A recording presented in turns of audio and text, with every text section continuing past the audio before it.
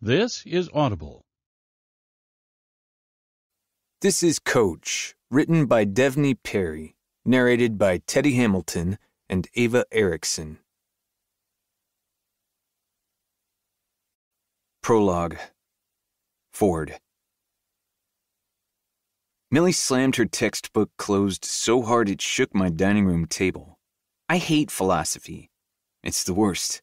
The class, definitely. Having it with Millie, not so bad. She groaned and, with a huff, blew a lock of smooth brown hair out of her face. It fell right back across her cheek. I lifted my hand, about to tuck it behind her ear, but caught myself. Millie was the best. The best of the best. She deserved it from the people in her life because that was what she gave them. She was my best friend. But damn, I wanted to kiss her. To say to hell with our friendship and see what we could make of this spark between us. Except I'd just come out of a long term relationship, and I wanted her to know that if, when, we got together, it wasn't a rebound thing. I'd kiss her. One day soon. Just not yet. So I kept my hands to myself and scanned the sheet of notes I'd taken in our philosophy lecture yesterday. Over half were to Millie and had nothing to do with the course. Want to get pizza after this? She'd circled the yes I'd written beneath. Think Professor Smythe owns multiple versions of that sweater vest? Another yes. If he says absolutism one more time, I might scream. That one had earned me a muted laugh. Beyond that, my notes were a wreck. None of these make any sense. I think if I can just manage a B, this class won't entirely tank my GPA and ruin my collegiate career. I just want to pass. I dragged a hand through my hair, leaning back in my chair. Then I reached toward Millie, touching the button at the base of her throat. You have a stain on your shirt. What? She gasped and looked down, just in time for me to flick the tip of her nose. I chuckled as she swatted my hand away, fighting a smile as she glared. I can't believe you fell for that. Shut up. She shoved at my arm, her cheeks flushing. Millie was never more beautiful than when she blushed. And God, she was fun to flirt with. Whenever I'd tried playing with Sienna like that, she'd thrown a temper tantrum because she couldn't take a fucking joke. Okay, let's finish this. I sat up straighter, inching my chair closer to Millie's to peer at her notes, hoping they were better than mine. The scent of her perfume filled my nose, citrus with a sweetness that was all Millie. I held it in, letting it sink deep, then glanced at her profile. Our gazes locked. Those pretty hazel eyes searched mine. I, um. Too close. We were too close. Best friends didn't sit like they were seconds from crawling into each other's laps.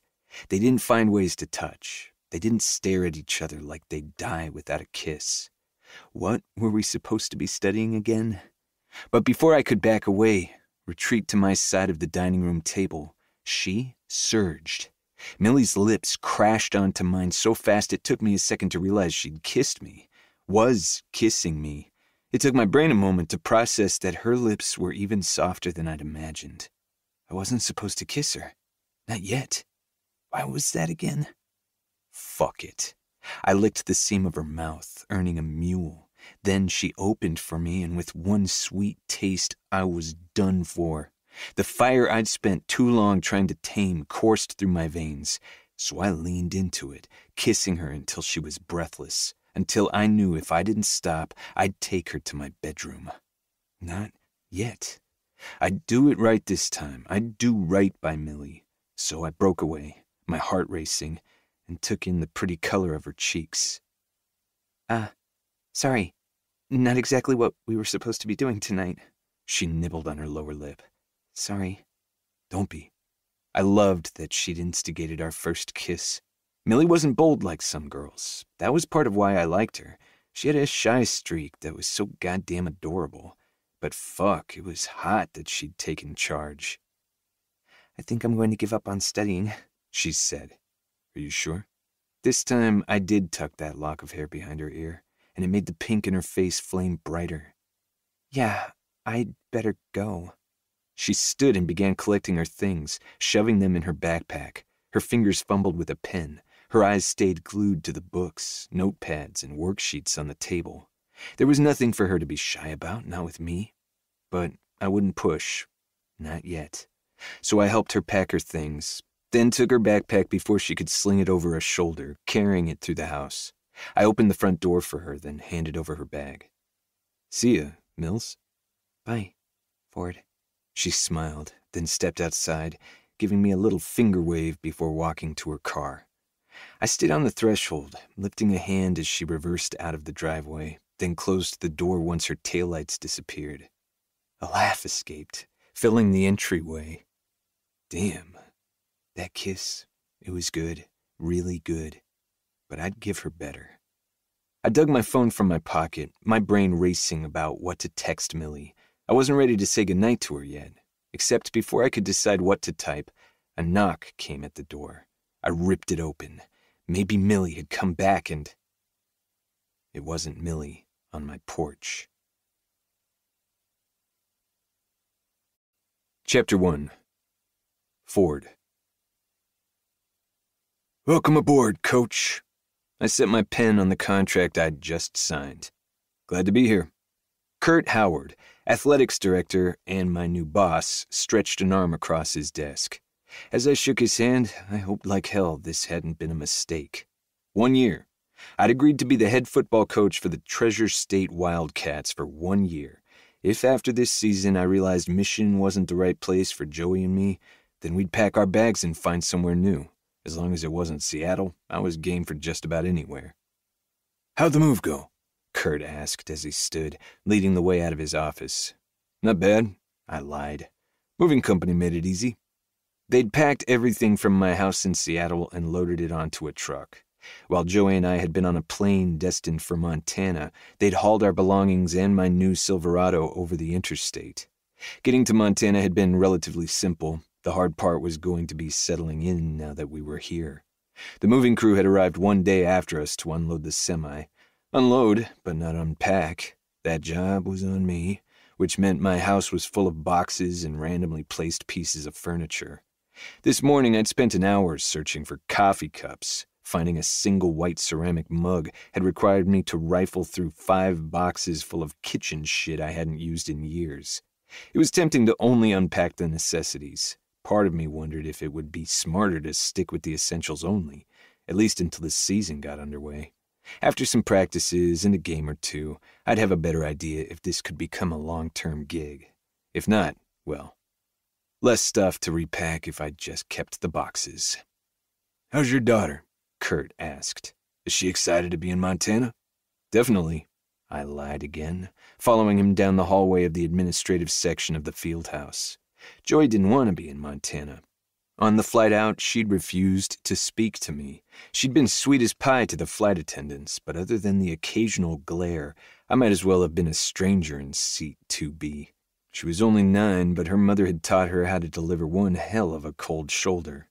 Joey's room was the only one I'd fully unpacked. It hadn't scored me any points. Even though her things were there, it wasn't home. Not yet. We just needed time. Time on our own. Time in the new house. Time in mission. Maybe after a few weeks, we'd find a new normal. And maybe one day Joey would realize why I'd taken this job.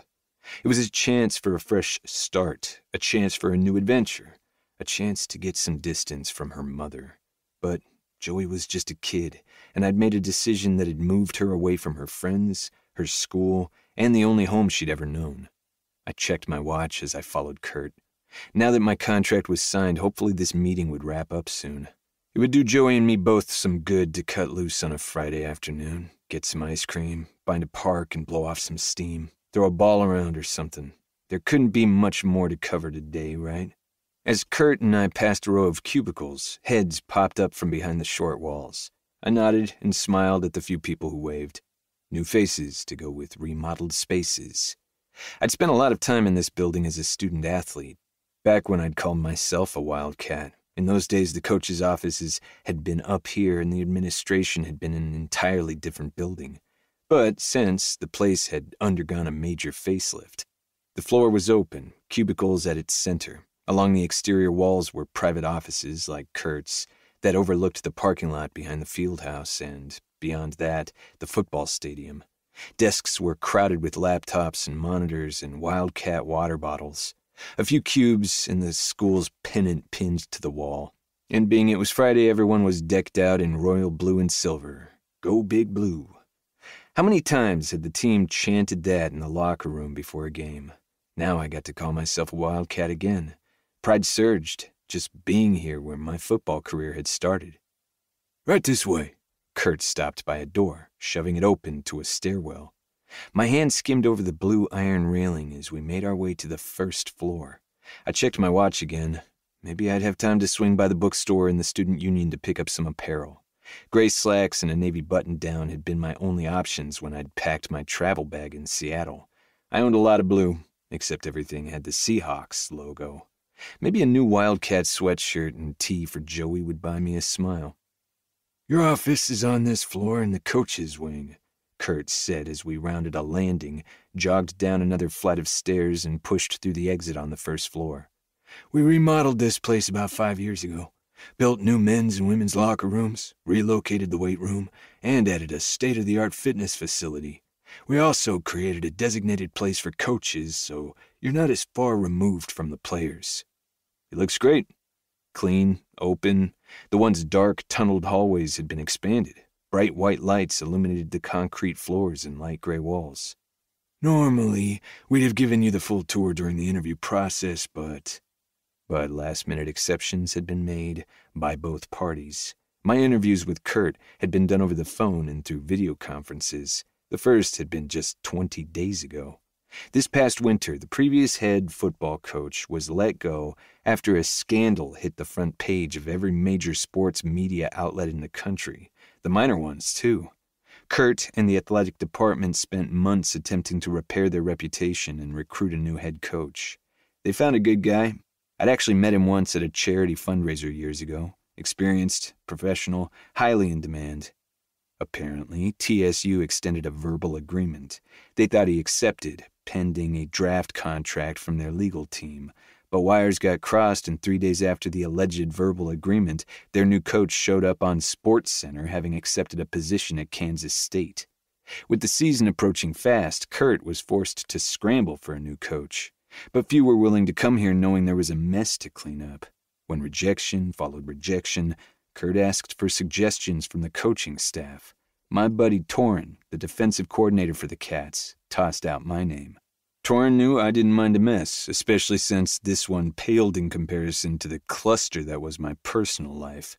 And he'd also known that I was looking to leave Seattle. Now, less than a month later, here I was. The hiring process had been a whirlwind on both sides. Kurt's desperation had come across loud and clear. Maybe I could have exploited that, but getting out of Seattle had been more important than scoring the perfect contract. One year. We'd give this one year. My annual salary was a fraction of what I was used to with the Seahawks, but I'd saved enough money for a lifetime. What was important about this job wasn't the bonus provisions or the automatic extension clauses, but the location. Mission was tucked into a valley beside the Mission Mountains in western Montana. It had grown in the past decade to a city with a decent sized airport and plenty of commerce. The university was still the cornerstone of the economy, but I suspected before too long that would change as more businesses in the area flourished. But despite its growth, Mission still had small town roots. Joey would have space to breathe here, we wouldn't go out to dinner and get mobbed by fans wanting autographs and pictures, and Sienna, for the time being, was two states away. For me, that was bonus provision enough. You're the last spot down this hall with the biggest space and a great view. Kurt led me past a line of offices. Each had their door open, and as we passed, faces lifted from screens to watch me walk by. The air smelled like bleach and concrete and rubber. The faint sound of weights lifting and crashing echoed in the background. I knew these smells. I knew these sounds. They meant wildcat football. This was happening. This was actually happening. I was the head football coach for the Treasure State Wildcats, my alma mater. There hadn't been time to let that reality settle in. There hadn't been time to ride the high of accepting this job. Until now. I was the head football coach for the Treasure State Wildcats. Fuck yeah. I fist pumped at my side. Well, look who the cat dragged in. Torin came walking down the hallway, headed our direction with a grin on his face. Kurt, I'm surprised. I didn't think you'd actually convince Ford to leave the big city. I held out my hand, smiling at my oldest friend. Didn't take much. He promised I got to be your boss, and I couldn't resist the chance to torture you. like old times. He pulled me in for a hug, slapping me on the back. At six four, we were the same height and build. I know you're just getting settled in, but let's meet for a beer or something soon. Be great to catch up. I nodded. You're on. Good to have you back on Montana soil, man. He clapped me on the shoulder, then disappeared into the office next to the only dark one in the row. Mine. Here we are. Kurt waved me through the office's open door and flipped on the lights behind me. I was hoping to have time to introduce you to the other coaches and tour the facility, but we've got a meeting with President Cruz in 10 minutes. No problem. On Monday, we'll do the full tour and introductions. We'll get you through the human resources checklist, too. You probably noticed, but our website is under construction for some rebranding. Yeah, I saw that. Except for a few high level pages, there hadn't been much to glean about the department. Once we get the staff directory up again, we'll arrange for headshots, have marketing get with you to draft a bio. Whatever you need. I did a quick turnaround in my office, taking it all in. The desk was positioned in front of the windows. Beyond them, the sun glittered like a jewel in the cloudless azure sky. God, I'd missed Montana. There was a reason they called it Big Sky Country. I'd forgotten just how beautiful Mission was with mountain peaks to greet you at every turn. I'll give you a minute alone, Kurt said. Restrooms are down the hall on your right, just past the door to the stairwell. We'll be meeting in the Missouri conference room. Keep on going past the bathrooms to the last door that direction. Can't miss it. I'll be right behind you. Kurt stretched his hand out for another shake, his brown eyes softening and crinkling around the edges. Really glad you're here, Ford. So am I. And that was the damn truth. Kurt left me to breathe, and I walked to the desk, taking a seat in the chair. It didn't fit quite right. It was a bit small for my large frame, but I didn't plan on sitting here much. My office was on the field. I pulled my phone from my pocket, checking to make sure there wasn't a text from Joey's babysitter. Her last message was from after lunch, saying all was going well. She'd sent a picture of the two of them having a peanut butter and grape jelly picnic in the backyard. There'd actually been a smile on Joey's face. Bless those college kids. At least the babysitter could make Joey happy. Kurt had sent me this sitter's contact info because she was on the ski team. A local nanny agency was in the process of narrowing down full time candidates, but until I hired one, my plan was to leverage any student looking to make a few extra bucks this summer. I tucked my phone away and stood, pushing my chair into the desk. Then, not wanting to be late to my first meeting with the university president, I headed down the hall, waving at Torin as I passed his office for the conference room. Kurt was seated at the head of the table, his fingers tapping on the wood as he stared out the window. Sunlight streamed inside and made his short gray hair nearly white. You found it. He sat straighter as I walked inside. Sure did.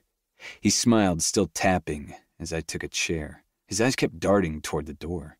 The stiffness of his shoulders and that constant tapping, his nerves were palpable and made the hairs on the back of my neck stand on end. Uh. This is just an introductory meeting, isn't it? Yep. His voice was too bright. Why was he nervous?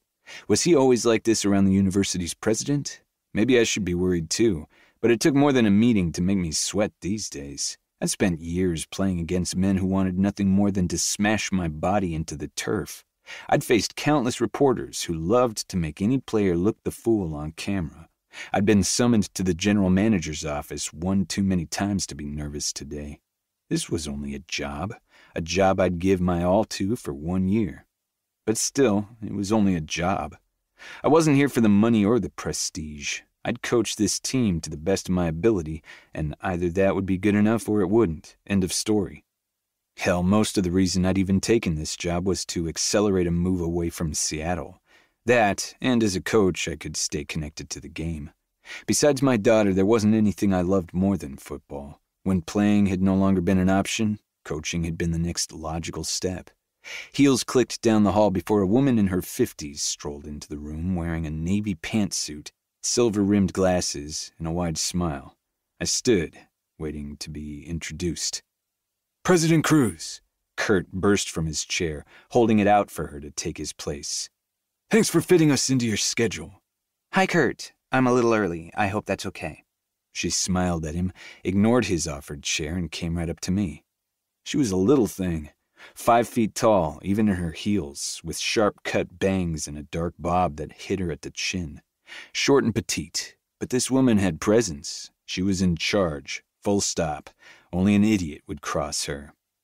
Coach Ellis, welcome. I shook her outstretched hand. Honored to be here, ma'am. Pfft, call me Carly. Carly? I nodded and pulled out the chair directly beside mine. Kurt's smile faltered as she took the seat. He recovered quickly, sitting down and opening his mouth, but President Cruz spoke first. We're lucky to find someone with your experience on short notice, she said. Experience? I'd only coached as an assistant with the Seahawks for a year, though I had been a player in the NFL for nine. Timing worked out for us both, and it will be great to wear Wildcat colors again, though after driving through campus, I'm not sure this is the same school. Buildings occupied the once open lawns. The dorm where I'd lived my freshman year had undergone a complete transformation, and if the name hadn't been out front, I wouldn't have thought it was the same place. We're growing, she said. We need a football program to keep pace. And bring in the dollars. I grinned at the subtle warning in her tone. This lady wasn't fucking around. Understood. I'll count this year a win if we can beat the Grizzlies, Kurt said. I chuckled. Glad to see that hasn't changed. The Treasure State Wildcats versus the University of Montana Grizzlies was a rivalry that dated to long before my time on this earth. It was great when we beat the Montana State Bobcats, too, but winning against the Grizz had always been the ultimate test of a season. We could finish the year with a losing record and no hope of making the playoffs, but as long as we beat the Grizzlies, the fans and alumni would call it a victory. Yes, we do love beating the Grizzlies, President Cruz nodded.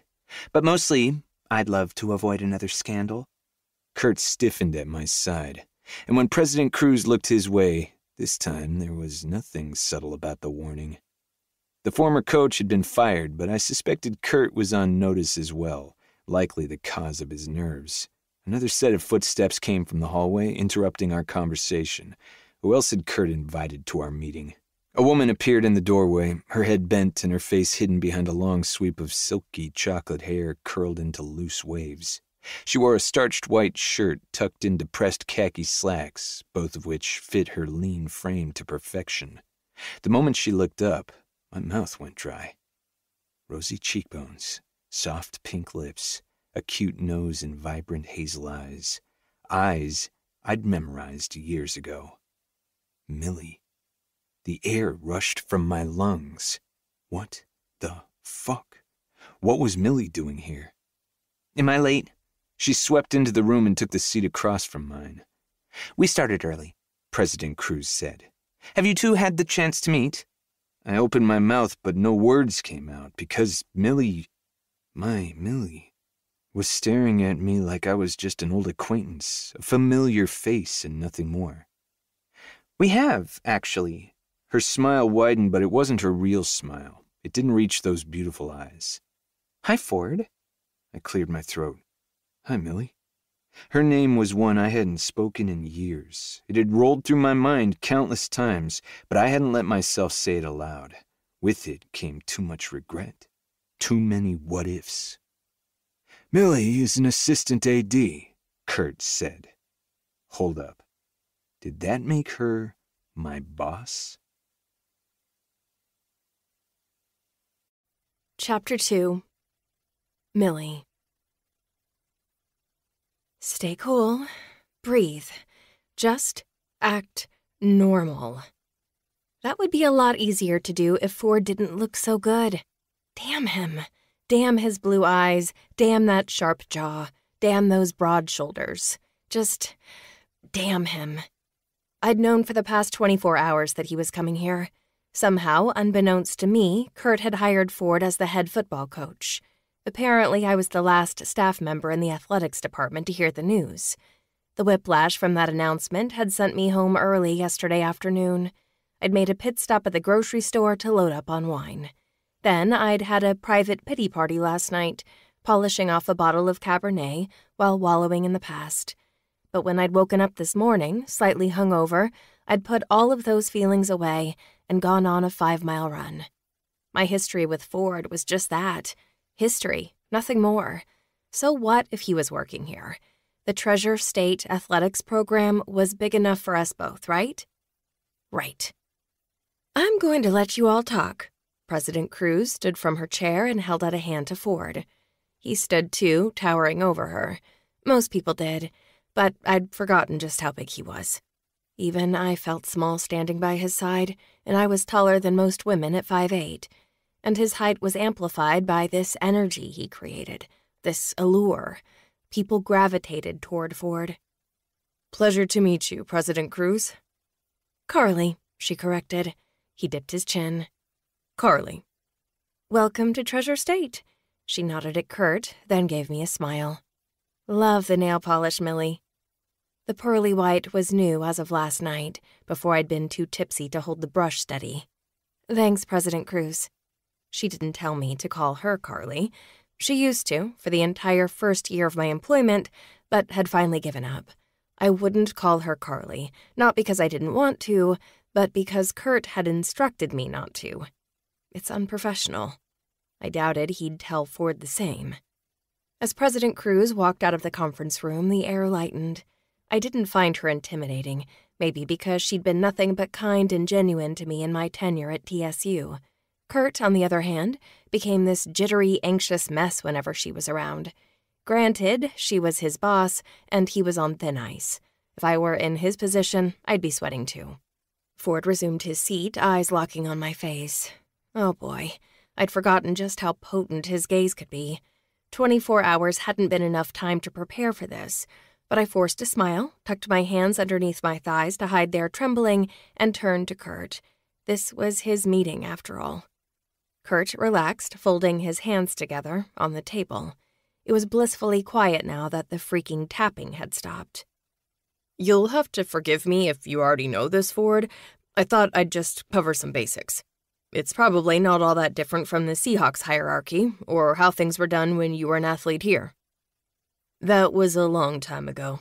Ford's gaze darted to me, but I kept mine firmly fixed on Kurt. It had been a long time ago, Ten years and three months. But who was counting?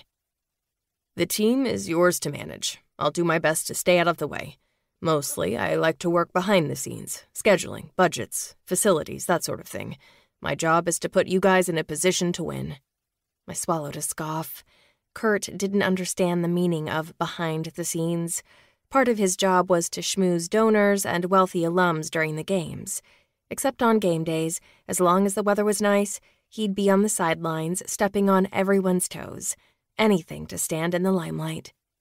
Though, unlike his predecessor, Ford was the type of man who'd tell Kurt to get off his field, even if Kurt was his boss. I actually hope to see that one of these Saturdays.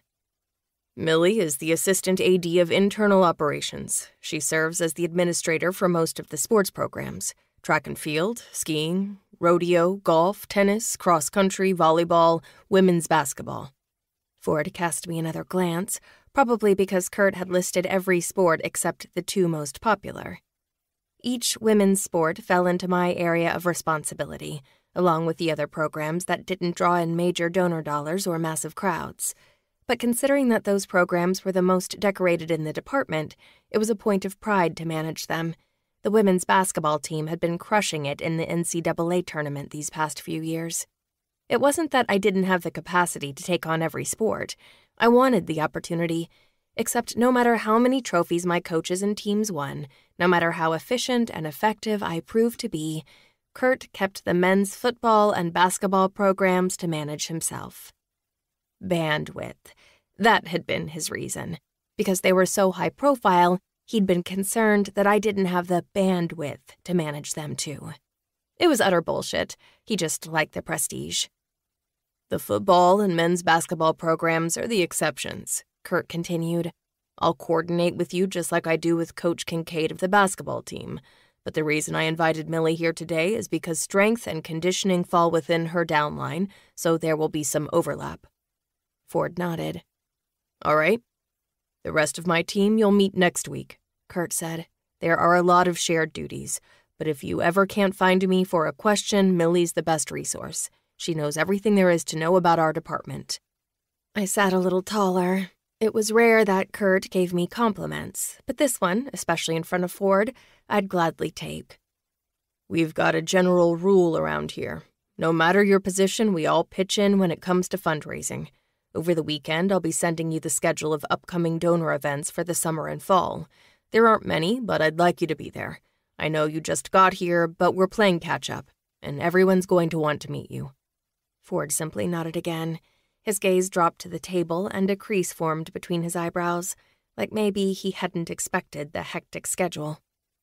To be frank with you, Ford, we're in reputation management mode. If we're being honest, I'd probably classify it as repair mode, I said. There was no point sugarcoating the situation. Yes, I suppose you're right, Kurt sighed. The former coach smeared our school's name with horseshit, because of it, we're down 33% of our annual donations. The boosters are, um, cautious. If cautious meant angry. I get it, Ford said. I'll make nice with the donors and do my best to generate some positive PR. Great. Kurt blew out a long breath. Like I said, I'll email you the list of upcoming events. Monday, we'll get you set up with an official TSU email and phone and I'll send you a list of more kids in the program who offered to babysit too. The babysitters, of course. The list I'd been compiling was for Ford. Kurt had come to me earlier this week to ask if there were any students who needed some additional income. I'd known one off the top of my head, so I'd given him her name, but he'd wanted a whole list. Since most of the athletes had access to the weight room and gym over the summer, I'd stopped by during a busy time and collected names and numbers. Most had been from girls on the track and golf teams who weren't on full ride scholarships.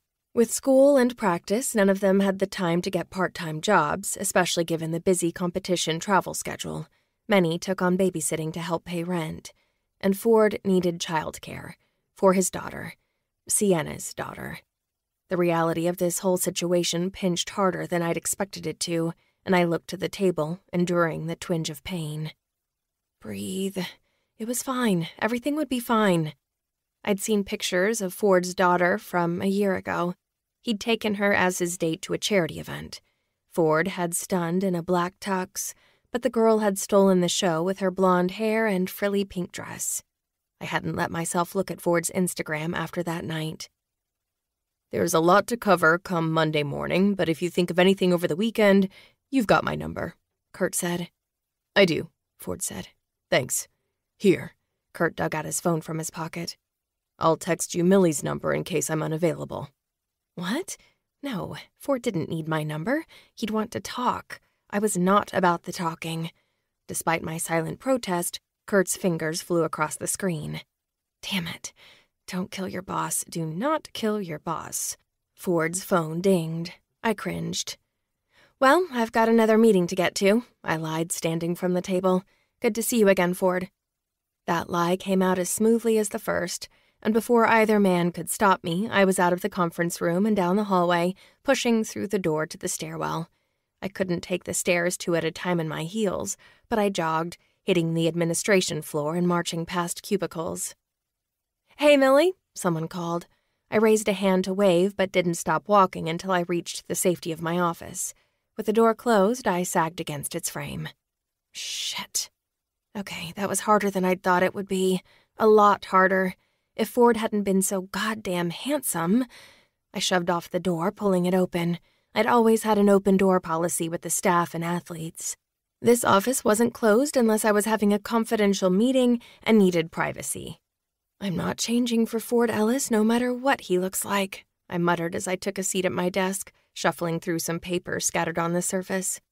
Why can't he be one of those football guys who gets a bulging belly and receding hairline? Still talking to yourself, I see. My heart jumped into my throat. There he was, filling the threshold with that muscular frame. Damn him. That gorgeous face shouldn't have taken me so off guard. It wasn't like I hadn't seen him these past 10 years. I'd watched his Seahawks games on TV. I'd seen the memes from adoring female fans. Some had proposed marriage, some had offered to have his baby. The man was utterly irresistible on the Jumbotron. Up close? Oh, I was in trouble. It was in the quiet moments that I'd always appreciated Ford's features, during the times when it had just been the two of us, when his smile had been unguarded, when his smooth voice had been a regular part of my dreams. Years ago, before he'd left me humiliated and broken-hearted. Can I help you with something? I asked, shaking the mouse to wake up my computer. The brilliant plan I'd devised last night over my bottle of wine was to act aloof. Ford and I would be coworkers, nothing more. I'd do my job, he'd do his. I hadn't interacted much with the previous football coach, and I saw no reason to change that. Except my hand started trembling again. Ford came into my office, making the space too small. He pulled out the chair on the other side of my desk and took a seat. A whiff of his cologne carried my way. Spice, leather, cedar, and masculine as hell. It hadn't changed. I'd use up all of my future birthday wishes if it meant I could forget that scent. If I could forget all things Ford Ellis. My fingers splayed across the keyboard, and I willed them to keep still.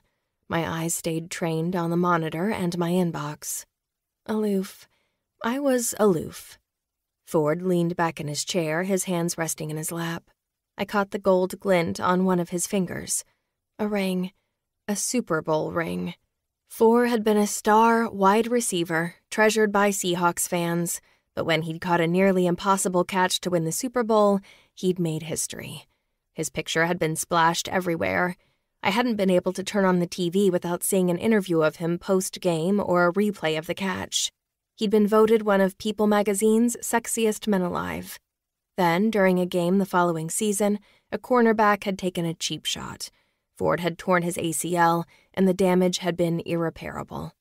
I'd cried for him the night he'd announced his retirement. I'd sobbed for a lost career and the heartache I'd felt all the way from Seattle. When the Seahawks franchise had taken him on as a coach, I'd thought it was kismet. Ford had always been good at lifting up his teammates. He was a natural leader. I'd thought it would be easier to forget him if he wasn't on ESPN. I could finally let go of the past if I didn't see his face on Monday Night Football. The joke was on me. This was Karma's way of punishing me for the lip gloss I'd stolen from Target when I was 15, wasn't it? Are you going to talk to me? Nope. Of course, I said, my eyes on the screen as I pretended to read an email. What can I help you with? Are you going to look at me? Not if I can help it. But that was a dare if I'd ever heard one, so I tore my eyes from the screen and found those brilliant blues waiting. Hey, Mills. I swallowed hard. He was the only person in the world who called me Mills. Hey, Ford. Long time. Ten years and three months. But who's counting? Chapter 3 Ford Well, she wasn't my boss. That was one less complication, but considering the way she was staring through me, not at me, simply being coworkers would be difficult enough. Maybe this job had been a bad idea. I couldn't believe it. I couldn't stop staring at her. Millie. My Millie. She was more beautiful than I remembered. Her hair was longer than it had been in college. Her features were more elegant and refined. I supposed we'd both lost that youthful look from our twenties. A sweet citrus scent clung to the air like tangerines and fresh cut flowers. Millie's perfume hadn't changed. Her hazel gaze darted past my shoulder, then to the door, then to her desk, then back to her computer screen. She looked everywhere but at my face. She had to have known I was coming on as head coach. As one of Kurt's assistant ADs, she had to have known I was being interviewed. Was she okay with that? Was I? Maybe I would have thought twice about accepting Kurt's offer had I known she was here. Not that it wasn't damn good to see her face, but I'd come to Montana to simplify life. Nothing about Millie and me had ever been simple. This was the problem with interviewing for and accepting a job within a 20 day span. I'd poked around the website, not finding much information, but otherwise I hadn't spent any time researching the department. My focus had been on the actual move, buying a house and traveling across three states, relocating my child. Except Torin would have known about Millie. That bastard. I was going to fucking murder him for not giving me a warning about this. He knew our history, and he'd been there when it had all fallen apart. God damn. Millie. There was no ring on her left hand. Another complication. You look good. She pulled her lower lip between her teeth, a nervous habit that had always been adorable. Thanks. Why wouldn't she look at me? Millie. Her eyes closed, and for a minute I thought maybe I'd broken through. But then she squared her shoulders, put on the same professional, sterile smile she'd worn in the conference room downstairs, and faced me with her hands folded on the desk. It's good to have you back with the Wildcats, Ford. Was it? Because that was the most practiced line I'd heard in ages. It's good to be here. Kurt mentioned that the hiring process was accelerated. Have you had a chance to look around the field house? Not yet. Christ, she sounded like a stranger. Aloof. I fucking hated aloof. Definitely have Kurt take you on a tour next week. You'll hardly recognize the place. The building? I was more concerned about recognizing her. The Millie I'd known hadn't owned a poker face. She hadn't faked a thing. Sometime over the past ten years, she'd gotten good at both. I'd heard what she'd said as she'd walked into her office. She hadn't realized I'd been right behind her, that I'd left that conference room in a rush and taken the stairs two at a time to catch her. Millie was flustered that I was here and doing her best to smother it, but at least she'd known I was coming. Meanwhile, seeing her had given me whiplash.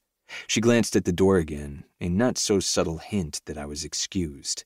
I relaxed deeper into the chair. Maybe if I sat here long enough, I'd catch a glimpse of the woman I'd once known. How long have you worked here? Nine years she clipped with another glance at the door. I started here after graduation. You always talked about working for a university program? Her smile tightened. I did. Clearly, she didn't want to talk about the past. There'd be no stroll down memory lane. Yet. Eventually, there were things to say, apologies to make. But before we opened that wound, I needed to get my head on straight about exactly what I had to say. Maybe we could meet for dinner, somewhere quiet. Look, Mills, we should talk. You'll have a good team this year, she blurted. I don't know how much time you've spent learning about the players. The former head coach might have been a disgrace to the Wildcat program, but your coaching staff is solid. Football. She wanted to talk about football? I guess football was better than being shot down for a dinner invite. Torin and I kept in touch over the years, I told her.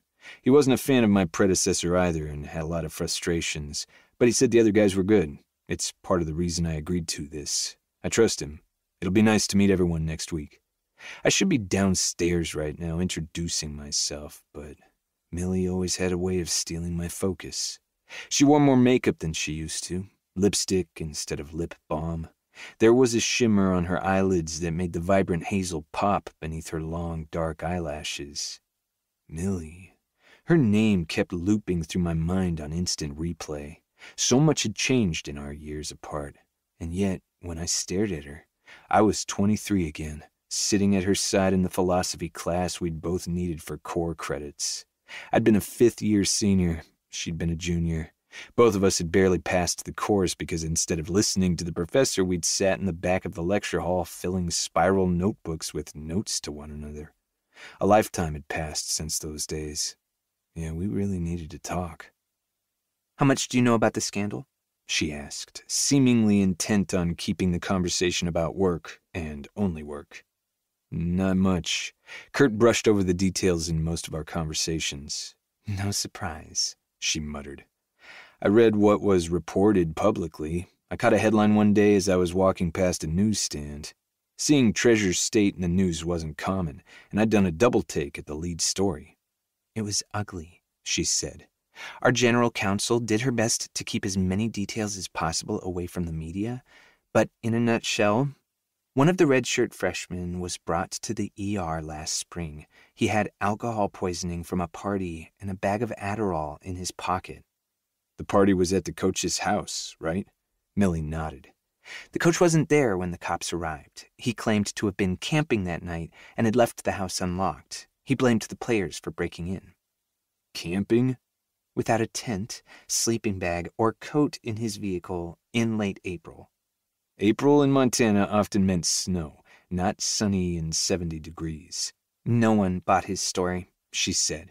When the players started coming forward and saying that he'd invited them over, the details fell into place. Somehow he'd gotten word that the cops were on the way and bolted. Why would he throw parties? That was an easy way to get fired. Apparently, he'd been doing it for years. Maybe it was his way of bonding with the younger players. Most of the upperclassmen knew about them but didn't attend. They said it was awkward. Coach always asked the guys to bring girls along. Shit, I muttered. Pretty much. Only one girl came forward and admitted to sleeping with him. She was a sophomore on the golf team. She's already transferred to Eastern Washington. That's quite the mess. From the picture I'd seen in the paper, the coach had to have been in his 50s. He had the former football player look Millie had been muttering about the bulging belly and receding hairline. You've got your work cut out for you, she said. Most of the players and staff seem glad to have him gone, but they won't be overly trusting. Good to know. I'll sync up with the coaching staff and get their take too. Then I'll make it a point to spend some extra time with the kids in the weight room. Sometimes the best way to build a rapport with the players was on their turf, not in my office. At least that was what my favorite high school coach had always done. Thanks for the heads up, Millie. You're welcome. This is a good program, Ford. We work hard, and it's not fair that the actions of one person have tarnished our reputation. Please keep that in mind. There was an edge to her voice, a thinly veiled accusation. What are you implying? Did she think I'd do something to hurt this school or these kids? I don't know why you're here. She raised her chin. It can't be for the money. Even as an assistant coach with the Seahawks, you had to be making more than you will here. Is it for the fame? I scoffed. I've had enough fame to last two lifetimes. And though I was sure that being the head coach for TSU meant I'd be recognized, the fame and mission would be nothing compared to what I'd endured in Seattle. Division 1 FCS football was a far cry from the NFL. Then why? she asked. It was time for a change of scenery. And that was the explanation she'd get for now, because anything else meant delving into the past, and this was not that time. Millie studied me like she knew there was more to my answer. She'd always been good at reading me, but she didn't push it. She simply gave me another polite smile and ambivalent stare. She'd always been good at getting right under my skin, too. Clearly, that hadn't changed. I opened my mouth, not exactly sure what to say, but something. Except my phone vibrated in my pocket. It was a text from Joey's babysitter asking if they could walk to the park in our neighborhood. I typed a quick reply, then tucked my phone away. Sorry, just Joey's sitter checking in. Something flashed in Millie's gaze pain, anger. She covered it before I could decide, and those eyes once again flicked to the door. I'm sure you've got plenty to do. I'm about to sign off for the weekend myself. And with that, I was dismissed. The temperature in the room dropped 10 degrees. Her fingers flew across the keyboard, and not even the warm summer sunshine could compete with her icy indifference. I sighed and pushed out of her chair, heading for the door. Ford? She stopped me before I reached the threshold. Yeah? I glanced back, and the look on her face rocked me on my heels. Gone was the tight smile. Gone was the cool stare. She looked sad. I'm sorry about your knee. There she is. There was my Millie, the one who looked like she was about to cry because she knew what an injury like that meant to me. Thank you. I was watching your game when it happened. She closed her eyes and shook her head. It was awful. Not the best night, though the months afterward had been worse. The surgery to repair my torn ACL had been considered a success by the doctors, but I'd known during the first stages of physical therapy that things weren't the same. No matter how hard I'd worked, how careful I'd been, I'd realized after my first practice back with the team that my knee wouldn't be normal again. How many guys pushed it too far for just one more game? In the end, I decided that walking without a limp was more important than football. I wanted to be able to hike with Joey, to chase her around the yard, to walk her down the aisle one day without a cane. It worked out in the end. I like coaching, and I always said I'd end my career on a high. I thumbed the ring on my hand. This ring was the only valuable piece of jewelry I owned, and my movers wouldn't put it on the truck, so I'd worn it on the plane. I rarely wore it, but today, when I'd been getting dressed, I'd put it on, maybe to give myself a boost of confidence. While I was fairly certain I was failing as a father, I might make it as a decent Wildcat coach. You definitely reached the high. A ghost of a proud smile graced her soft lips. It was a great Super Bowl game. It was. Damn, but I loved that she'd watched. I wouldn't let myself hope that she'd rooted for me, but the fact that she'd watched was enough. There was a sparkle in her eyes, and for the briefest moment she stared at me like she had once a long time ago. But that glint was gone too soon. Millie dropped her hazel gaze, and when she looked back up, it was to the door. Good luck with the team, Ford. See you around, Millie. My Millie. Except she wasn't mine anymore, was she? I'd lost her a long time ago when I'd walked away, when I'd made the wrong choice for myself, and the right one for my daughter. Chapter 4 Millie Autumn looked me up and down, then shook her head. You can't wear that. Why? I glanced at my gray pants and matching gray blouse. I look fine, don't I? Yes, you look fine, but we can do better than fine. Autumn, I don't want to change. My shoulders slumped. Were all best friends this pushy when it came to their counterparts' wardrobes? I need to go or I'll be late. She ignored me and marched into my walk in closet. I know you love your monochromatic ensembles, but tonight is not the night to be dull. It's just a fundraiser. Dull is the dress code. Black, gray, white, cream, navy. Would it kill you to buy something red? The hanger scraped against the rod as she rifled through my closet. Red is the color of the enemy. You wouldn't catch me in anything that might be misconstrued as a Grizzly shade. You take your job too seriously. I like to take my job too seriously. I walked to my bed, slumping on the edge. Without work, what did I have? A modest two bedroom home with a mortgage and a Kia Telluride with 30,000 miles. Ford is going to be there tonight, right? Yes, I muttered. So don't you want to look hot? I don't know. I plucked at my white duvet. I'd chosen my outfit tonight because it was simple and plain, and maybe if I blended in with the crowd, I'd be able to avoid Ford. Here. Autumn walked out of my closet with two dresses, holding one up. This is my first choice. Absolutely not. It was a strapless black cocktail dress with a short skirt. This is a work function. She frowned and held up the other option. Then this one. It was another black dress, but one that wouldn't get me fired. The neckline was high, close to a mock turtleneck. It had cap sleeves and hit me just below the knees. Boring on the hanger, but sexy on my body because of the snug fit. As a lifelong runner, I didn't have a lot of curves to work with, and this dress gave me the illusion of a figure. It's boring enough for work and tight enough to drive Ford wild, Autumn said. That's not the goal. It has to be the goal. You're going to walk into this party wearing this sexy dress, and every time he looks at you, it will be his punishment. Did I want to punish Ford? Yes. Did I have the guts to do it? Probably not. Which was why my tactic when dealing with our new coach had been avoidance. In the past two weeks, I'd made sure to stay as far away from Ford as possible. If I saw him walking down the hallway, I turned and walked the other way. I'd filled my calendar with meeting after meeting so that when I was in my office, the door was closed. But mostly, I'd avoided my office entirely, not wanting a repeat of Ford's first day. Luckily, he'd been busy getting settled into his new role. Kurt was in full fledged bragger mode. Whenever we crossed paths, he'd drone on and on about Ford. The coaching staff loves him. They've gelled in just two weeks. The players are already idolizing Ford. Isn't that amazing? This was the best hiring decision I've made in my career. Always nice to hear that from your boss. Dismissing Kurt's opinions would have been easier if he'd been wrong, but I'd walked by the coach's conference room a few times in the past two weeks, Ford seated at the head of the table surrounded by his crew. The assistant coaches had been hanging on Ford's every word. I was just grateful that since he was so busy, I'd been given a reprieve.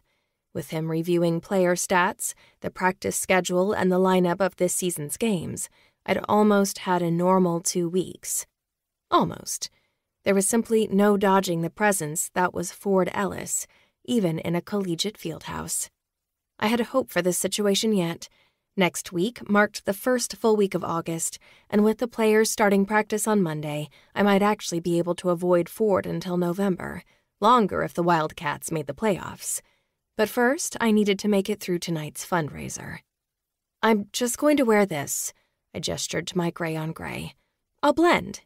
No. Autumn tossed the dresses on the bed beside me and reached for the button on my blouse.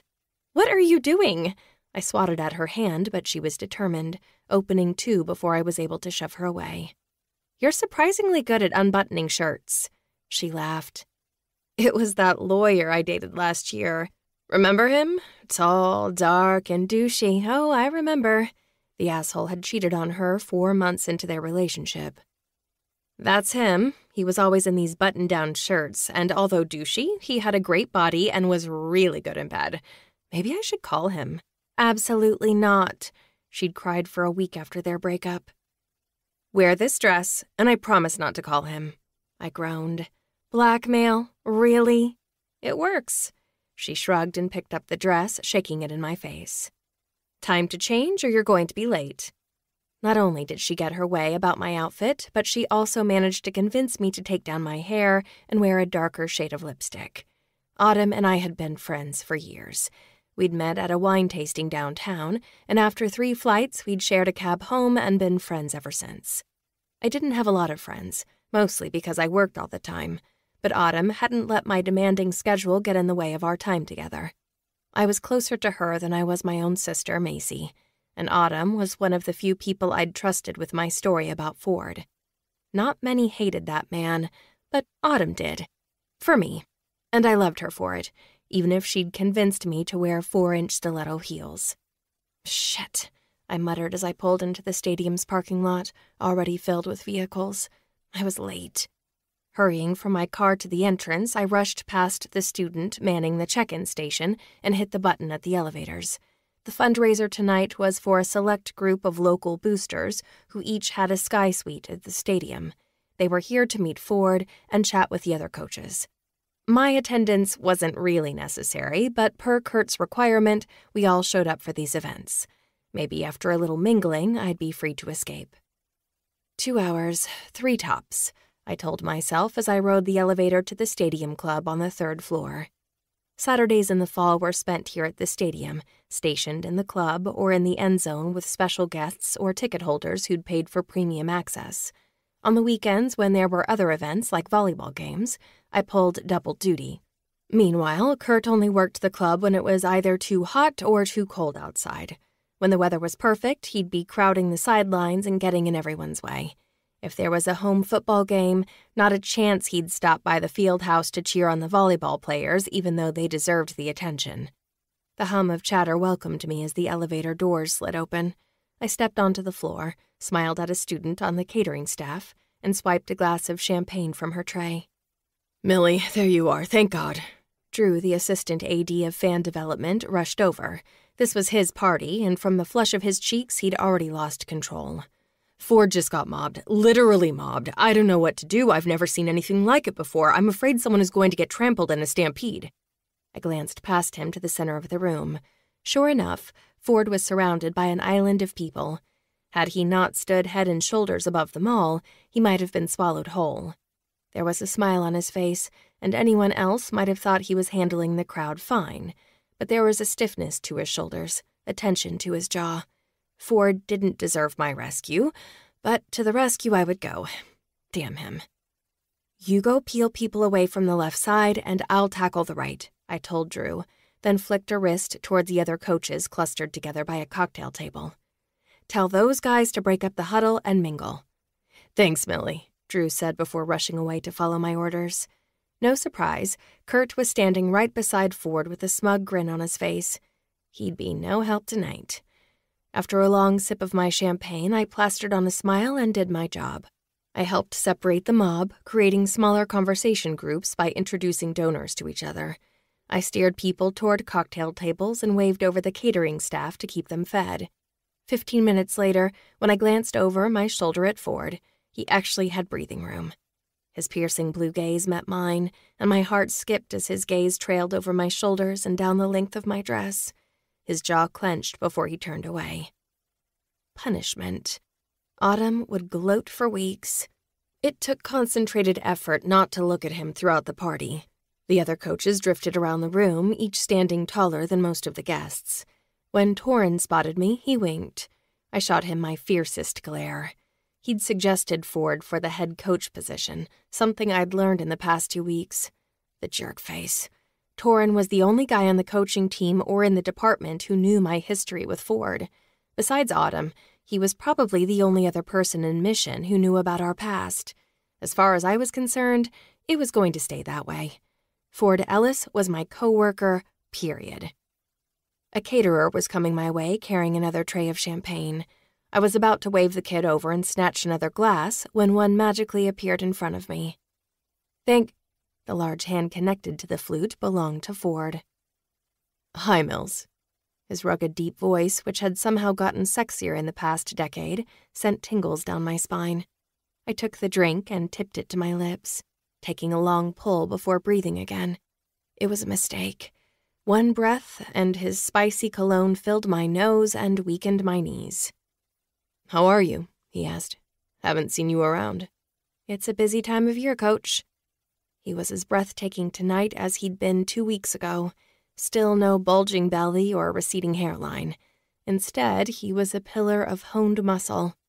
Ford had been strong in college, having spent hours in the weight room but years in the NFL had transformed him into the perfect male athlete. He was mouthwatering. Damn him. He wore a pair of charcoal slacks and a royal blue wildcat quarter zip. The material clung to his strong chest, and with the sleeves pushed up, the black tattoos on his right forearm were on display.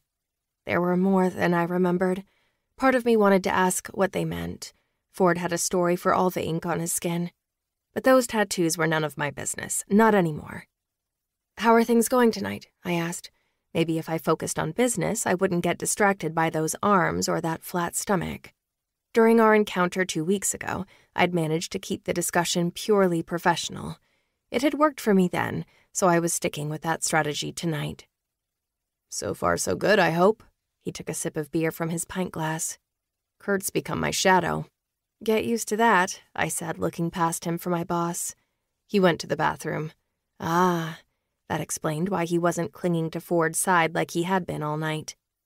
Look, Mills, before the season starts, I'd like to talk about. Can I have cake, Daddy? A girl appeared at his side, interrupting our conversation. My heart twisted. This was her. This was his daughter. I took in her sweet face, the blue eyes she'd inherited from her father the long blonde hair from her mother, the button nose, and the smudge of chocolate at the corner of her mouth that told me she'd already had cake and was campaigning for seconds. Like I'd seen on Ford's Instagram, she was a miniature Sienna. There was a bit of Ford in her face, but mostly when I stared at her, I saw her mother. I'd spent the better part of ten years forgetting that face. This little girl's smile was threatening to undo that hard work. Where's Emma? Ford asked her. Emma, one of the girls on the ski team, and someone on my babysitting list. She's talking to somebody. I searched the room and found Emma standing with an older couple, probably making polite conversation. Most of the alumni love chatting with students as much as they love talking to staff. We had a little mix up, Ford said, raking a hand through the waves in his light brown hair. Emma thought this only went until six, so she made plans. I figured I'd never get out of here by then, so Joey's tagging along and eating cake. He wiped chocolate from the corner of her mouth with his thumb. It was precious. The way he gazed at her, like she was his entire world, was adorable. I dropped my eyes to the floor. Who are you? Joey asked, and I blinked, bringing my eyes back to her face. Manners, Ford scolded. Sorry, she mumbled. This is my daughter, Jocelyn. We call her Joey. Joey. God, she was cute. There was a gap between her front teeth. She was wearing a navy dress with sheer half sleeves. The fabric was dotted with tiny gold stars, the same color as her ballet flats. Hi, Joey. I forced a smile. I'm Millie. We work together, Ford added. She looked me up and down. Are you a coach? No, I work in the office doing boring stuff. Oh, she studied my face, tilting her own to the side. Her eyes narrowed. Then something dawned, and her attention swung to her father. Daddy, isn't this the lady in that picture on your bookshelf? Chapter 5 Ford I loved my daughter wholeheartedly, but for fuck's sake, I needed to buy her a filter. Why, of all the things to bring up, did she have to mention the picture? Millie's eyes widened. I opened my mouth ready to explain, but was halted by Kurt and his impeccably bad timing. Hey, Ford, there's a few people I'd like you to meet. I'd heard that sentence a hundred times tonight. Sure, I gave him a tight smile, then looked at Millie. We need to talk. About what? Kurt asked, looking between the two of us. Personal history, I answered at the same time Millie blurted. Nothing? I shot her a frown. She gave me that irritating, polite smile. I'll let you guys get back to work and do the same myself. Nice to meet you, Joey. Before Joey could respond, Millie spun on a heel and strode toward a group of people, giving me a perfect view of her ass in that sexy as fuck black dress. I tore my eyes away before Kurt and Joey caught me drooling. This was not the place for an erection. Can I have cake? Joey asked. You mean more cake? She gave me that devilish grin she'd made famous by six. Yeah? Go ahead. I jerked my chin in her sitter's direction. But find Emma first and stay with her. Okay. Joey raced away, leaving me in Kurt's clutches. Kurt hadn't seemed too happy to see my daughter in tow when I'd stepped off the elevator. He'd quickly hidden his disapproval and told me it was fine, that this was a family event, except Joey was the only kid here under 18. Whatever. He'd have to deal with her tagging along from time to time. I was a single dad and my kid was my priority. Ready? he asked. Lead the way. I cast a glance over my shoulder at Millie as I followed my new boss. She was talking to a couple in matching Wildcat shirts, but her gaze was over their shoulders to where my daughter was dragging Emma toward the dessert table. There was hurt in Millie's expression as she stared at Joey. The last thing I wanted was to cause her more pain. And damn it, we needed to talk. Here we are. Kurt addressed an older gentleman with a handlebar mustache and a belt buckle the size of a softball. Ford Ellis, meet John Jones. I zoned out as he rattled off the man's profession and affiliation to TSU. I'd met so many people tonight that there wasn't a hope in hell I'd remember every name, especially not with my focus pulled in different directions.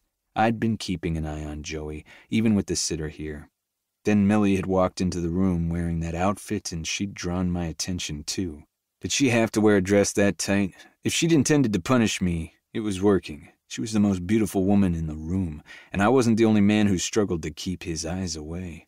One shithead had leered so blatantly that I'd interrupted the conversation to stand in front of him, blocking his view of her ass.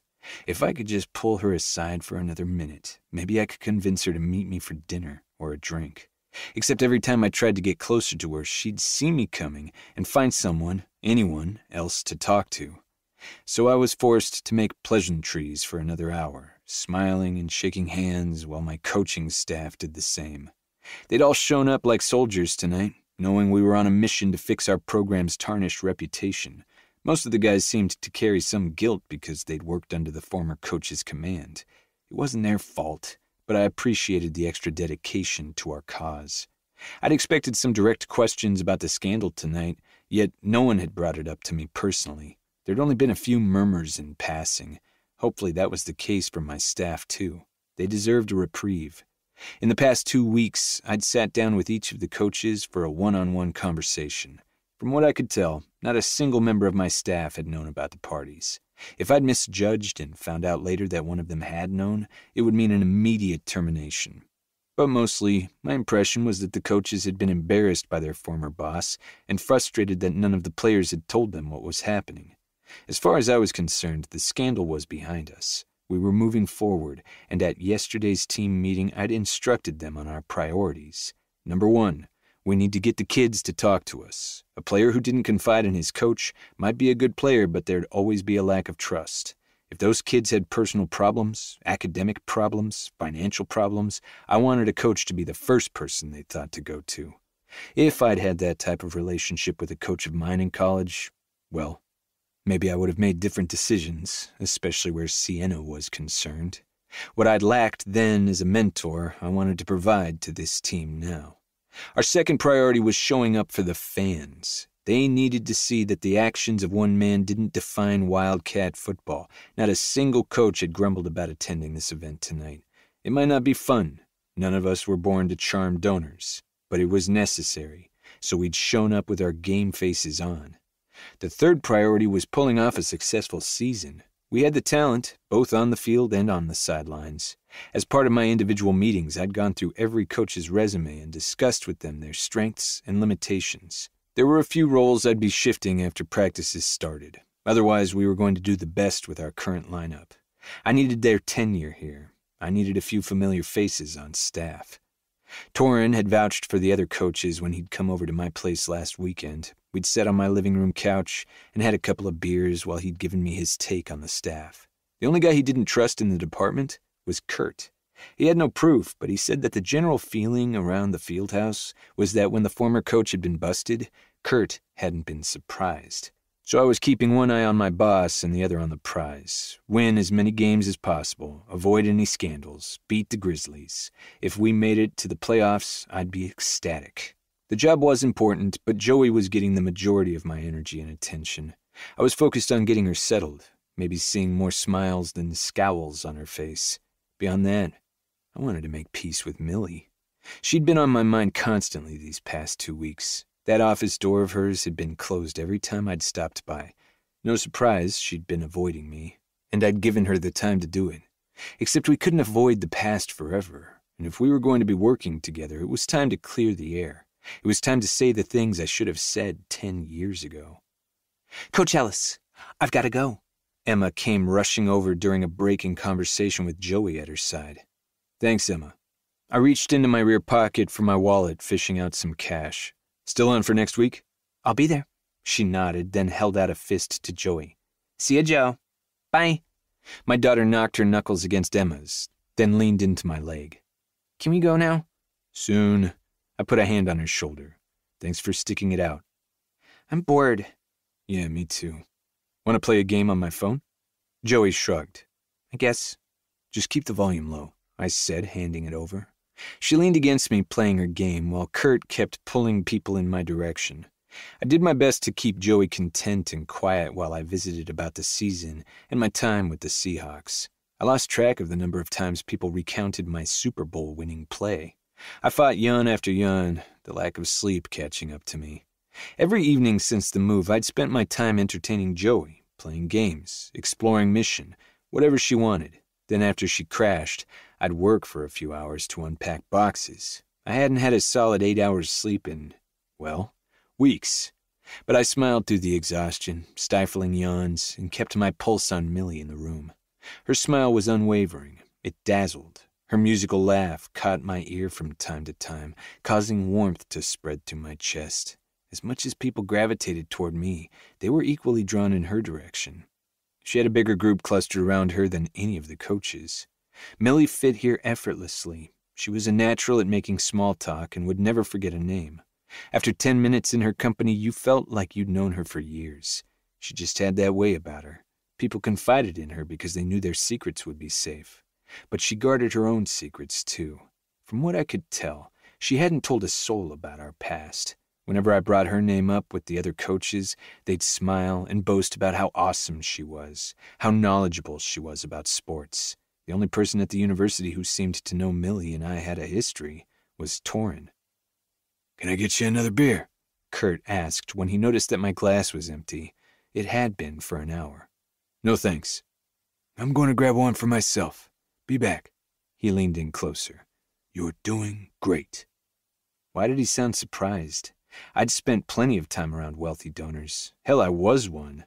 Kurt must not know about the money I'd gifted to Treasure State a few years ago when they'd been going through an extensive capital campaign to fund the fieldhouse's remodel. I'd given them a quarter of a million dollars, though I'd done it in Joey's name. It wasn't a huge amount in the grand scheme, but enough that I'd gotten my daughter's name on a hallway plaque. I'd have to hunt it down one of these days and show her. How's it going, Princess? I asked Joey. She looked up at me with pleading eyes. This sucks. Can we go now? Don't say sucks. I checked my watch. and we'll go soon. The crowd was beginning to thin, but it was still bright outside, which didn't hurry people home like a dark night would have. These long Montana summer days made it easy to stay up late. Too late. Last night, I hadn't crashed until 1, and when the sun had streamed through my bedroom window around 6 this morning, I'd gotten up to unpack a few more boxes. The house was still a mess, but the kitchen was set up. I could actually cook a meal for us. Torin's visit had motivated me to put the living room and my office together, including the bookshelf with Millie's picture. I scanned the room, finding her just as she stepped into the elevator. Shit. How's it going? Torin came over, following my gaze to the elevator. Would you mind hanging with Joey for just a minute? I was hoping to catch Millie before she left. Sure, man. He plucked my phone from Joey's hands. Hey, she shot him a scowl that quickly turned into a smile because Joey loved Torin. When he'd come over last weekend, he'd spent a solid hour in her room, letting her paint his fingernails blue and silver. Though he'd picked most of it off, the color still lingered along his cuticles. Want to do something fun? He asked, bending close and lowering his voice. Like what? He nodded to the glass windows that overlooked the stadium. Sneak onto the field? Yes! She fist pumped. I'll find you, I told him, then raced for the elevators. They opened for me the moment I pushed the button, but the ride to the first floor was agonizing. When it stopped, I flew out the door and jogged out of the stadium to the parking lot. Millie moved with grace and elegance toward the parked cars, like she was on a runway, not black asphalt. Her legs were a mile long with those stiletto heels, and the dress molded to her hips and thighs. Millie, I called as she strode toward a silver Kia SUV. She glanced over her shoulder, keys in hand, but didn't stop. Millie, hold up! She ignored me and kept walking. Her legs were long, but not as long as mine, and she couldn't outpace me in those shoes. Millie! I touched her elbow when I caught up. She jerked it away and turned, frown in place. What do you want, Ford? To talk. No, she shook her head. I don't want to talk. There are things to say. Why? It's unnecessary. It's in the past. Like hell it was. It's been ten years. At the very least, let's catch up. Yeah, sure. Maybe sometime. Liar. She turned away, her strides faster and each accentuated by the click of a heel. Mills. Click, click. Ford. Dinner or lunch? Click, click. Breakfast? She'd always liked pancakes. What picture? She whirled on me so fast I nearly ran into her. On your bookshelf, what picture? Oh, I'd forgotten Joey's overshare. One from college? Which one? The only one of her I'd let myself keep. The only photo of Millie I'd let myself look at in all this time. Ten years and I hadn't searched for her on Facebook or Instagram. I hadn't asked Torin if he stayed in touch with her. Not that I hadn't been curious, not that I hadn't wondered. But I'd been married. Unhappily, but married. And Millie was a temptation like no other. I knew that if I started thinking about Millie, well, I wouldn't have stopped. That picture on my bookshelf was the only exception. I'd tucked it away at the back of a World War II book that I'd known Sienna would never touch, because had she found that picture, she would have shredded it instantly. From my last season here, I told her, after the Grizz game. We'd been standing on the field. She'd asked a random guy to take a picture. I'd been sweaty and smiling from a victory over the Grizzlies. She'd been tucked into my side, my arm around her shoulders and my pads making me look like a giant compared to her lean frame. She'd been in a blue parka and matching beanie. Her nose and cheeks had been rosy because there'd been a ton of snow and it had been well below zero, but her smile had chased away any of the cold. Torin had been on my other side, grinning at someone out of the shot. Most people, Joey included, saw three friends laughing and smiling after a victory. Me, I saw what I'd lost. Why would you put it on your bookshelf? She asked. Damn good question. Seeing that photo always hurt. Joey hasn't taken the divorce well. For a while, she thought it was just temporary. I thought maybe if I took away the family pictures, it would help. It had been a year since the divorce, 18 months since Sienna and I had separated. Joey knew now it was permanent, but it had taken almost that entire time to get her there. And the photo, for better or worse, was a favorite of mine. Millie swallowed hard. It doesn't really answer my question. Why me? I liked that picture. Millie had gotten it printed and given me a copy. Did she still have hers? Did she ever think about me? Did she know how much I regretted what had happened? These unanswered questions would drive me mad. An hour, Mills. Just an hour to talk. It's unnecessary. Twice she'd said that word, and twice it rubbed me the wrong way. Nothing about us had ever been unnecessary. Monday, I said. After work, we can grab a drink. No. Great. See you then. Without another word, I turned and walked away. Ford! She called to my back. I stole a page from her playbook and just kept walking.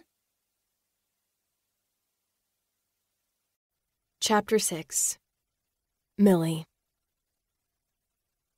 I have to go, I told Autumn for the third time.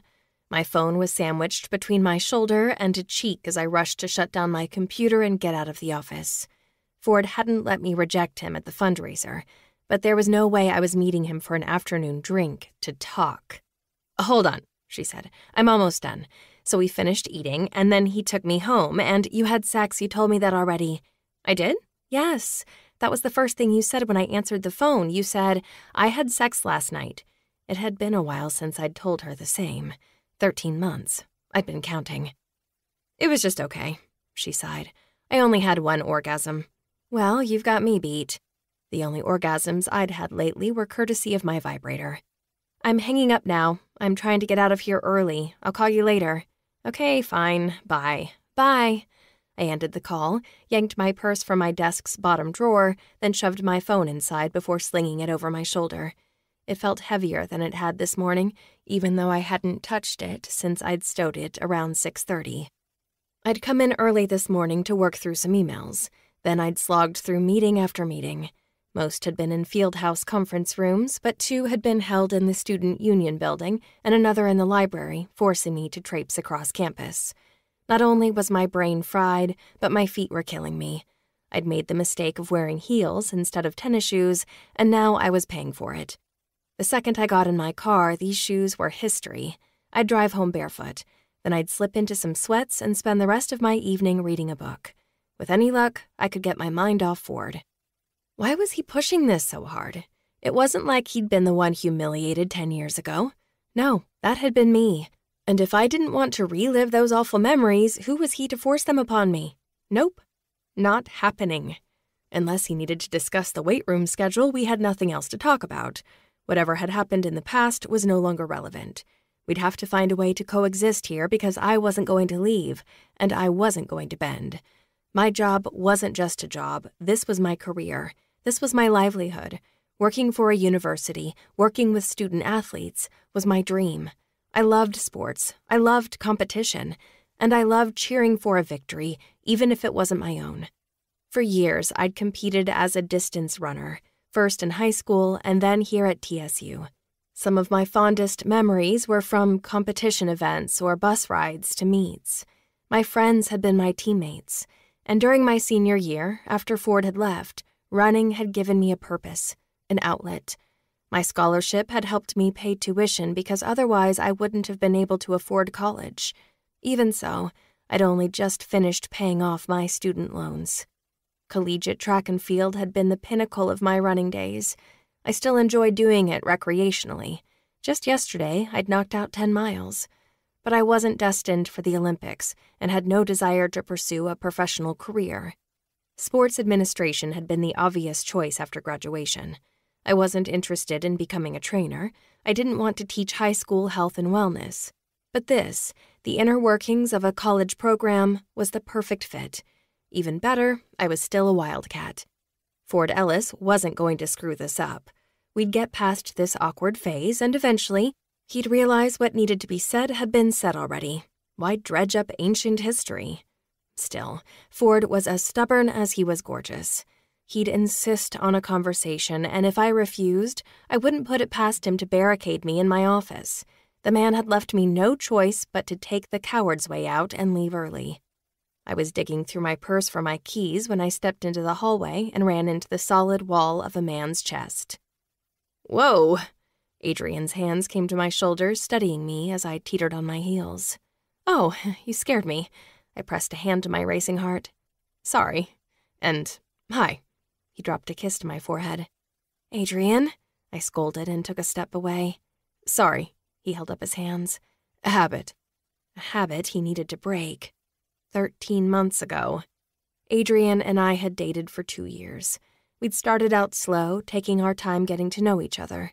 Since he didn't work for the athletics department, a relationship wasn't against the rules. He'd been new to the Alumni Foundation, and we'd crossed paths a few times at campus events before he'd asked me out on a first date. The next couple of years had gone quickly, and when he'd asked me to move in with him, I'd considered it. I'd really, honestly considered it. But I didn't love Adrian. I'd said the words, a mistake, when I hadn't truly felt them. There was only one man who'd melted into the corners of my heart, who'd tucked himself so deeply beneath my skin that his name had become like invisible ink. Part of me wished, especially these past two weeks, that name had been Adrian. It would have been so much easier to dismiss Ford if I were in love with another man. The breakup with Adrian had been messy. After two years together, we'd had mutual friends who'd ended up choosing sides. His. We hadn't officially lived together, but our lives had been intertwined. We were both TSU employees. We might not work together daily, but our paths crossed often enough that the first six months after the split had been excruciating. Thankfully, he'd started dating someone around that six month mark. The woman had been a middle school teacher in town, and though they hadn't dated long, it had been the reset Adrian and I had needed. I'd foolishly thought we could be friends who shared conversation and the occasional lunch. We'd had one such lunch a month ago, and ever since, Adrian had acted like we were on the road to reconciliation.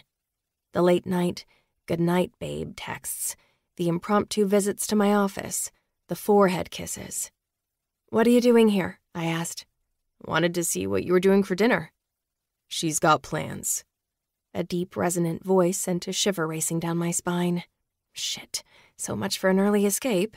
Ford came up from behind Adrian, stopping at my side. I craned my neck, daring a quick glance at Ford's clear blue eyes, eyes currently locked on my forehead, glaring at the spot Adrian had kissed. What plans? Adrian looked between Ford and me, his forehead furrowing. He was tall and broad, a former student athlete himself. He'd played baseball at Wake Forest, but he had nothing on Ford's six-four frame, rippled with cut muscle. Drinks, Ford answered as I said, No plans. God, I didn't have the energy for this. Mills. Ford's hands fisted on his narrow hips. Mills? Adrian blinked. He'd called me Mills a few times while we dated. I'd lied and told him I hated that nickname. The truth was, Ford had claimed it first. Adrian Allen, meet Coach Ford Ellis. I wagged a finger between them. Ford, meet Adrian. The new coach. Adrian sized up Ford with a scowl, then gave him a tight smile and extended a hand. Like it or not, Adrian would be working with Ford too. Nice to meet you. I work for the Alumni Foundation across the street. Ford simply nodded as he shook Adrian's hand. There was a fundraiser at the Alumni Foundation on the calendar. This introduction between Adrian and Ford had been inevitable. But what should have been two colleagues meeting for the first time now felt more like high school boys puffing up their chests, and I was stuck in the middle. If you'll both excuse me, it's been a long day and I'm headed home. I slipped past them, hoping I could disappear, but Adrian's voice stopped me. Millie? My shoulders slumped as I turned. Yeah? I'll call you later. I should tell him not to bother. I should reestablish our boundaries but I wouldn't reject him like that in front of Ford. I might not be in love with Adrian, but I cared about his heart. Okay. Ford's hands fisted at his sides. I ignored it and headed for the stairwell. I would have jogged, but my feet hurt too bad to hustle. Through the door and down the first flight of stairs, my chest lightened. I was home free. But then the door above me opened, and the heavy thud of footsteps told me exactly who was following. My heels clicked on the concrete, as I kept on walking. Where do you want to go for drinks? Ford asked. Home. Then I'll follow you. I huffed. Alone. I'm going home alone. I told you there were things to say, and I told you it was unnecessary. Ford was right behind me as we reached the ground level. He stood close, too close, as I pushed through the exit that opened to the parking lot. The summer sunshine was blinding, so I dug through my purse for a pair of sunglasses and slid them on. Have a good night. Millie. His voice was a snare, halting my feet. Who was that? Who? Adrian? Are you together? His jaw clenched as envy coated his timbre. Oh, hell no. Ford didn't get to be jealous. It was sexy that he was, but no, just no. Part of me wanted to lie about Adrian, to make Ford squirm. I considered it for a split second, but university staff gossiped worse than teenage girls. The last thing I needed was Adrian hearing that we were getting back together when we most definitely were not. No, I said. We broke up. How long? How long what? How long were you together? That's none of your business. Just like his marriage was none of mine. His jaw clenched even tighter, but he didn't push on the Adrian topic.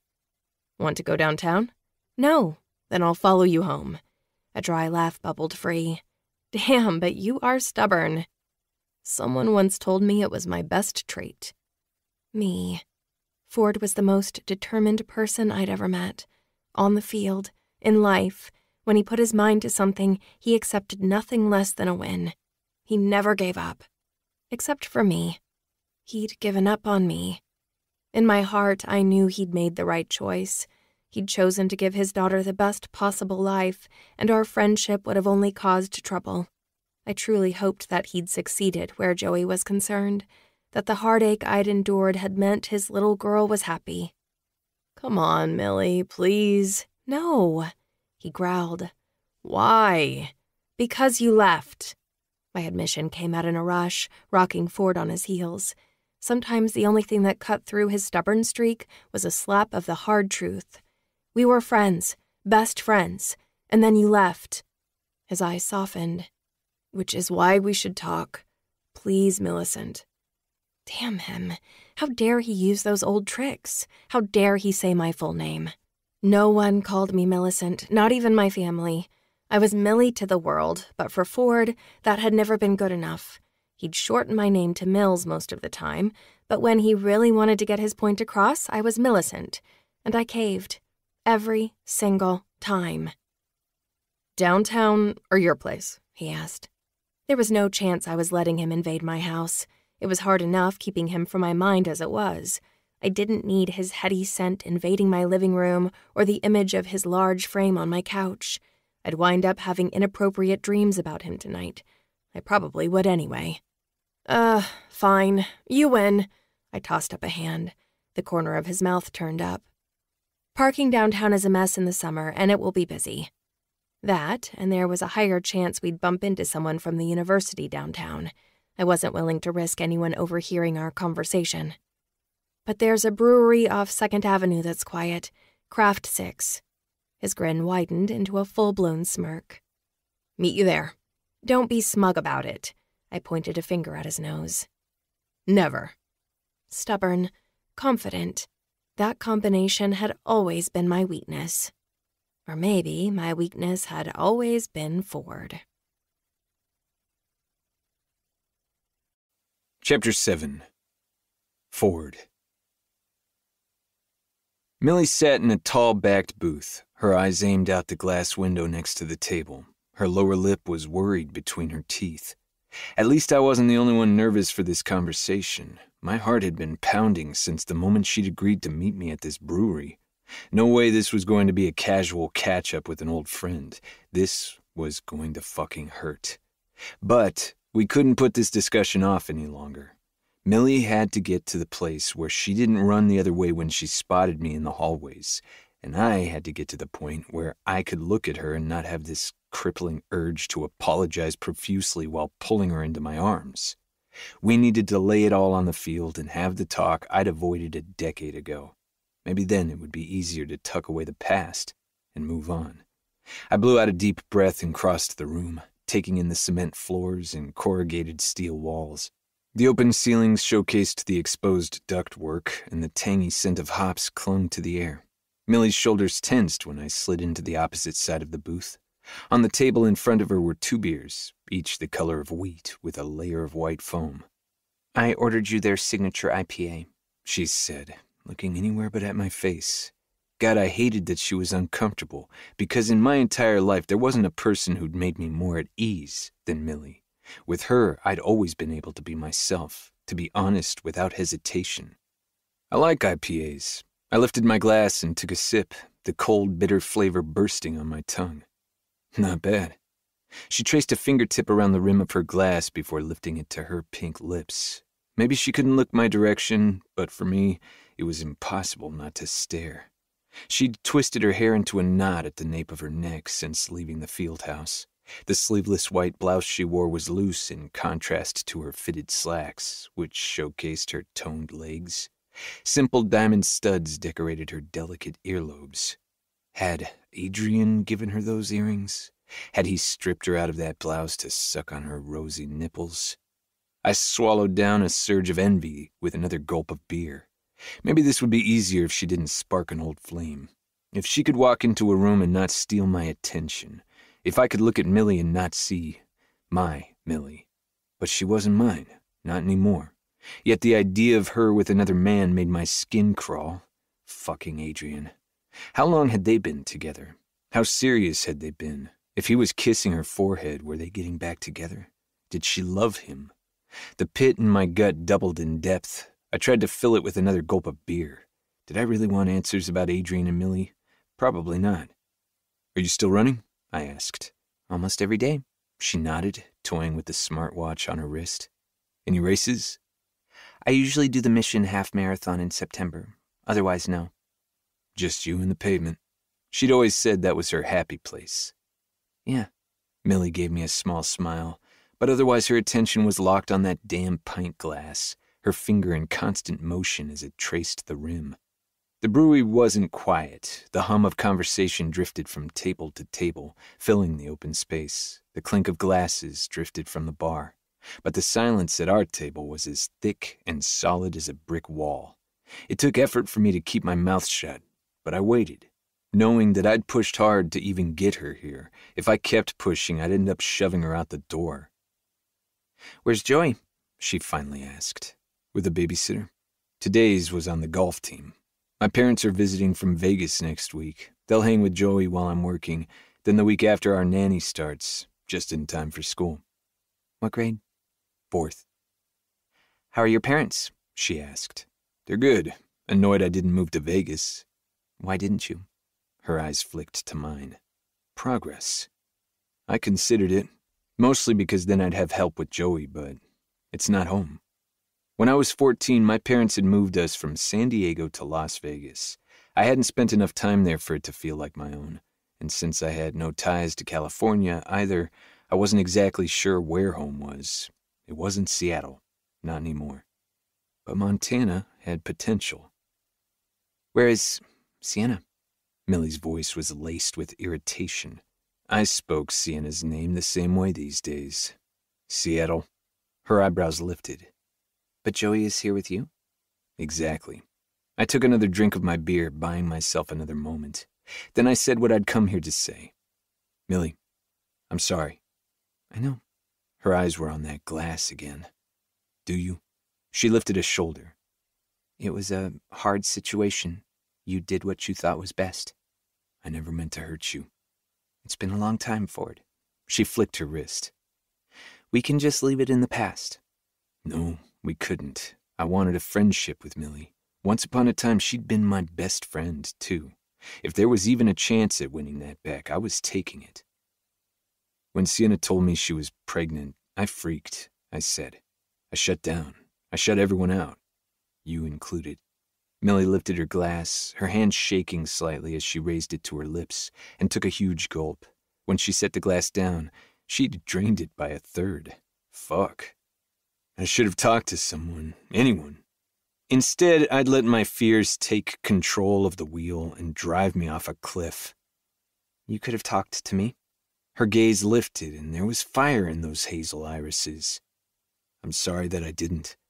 She turned to the window at our side, her posture relaxing just a bit. I'm not here to make excuses. Millie faced me again. Then why are you here? It was a genuine question. Why do this? It's been years. Because, like you said, we were friends, best friends. And more, even if it had only been a kiss. Her throat bobbed. You cut me out of the most important decision in your life. And silly me, I thought I was important. You were, she scoffed. And that was how you treated me? You didn't even call me to tell me Sienna was pregnant. I found out from another girl on the team. I winced. Not my finest moment. Sienna had gotten pregnant right before we'd broken up. We'd always used condoms, but before I'd called our relationship quits, one must have broken. Millie was the reason I'd ended it with Sienna. We'd been friends for years. Then one day I'd taken a look at Millie and wanted to kiss her. I hadn't, and even though Millie and I had been nothing but platonic up to that point, it had felt a lot like cheating. So I'd ended it with Sienna. The breakup had been a shit show. My ex was nothing if not dramatic. She'd screamed from the top of her lungs how much she hated me. I hadn't given a damn. I'd been free to be with my Millie. Then it had all fallen apart. At least I'd gotten Joey. When Sienna handed me that positive pregnancy test, I freaked. I said, I talked to no one, Millie. I blocked out the world because the noise in my head was crippling. I know I should have told you. I just. I froze. I choked. You should have told me. I should have told you. But I was terrified of becoming a father, of losing my child before I'd even had the chance to meet her. No excuses. I fucked up. I would have supported you. Her teeth clenched. Through all of it. Like I said, I fucked up. First by pushing Millie away, then by marrying Sienna. Our marriage had been doomed from I do. After the paternity test results had come through, Sienna had used her tears as a weapon. She'd manipulated my fears and capitalized on my panic. She'd cried on my shoulder and told me how frightened she was to be a single mother. When she'd tossed out the idea of an adoption, I'd lost my mind. The idea of someone else raising my child? Fuck no. So I'd solved Sienna's problem. I'd offered to marry her, and she hadn't even blinked.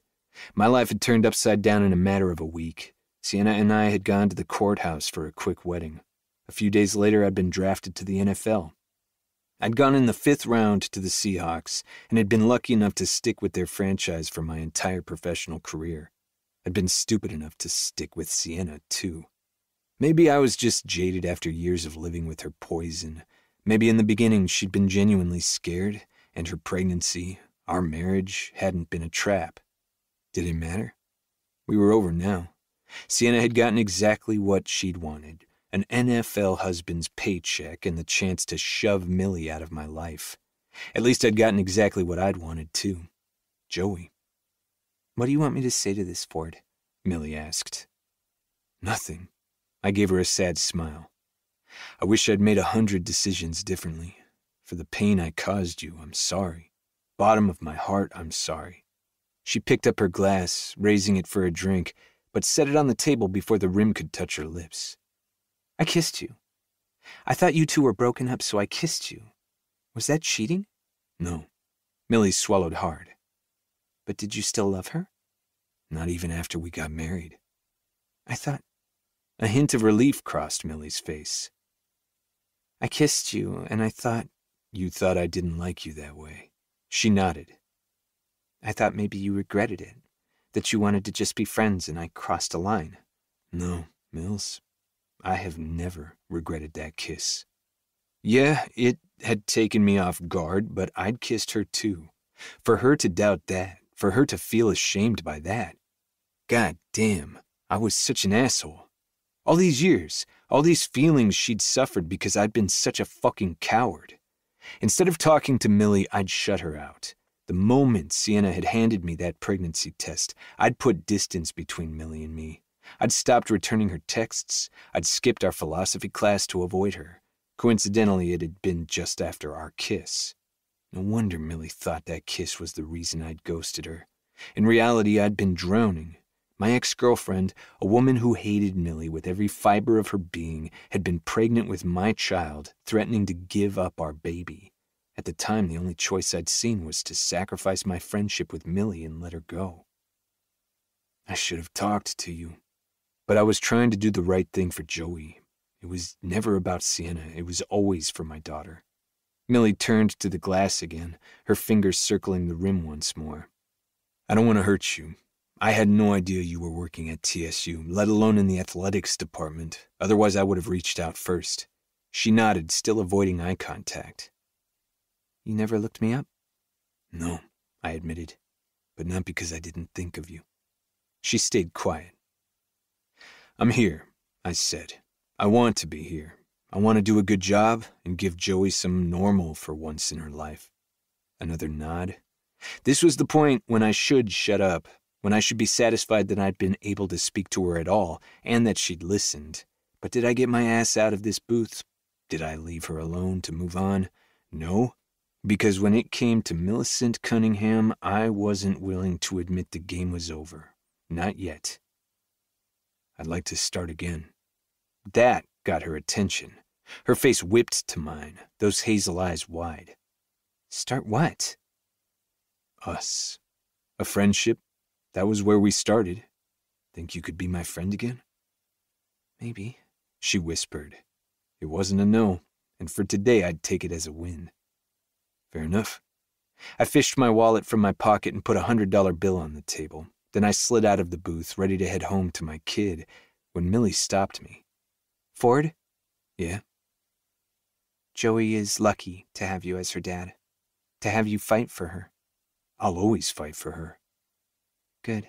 She nodded, then turned away to hide the tears swimming in her eyes. Millie's father had died when she was in eighth grade. He'd been a pilot and was killed in a car accident on his way to the airport. From all she'd told me about him, he'd been the type of dad who would have kicked my ass for hurting his daughter's heart.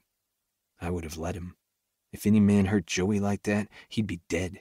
I fought for my girl. But maybe it was time I fought for someone else too. Me. Maybe it was time to fight for what I wanted. At the moment, what I wanted had beautiful hazel eyes and soft chocolate hair. See you at work, Millie.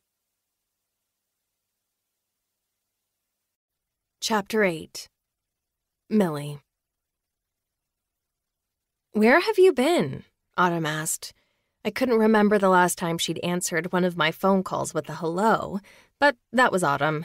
She was unapologetically direct and considered most pleasantries a waste of time, especially for her closest friends. I laughed as I walked across the parking lot at the grocery store. Work, home, the same places I always go. You've been avoiding me. I called you three times this week. Work has been super busy. It wasn't a complete lie. With the fall semester starting soon, everyone was gearing up for another school year, and work had been busy. But yes, I had been avoiding her. I'd been avoiding everyone.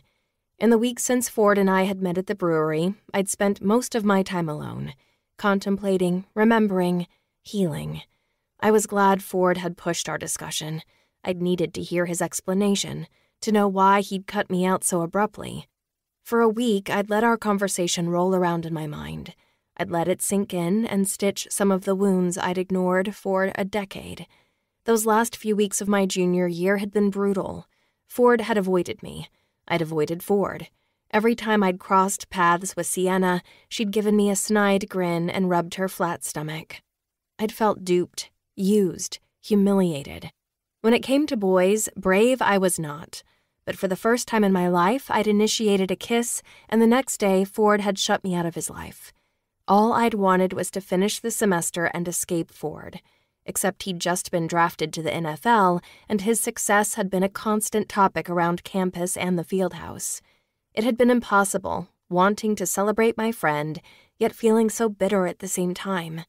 Maybe it would have been better if I'd never kissed him in the first place. We would have just stayed friends. Maybe he would have told me about Sienna and the baby instead of vanishing from my life. For a decade, I'd thought that kiss had been our demise, that he'd kissed me back out of pity, that he hadn't wanted to reject me outright, that he hadn't wanted to admit he was still in love with Sienna. But after our discussion at the brewery, well, the past 10 years looked a lot different than they had a week ago. Except a week hadn't been long enough, and I was still wrestling with my emotions, trying to make sense of the tangled mess in my heart. I would tell Autumn about my conversation with Ford Eventually. But not today. So I was sticking with my white lie. I'd been super busy. Busy, she deadpanned. That's the excuse you're going with? Don't forget who you're talking to, Millie. It's true. You know how it goes this time of year. My schedule has been nuts. Oh, but Adrian stopped by my office yesterday. Again. His visit yesterday marked the fourth since his introduction to Ford. Autumn groaned. Oh, Adrian. I don't want to be harsh. I know I hurt him when we broke up. Yeah, but he has got to move on. We're bordering on pathetic now. She wasn't wrong. What are you doing today? she asked. Hitting the grocery store, I said, snagging a cart past the double doors. Doing some laundry, just chilling. You? Working until seven. I had a client call for a last minute cut and color, and like a sucker, I agreed to fit her in late. Want to meet up for a drink or something when I'm done?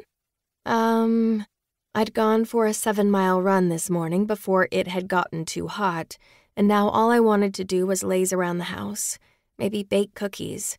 I'd earned some sugar calories today and as soon as school started, a weekend at home would be rare until Christmas break. My Saturdays were about to be consumed with sports. Maybe, I told her.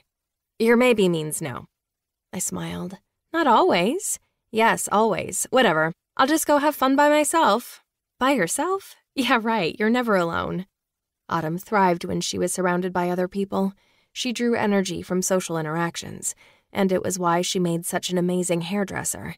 Biased as I was, I doubted anyone could sit in her chair and not have a good time. Call me when you get off, I said. I might change my mind.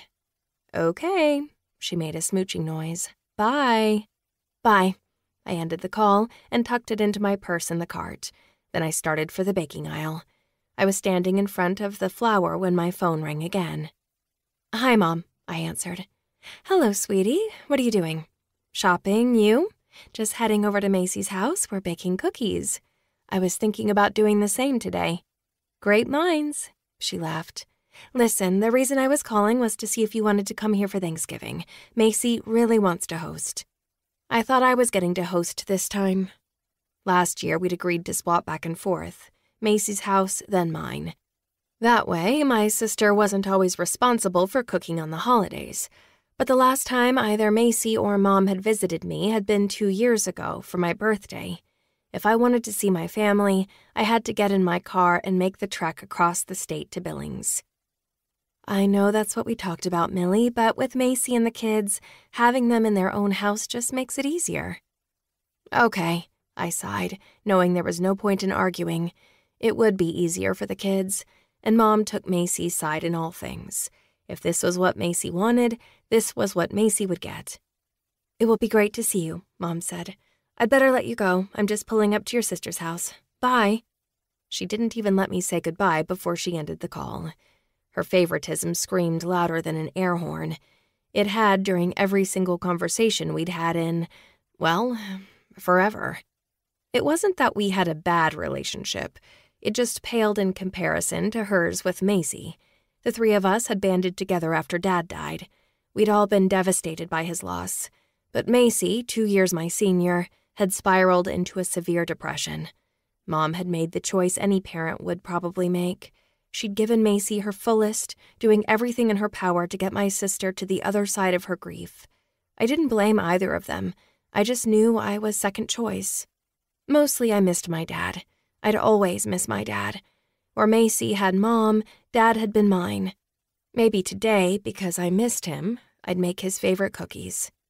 Brushing the phone call aside, I hefted a bag of flour into my cart, then continued on, heading for the milk and eggs, when a familiar figure rounded the end of the baking aisle. His hair was trapped beneath a baseball hat, but I'd recognize that broad frame and sexy swagger anywhere. Ford. Shit. We hadn't seen each other since the brewery. I really had been busy, and he'd given me space. But this was the problem with Mission. Even though there had been an influx of residents in recent years, it was still a small town at heart.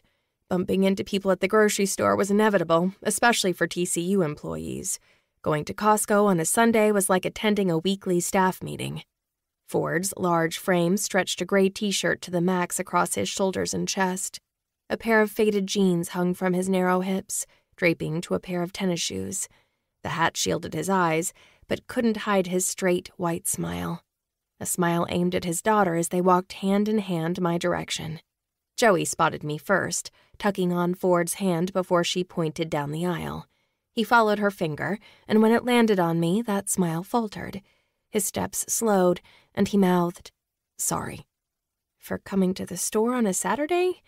Ford Ellis was making it difficult for me to stay aloof. Oh boy, I whispered, then took a fortifying inhale and continued on, pushing my cart their direction. Ford's gaze raked over the gray leggings and black tank top I'd pulled on after my shower. There was a lot of appreciation in that gaze, much like the fundraiser event when I'd felt his eyes on my ass in that black dress more than once. I'd been checked out by plenty of men in my day, but when Ford looked a woman up and down, only a fool's heart wouldn't skip. Hey, Mills. His gravelly voice gave me goosebumps. Hi. My voice was too breathy. Uh, just act normal, Millie. Uh, hey, Joey. Hi. She smiled, swinging her dad's hand back and forth between them. What are you guys shopping for today? Cake. Ford raised his empty basket and jerked his chin to the frosting section at my side. Daddy bet me I couldn't eat all of my green beans last night at dinner, and I did, so I get to pick out a cake. Yeah, she really showed me, Ford winked. Ah, I smiled, doing my best not to let that wink turn me into a puddle. Well, good luck. I'm doing some baking of my own. What are you making? Joey asked, pointing to my cart. Monster cookies. I want monster cookies. Joey's eyes shot to Ford. Can we make those instead? Uh. Panic flashed across his face. Sorry, Princess, I don't know how to make monster cookies. Oh. Joey's shoulder slumped. I wish Nana was still here. She can make cookies. Ford's panic turned to disappointment and regret as he stared at his daughter. And at the moment, he looked like all he wanted in the world was to give his girl a batch of monster cookies. He really would do anything to make her happy, wouldn't he? He was a good dad. I'd had a good dad, too. It was hard acting aloof, avoiding Ford. What if I just stopped? Yes, it had hurt. Yes, it had been humiliating. But 10 years. It was time to move on. I can send you my recipe, I told him, and we can make sure you've got all of the ingredients. Yes! Joey's face lit up. No wonder he'd do anything for her. Joey's blonde hair was pulled into a high ponytail, much like my own. She was dressed in a hot pink romper with matching sandals. The kid was stinking adorable. Thanks, Ford's entire frame sagged. Lead the way. I whirled my cart around and returned to the flour and sugars. Do you have flour? No. I pulled it off the shelf and handed it over. Sugar? He shook his head. No. Brown sugar? Baking soda? Chocolate chips? Another no, followed by another no, followed by another no. What exactly do you have? I asked when his basket was so full that his bicep bulged as he held it. I'm not exactly known for my baking, he grimaced. I stick to the grill and microwave. Have you ever made cookies before? Nope. But you can make a cake, right? That's not very different. No cake either. We were going to buy one from the bakery. Joey was going to pick out frosting to decorate it her own way. Except now she wanted cookies, and those he'd have to bake. Oh. The smirk that tugged at my mouth was evil. Call it retribution, but the mental image of Ford in the kitchen, flour dusting every surface as he muddled through a recipe, was a tiny victory. I do not see this ending well, Ford mumbled. This will be good for you. Besides, cookies are easy. Do you own a cookie sheet? I'm scared of the oven Mills. You could come over and help us, Joey said. Teach Daddy how to make 'em. My smirk dropped. Oh, uh, great idea, Princess. Now it was Ford's turn to be smug. You were going to make cookies anyway, right? Yes, I had been planning to make cookies in my kitchen. Please? Joey's plea came with doe eyes and clasped hands. It was the most pathetic, endearing look I'd ever seen. Oh, hell. How do you say no to that face? I asked Ford. He doesn't, Joey answered for him. Ford chuckled. It's true. She usually gets her way. I don't think please. He looked just as pathetic and endearing as his daughter. Add to that the desperation in his eyes. Damn him. I was doomed. Please, Joey begged again, clasping her hands in front of her chest. Gah. Okay. God, I was weak. Yes! Joey fist pumped and danced in the center of the aisle. But it was the victorious glint in Ford's eyes that made my heart stop. It was a look I'd seen before, in person and on ESPN. It was the look Ford got whenever he won. And I had the sinking feeling that it had nothing to do with monster cookies. Chapter 9 Ford This was a horrible idea. What are you doing? Joey asked as I raced around the kitchen, rinsing the cereal bowls I'd left in the sink after breakfast, then shoving them into the dishwasher. Cleaning. Go make your bed. She groaned. Do I have to? If you want monster cookies, yes. Fine. She spun and stomped to her room. She'd deployed that move countless times since we'd come to mission, along with her snotty eye roll. Normally I'd call her back and scold her for the attitude, but today I was letting it go. Either Joey and I were laughing and smiling like we had been at the grocery store, or we were at each other's throats. We'd been fighting constantly since the move, since before the move, and today, with Millie coming over, I didn't want to be in an argument with my daughter. So I let her storm to her room while I busted my butt to clean up the kitchen.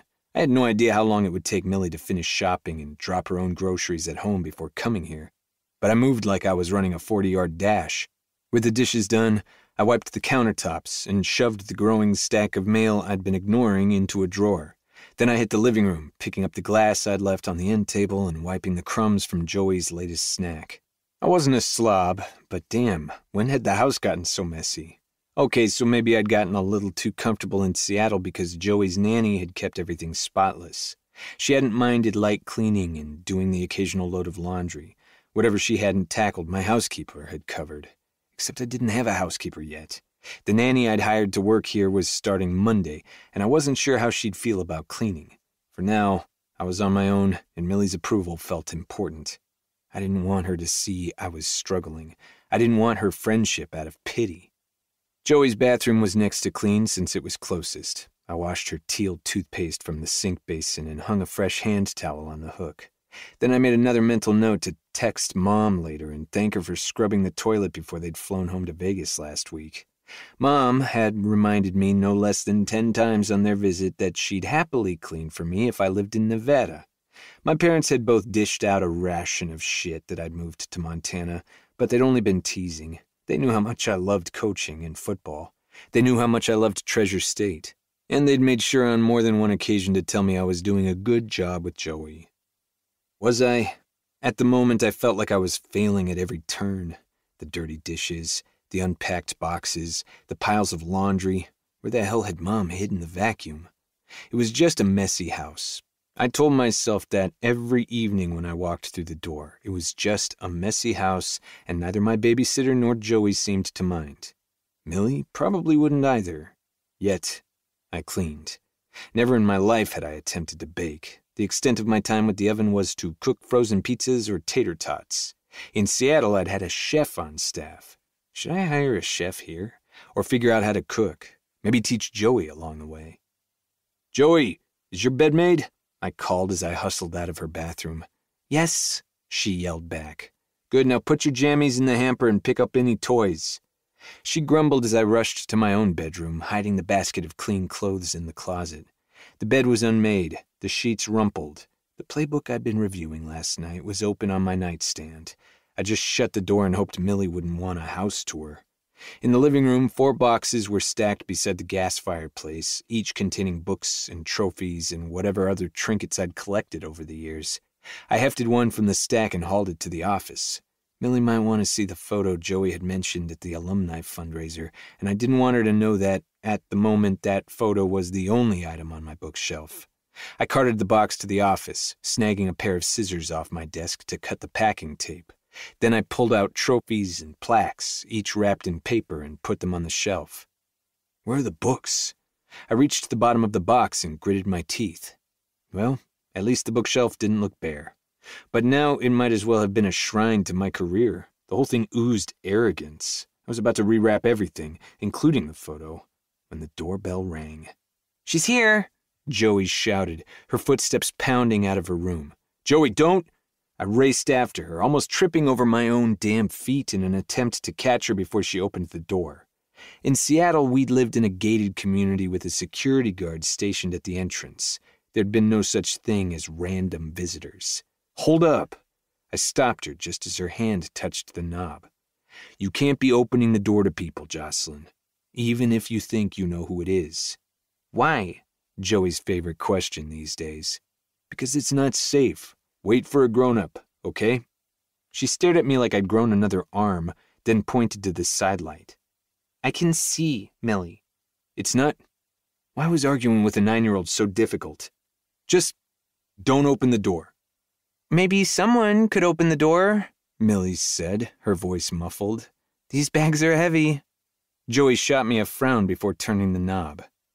Thanks. Millie shuffled inside from the stoop, her arms looped with plastic sacks. Here. I snagged them all, slipping them off her wrists and peeking inside. Hadn't I bought the ingredients at the store earlier? What's. I'll show you to the kitchen. Joey grabbed Millie's hand and started to pull. Oh, okay. Millie glanced to the door like she was contemplating an escape, but Joey was strong and her grip fierce. My gaze tracked down Millie's body as they walked through the entryway, taking in her slender shoulders and slim waist. She was in the same gray leggings and tank from the grocery store, and the outfit left nothing to the imagination. Her legs were just as toned as they'd been in college. Her hips had the perfect curve, slightly fuller than they'd been, and even more enticing. My cock twitched behind my jeans. Fuck. Daddy, Joey called. Bring the stuff. Coming. I found Joey and Millie in the kitchen, my daughter opening and closing every drawer and cabinet, giving Millie an extensive tour. With the bags deposited on the island, I scrubbed a hand over my face. It was two o'clock on a Saturday afternoon, too early for a beer. And that's the fridge. Joey pointed to it across the room, then giggled when she realized it was obvious. What's all this? I asked, touching one of the bags I'd hauled in. A pretty flush crept up Millie's cheeks. Stuff for a cake, too? My Millie. This was the Millie I knew. Thoughtful, caring, a little bit shy. Both? Joey's jaw dropped, then she fist pumped. Yes! We'd better get started. Millie walked to the oven, punching buttons to the correct temperature. Then she baked. I couldn't keep my eyes off her as she moved around the kitchen, working like she'd been here a thousand times. She moved with grace, effortlessly mixing and measuring and scooping and stirring.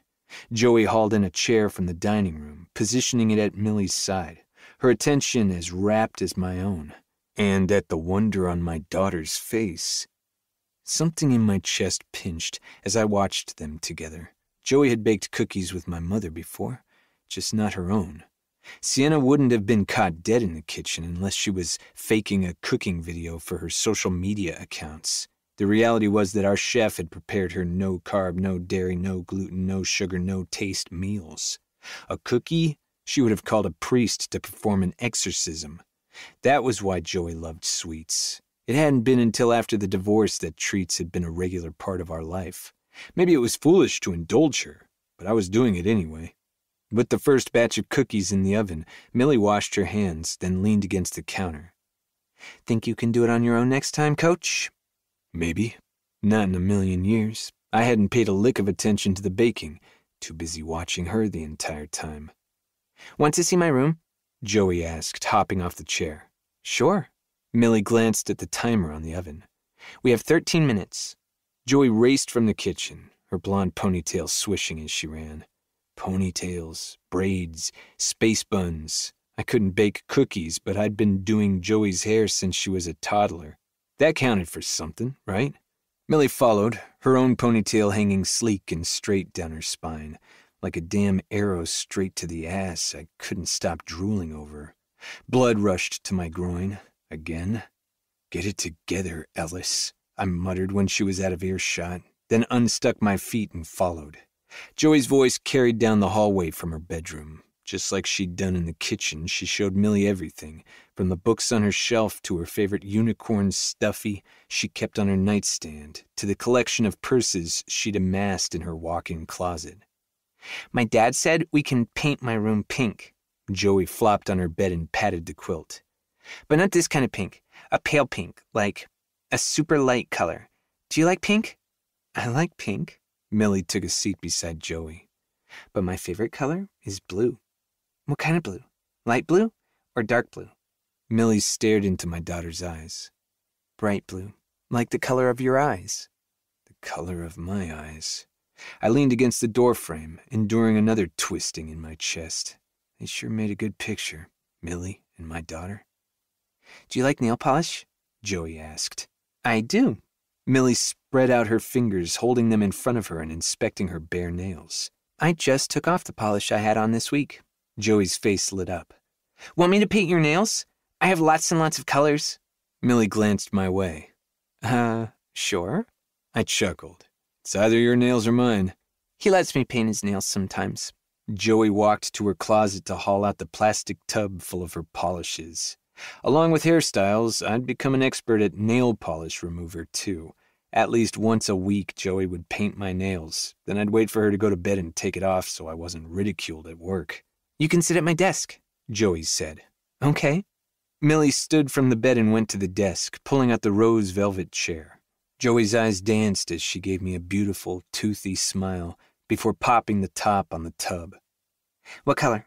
Blue? How about pink? Millie splayed her hand on the desk's surface. You pick the shade. Joey went for her favorite neon, one that I knew from experience was a pain in the ass to remove because it clung to the cuticles. With her tongue poking out one corner of her mouth, something she did whenever she was concentrating, Joey went to work. Her focus was entirely on her task, so she missed the way Millie stared at her. When I'd introduced them at the fundraiser, there'd been a flash of pain on Millie's face, but today it was more like curiosity. The oven's timer dinged. Joey froze, nail brush midair. Millie's face whipped to the door and kitchen beyond. I'll get it. I shoved off the door. Just swap out the pan we already set out for the next one, Millie said. Thirteen minutes. Got it.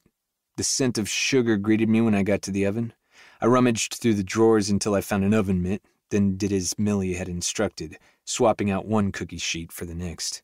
With the new batch baking and another 13 minutes on the timer, I found my way to Joey's bedroom again, except it was empty. Joey, I called. In here, she yelled from down the hall, from the office. Great, I muttered, They'd gone to look at the photo. Joey was holding it up when I reached the door. Seems like a lifetime ago. Millie took it from Joey's hand, her eyebrows knitted together as she peered at the picture. She studied it so hard it was like the rest of us had faded away. Millie, I said. She startled, looking up with unshed tears in her eyes. Then she handed the photo back to Joey. Would you, um, excuse me for a minute? It was too much, wasn't it? Too much at once. I'd stormed into Millie's life, raining buckets of old emotions over her shoulders, and had barely given her time to find a damn umbrella. Joey's smile faded as Millie dashed from the room. Is she okay? Yeah. I walked closer, taking the photo and putting it back on the shelf.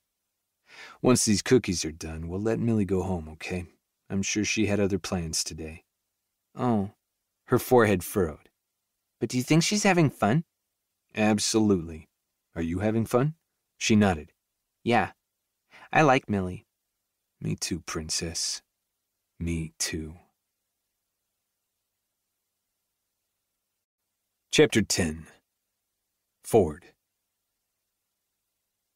Can you crack the eggs so I don't wreck my nails? Millie asked Joey. Okay, sure. She beamed as she lifted an egg from the carton.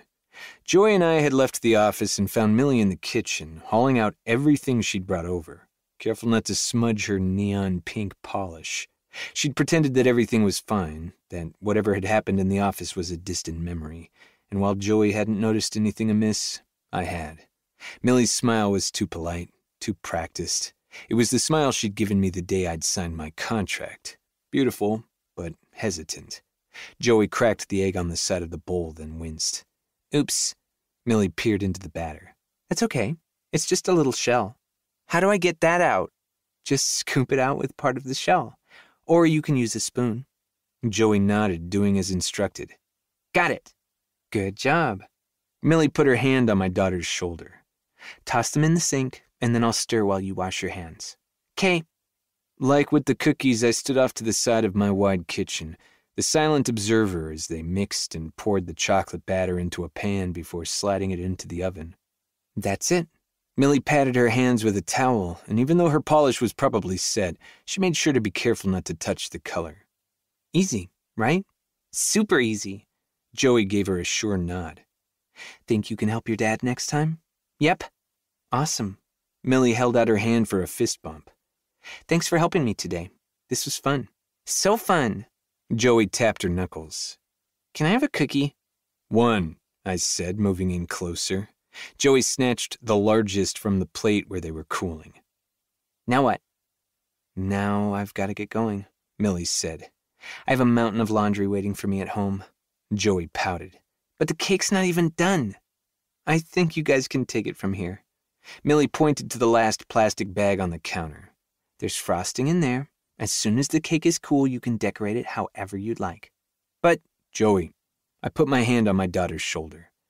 How about we say thanks to Millie? Thanks, Millie. You can go play, I told her. I'll walk Millie out. Joey chomped a bite of her cookie before skulking past the island. She was about out of the kitchen when she paused, throwing an arm in the air. Yum! These cookies are so good! Millie laughed. I'm glad you like them. And thanks for doing my nails. Can you come back next weekend? Oh, uh. Next weekend we're busy, I told Joey. We are? With what? Her shoulders slumped as she frowned. Wait, don't tell me. Football stuff? I nodded. Football stuff. The coaches were coming over for a barbecue. I'd found a caterer to do the heavy lifting. The point of the barbecue was for my staff to see my home, to relax in my company. So far, our meetings had been good, and practice was off to a nice start, but there was still this underlying tension among the coaches, like they were all walking on eggshells. It was no different than with the players. If they didn't trust me, there was no way I'd be able to lead this team. Football stuff is so boring, Joey groaned. You don't like football? Millie asked. Not really. Bummer. I love football. It was my dad's favorite sport, and we used to sit on the couch every Sunday with loads of snacks and cookies and junk food to eat while we watched game after game. Millie knew the rules better than most of my college teammates, which had been one hell of a turn on.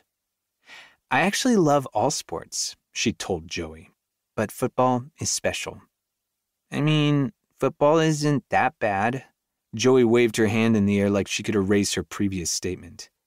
It's just like all the time around here. It's never ending. Not as much as it was in Seattle, though, I said. Right? Yeah, she shrugged. I guess. I'd still have to travel for away games. Joey would still spend plenty of time with a nanny, but the season was shorter than in the NFL, and the trips weren't as long or demanding. Maybe, if it's okay with your dad, you can come to a game with me, Millie said, as long as you promise to cheer really loud. Can I? Joey's eyes flew to mine. Please? No way I'd shut down that sort of excitement, especially for football. Sure. Yes! She chomped another bite of her cookie, then skipped away, heading for her room. She's never shown much interest in sports, I told Millie. Thanks for that. You're welcome. I'm always looking for the opportunity to create a Wildcat fan. Still get a little crazy at the games? Millie blushed and dropped her gaze to the floor. Maybe. The Millie I remembered was the loudest person in the stadium. When we scored, she'd scream like she'd run the ball into the end zone herself. When the refs made a bad call, she'd go ballistic. And when we won, her cheers could be heard across the field. That, or I'd just always listened for Millie. I don't get to watch many from the stands these days, she said. I'm usually working. But I'll make sure to find a game when I can sit with Joey or take her on the sidelines. Appreciate it, I said, following her toward the front door. You have a lovely home. It's a work in progress. We're still getting settled in. There was some furniture from our Seattle house that didn't quite fit this space, and Millie hadn't seen the plethora of boxes stashed behind closed doors. But even if it wasn't exactly how I wanted it, the foundation was here for the future. And God, it was nice not to see so much goddamn white. Sienna had decorated our modern Seattle house in shades of white and cream. I'd spilled a bottle of orange Gatorade on the couch once, and she'd spent a week not talking to me. Actually, that had been a nice week. There was some white in this house, but otherwise it had a rustic vibe. And if Joey wanted a pink bedroom, she'd have a pink bedroom. The tall ceilings and open spaces were just right for a guy my size, so I didn't feel cramped. The warm wooden floors, the hewn beams, and the stone fireplace made it cozy. Home. The far wall of the living room was made entirely of windows that looked out on the golf course beyond our backyard. In the distance, the indigo mountains stretched to the blue sky with an evergreen forest at their feet. This is a nice golf course, Millie said as she opened the door. We do an annual fundraiser here in the spring. Have you played it yet? No, my membership to the club hasn't been officially approved yet. She raised her eyebrows. They won't approve the Ford Ellis? Don't you have to be a member to live in this neighborhood? Yes, I chuckled. They gave me a little exception as they wait for the next membership board meeting. It's just logistics, and I haven't pushed. At this point, I'm just glad I have an address. I took a gamble after my first meeting with Kurt. A gamble? He hadn't offered me the job yet, but I was counting on his desperation, so I asked Torin for the name of a good realtor. I called her up and asked her to find me a nice house in the best school district. A construction company she often works with was in the middle of building this place. We did a FaceTime tour. I told her I wanted it, and she called in a favor so they could rush construction. Finished it the day before we arrived. You bought this house sight unseen? Before it was even finished? Millie's eyes widened. What if Kurt hadn't offered you the job? Not offered me the job? Millie. She rolled her eyes. I see that winning all those trophies and awards in your office did not shrink your ego. I laughed. Not in the slightest. Do you miss playing? Every day. But I love coaching too. It was second best, but it came with the bonus of time with my daughter. Why didn't you just stay with the Seahawks? I was ready to get out of Seattle. Millie didn't ask why. She didn't need to. Sienna's name hung in the air like the stench of a rotten egg. About that picture in the office. Don't worry about it. She waved it off. Just memories, you know? Yeah. I had a lot of memories with Millie. The best, the most bittersweet, was that night she'd kissed me out of the blue while we'd been studying. Not that I hadn't wanted it. It had just taken me by surprise. In another life, I would have kissed her with every sunrise, every sunset. She would have been the woman cheering me on at the Super Bowl, the woman I'd gone home to every night. But that future wasn't the one we'd been dealt. And I couldn't regret the past ten years. I'd never regret my daughter. Thanks for doing this today. You're welcome. She opened the door and stepped onto the stoop. Good luck with the cake. Hold up. I wanted one more minute with her.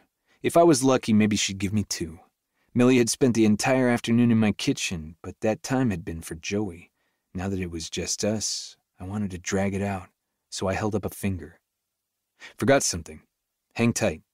Before she could argue, I spun and jogged through the house, weaving past the living room as I hustled to the kitchen. I yanked three paper towels from the holder and used them to wrap up a stack of monster cookies, then jogged them back. You earned cookies. The corner of her mouth turned up as she took them from my hand. Pie Ford. Bye, Mills.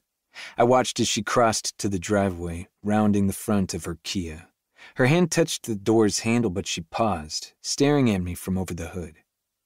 Thank you. For what? The cookies? You made them. No. She shook her head. For closure. Hold up. Closure? What the hell was she talking about? And why did that word sound a lot like a goodbye? See you around, coach. I took a step, lifting a hand to stop her, but she was already behind the wheel. Then she was gone, reversing out of my driveway and pulling onto the street. Closure?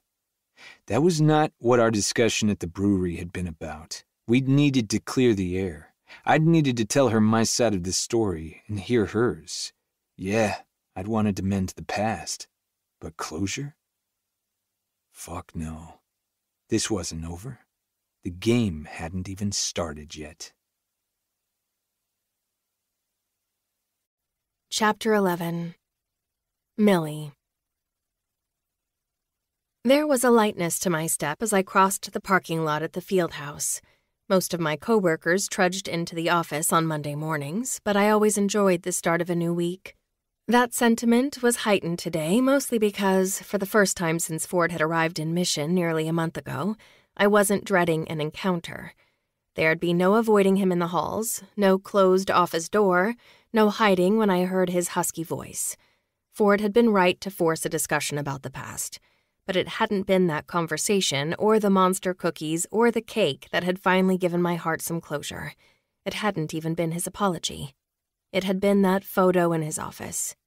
I remembered that day like it was yesterday. We'd been standing on the football field after a game. It had been so freaking cold, and my toes had been numb, but I hadn't cared a bit because the Wildcats had beaten the Grizzlies. I'd given my phone to a random stranger in the crowd to take a picture of me, Ford, and Torin.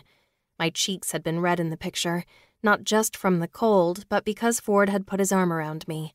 Those were the days when I'd pretended not to be in love with Sienna's boyfriend. But I'd been so in love with Ford. His hair had been sweaty and steaming from wearing his helmet. He'd stood like Goliath, his broad frame made even bigger with his pads. Torin had been on his other side, and right as the photo had been taken, he'd been smiling to someone out of the shot, Probably a girl. If I hadn't been in love with Ford, I probably would have had a major crush on Torin Greeley. He was a total playboy, always had been. In college, he'd always had girls swooning over his devilish smirk and sparkling gray green eyes. It was Torin's undeniable charm that was so irresistible. Well, to most women. Torin had only ever been my friend. Always kind, always there to make me laugh, always willing to place a silly bet on something trivial because we loved to compete with each other. It hadn't been a secret that Torin had stayed in touch with Ford over the years, but he'd never thrown that in my face. Torin knew Ford was a sore subject. Or had been. Now it didn't sting. Ten years and the pain was just gone. Forgotten. When I'd looked at that photo in Ford's office, what I'd seen above all else had been friendship Letting go of the resentment, the embarrassment I'd clutched so tightly for years had been surprisingly easy, if not slightly emotional. That was why I'd needed a minute alone on Saturday, not because looking at the photo hurt, but because it hadn't.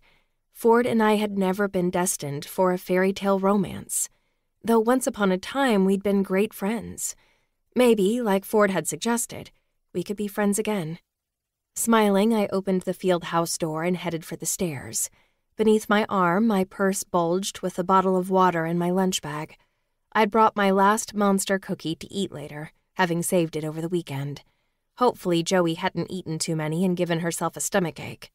When I looked at her face, it was still hard not to see Sienna, but by the time I'd left on Saturday, I'd seen more glimpses of Ford in her, too. Mostly in her personality. She was her father's daughter, smart, confident, bold, and the girl had a steady hand with a polish brush. My neon pink nails skimmed the navy railing while I climbed the stairs to the next floor. The manicure was flawless, and the shade was the only pop of color in my otherwise gray outfit of charcoal slacks and a graphite sleeveless blouse. My tennis shoes, also gray, were new, and the soles plush. Maybe when this manicure began to chip, I'd beg Joey for another and I'd meant what I'd told Ford that it would be fun to take her to a game. The office was quiet as I shoved through the stairwell door, most cubicles empty, but the smell of coffee lingered in the air, so someone had beat me in this morning. Hey, Millie. Drew came walking out of the break room with a steaming mug. Good morning. How was your weekend? Went to the lake. It was nice to get away, enjoy a weekend while we still have them. Two more weeks to go. Then we'd be swamped until, well, June. Most of the upperclassmen were already in town, but in two weeks the freshmen would be moving into the dorms. They always brought a new level of excitement and energy to campus. Classes would start, and then the football season would be underway. Personally, I couldn't wait. Every year, it was like my own first year in college all over again, only this time without Sienna's drama. My freshman year had started off well. It had been an exciting time, or I'd thought so. Looking back, that entire year had been tainted by Sienna. But in the beginning, we'd had fun as new roommates, as quick friends. That had been the year before she'd met Ford, when she'd been different, sweet, or maybe I'd just been naive. Maybe she'd always been a snake, and I'd overlooked her true nature because I'd been so happy to have a friend. Friends had been hard in high school, especially girls. Everyone had pitied me after Dad's death. It had been hard to know if people actually liked me for me or were only being kind because their parents had told them to be nice. But when I came to Mission for school, no one knew I was Jack Cunningham's daughter. It was a fresh start, a new beginning, and Sienna chose me. She was gorgeous and clever. She loved the spotlight, and even as a freshman, she became the popular girl on the track and field team. Apparently, that wasn't enough. We each competed in the 800 meters, and while Sienna was fast, she wasn't faster than me. She started to get short and snippy with me any time I beat her in practice. By spring semester, when we were in the thick of competitions and meets, she barely spoke to me. Then one afternoon, I came back to our dorm room early from class, only to overhear her talking trash about me. How she only pretended to be my friend because we were living together. How she couldn't wait to move out how I was sad and mopey and it was annoying her. Yeah, I had been sad. I had been moping. The week before had marked the anniversary of my dad's death. From that moment on, I decided I didn't want Sienna as a friend, that maybe I didn't want any friends who were girls, period. When I came back after summer break to start my sophomore year, I kept my distance from Sienna. I lived on campus because it was easier to get it covered by financial aid and my partial scholarship while she moved into an apartment with some of the other girls on the team. I crossed paths with her at practice and at the occasional party. It was at one of those parties that I met Ford. My crush on him was instant. Sienna had been at the party too. A week later, they'd started dating. Maybe she'd chased him because my crush had been obvious. Maybe I was giving myself too much credit and she hadn't given a damn about me. Ford was, well, Ford the star player on the football team, the hottest guy on campus, the guy every girl wanted. And Sienna won. She beat me. Her victory had always left a bitter taste in my mouth, though it wasn't a sour this morning, not with Joey's cute face in mind, not with her neon pink polish decorating my nails. There was a smile on my face as I turned into my office and froze.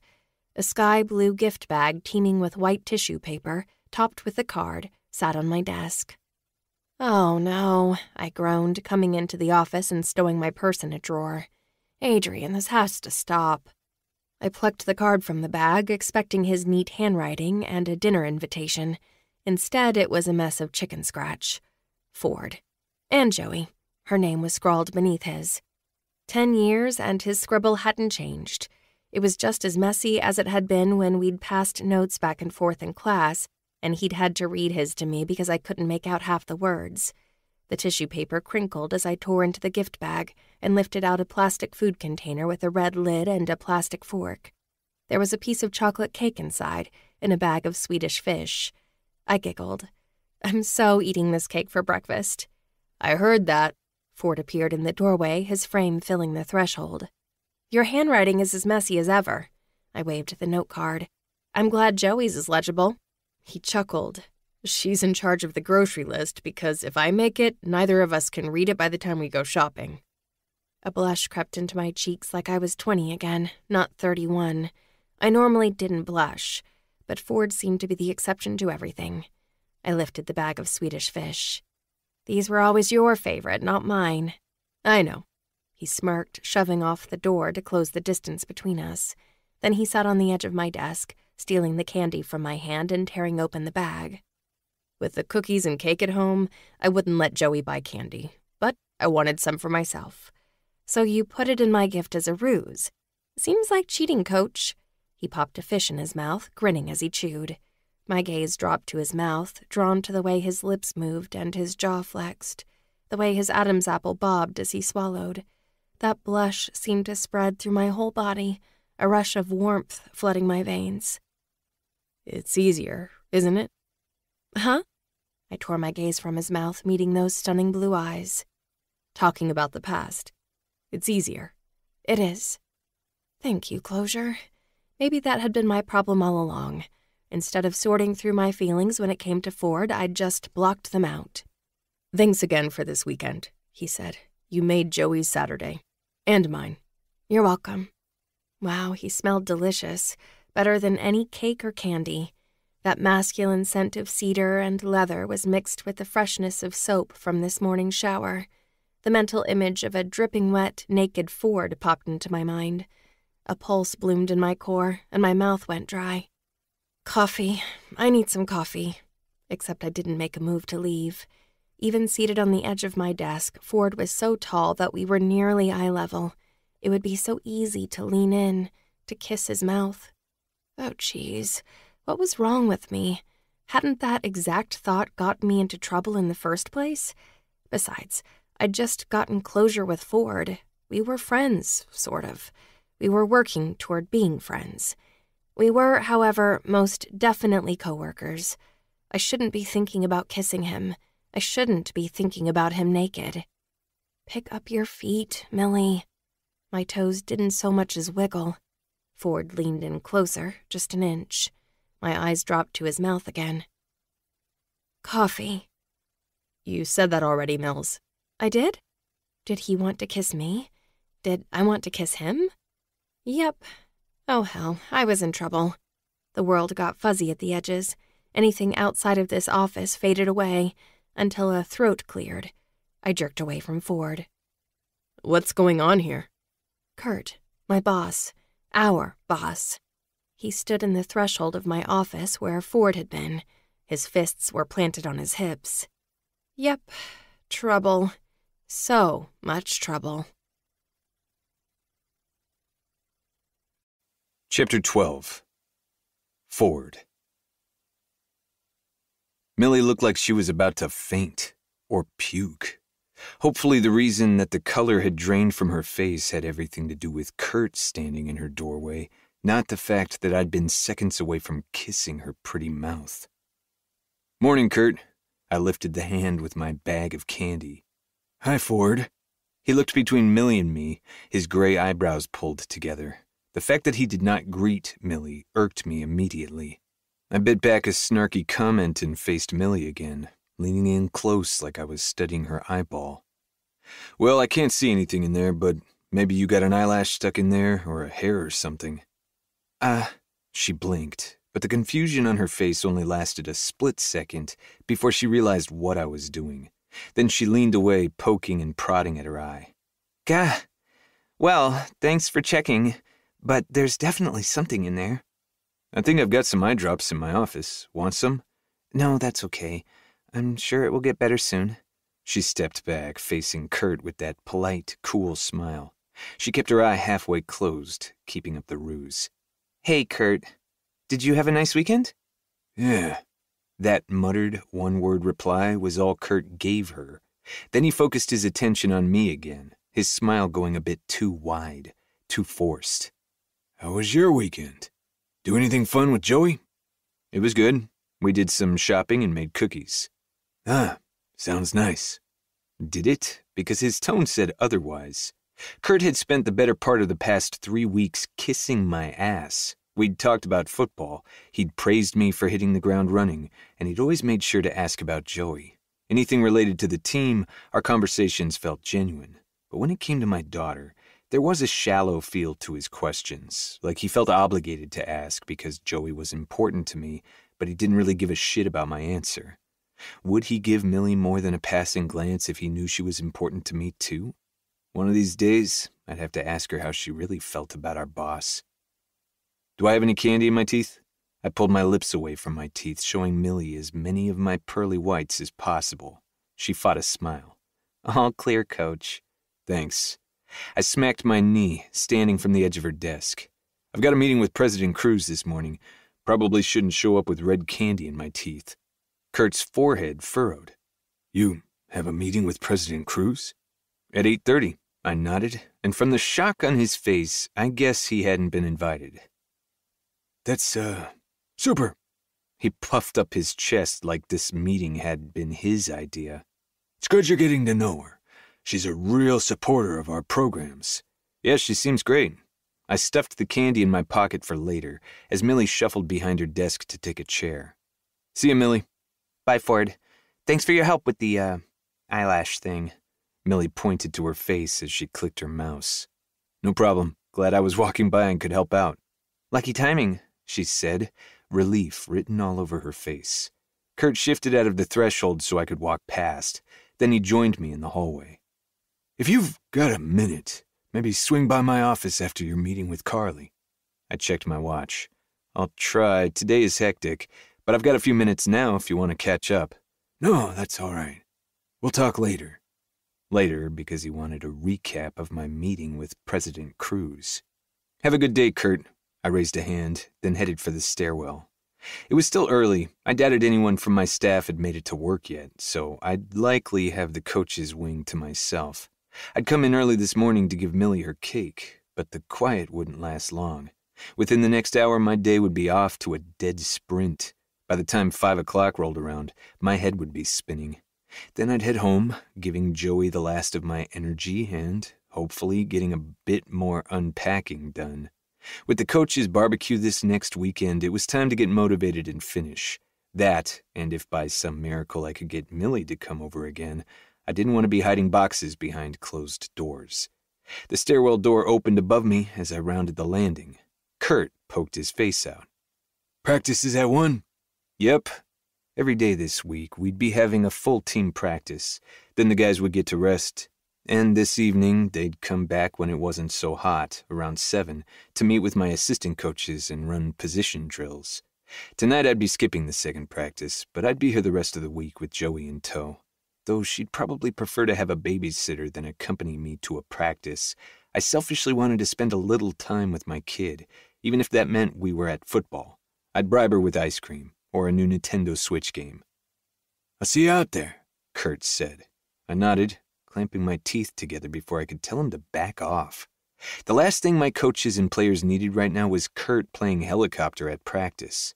He'd come out to the field last week, too, hovering close and asking stupid questions. By Friday, I'd been ready to strangle him. Whatever. If I was the only person who Kurt annoyed, I'd deal. As long as he didn't interfere with my staff or players, I'd let him step all over my damn toes. When I reached the first floor, the sound of laughter carried from around a corner.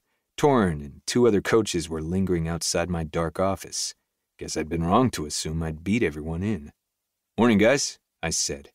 Ford? Torin waved me into their huddle. I need you to settle something. Okay. It was nice to see happy, relaxed faces in this hallway for a change. Remember that time in college when Millie bet me that she could beat me at the 40? I nodded. Yeah. Torin had been talking shit about how she was fast, but only at a middle distance race, that she had endurance and speed, but not short range sprint speed. So Millie had bet him 50 bucks that she'd beat him at a 40 yard dash. Who was faster? He asked. Me or Millie? Millie. Parks O'Hare, my offensive coordinator and quarterbacks coach, burst out laughing. I knew it. Hold up. Torin put a hand in the air. She did not beat me. I chuckled. Then you have selective memory. Yes, Torin had won. The first race, he'd beat her by a hair. Millie had challenged him again, double or nothing, and she'd smoked him. When he'd asked for a third match, she'd smoked him again. Maybe having you here wasn't such a good idea, he muttered. You know too much. Probably, I grinned. What brought this discussion on? Oh, Parks was asking me how much money I owed Millie. You owe Millie money? Torin grimaced. They bet on everything, Ford, Parks said. Just last week, they bet who could eat a cheeseburger from Five Guys faster. Per usual, she won. It took effort to keep my smile in place as a sour taste spread over my tongue. The taste of jealousy. Millie and Torin had been friends for ages, too. Of course they'd eaten lunch together. Torin had never had his sights on the NFL. He was a talented player, but he'd always wanted to be a coach, so he'd gone to Oregon to coach for the Ducks out of college. But when a spot had opened up at TSU a few years ago, he'd jumped at the chance to come home to Montana. He'd had years working alongside Millie, of making bets and sharing lunches. It shouldn't have surprised me or bothered me, yet here I was, both surprised and bothered. Why hadn't this occurred to me by now? Probably because not once since I'd left Mission had Torin mentioned Millie. Not during phone calls, not during the few visits he'd made to Seattle to watch a Seahawks game. Certainly not when I'd been interviewing for the head coach position. Not once. Why? Was he protecting her? From me? Fuck. That idea burned. So how much, Torin? One of the guys asked. Or should I head upstairs and ask Millie? Let's just say it's more than zero and less than a million dollars. Torin shook his head. And on that note, time for me to get to work. I'm asking Millie. Parks shot Torin a smirk, and before anyone could stop him, took off jogging for the stairwell door. They were all friends with Millie, weren't they? I'd been so preoccupied by my own life that I hadn't considered that, not until today. But it was probably just like it had been in college. There hadn't been a single guy on the football team who hadn't considered Mills a friend. The only person I'd ever known not to like Millie had been Sienna. That should have been enough of a red flag. Millie had always joked that she was just one of the guys, but she'd had no goddamn clue. Half the guys on the team had been in love with her. She'd show up to a party, and I'd spend the first hour shooting pointed glares around the room, reminding everyone that she was not to be touched. My Millie. Even when we'd just been friends, she'd always been mine. If she had actually wanted to date one of them, I probably would have lost my mind. Luckily, she'd never shown any interest. The only dates I remembered her going on had been with guys she'd met in class, not through athletics. No one had gotten past a third date, thank fuck. Sienna had never come out and told me why she'd disliked Millie so much. She hadn't needed to. Sienna's jealousy had been obvious but I dismissed it, hoping one day my girlfriend could reconcile with my best friend and we could all get along. Clearly, I'd been fucking delusional.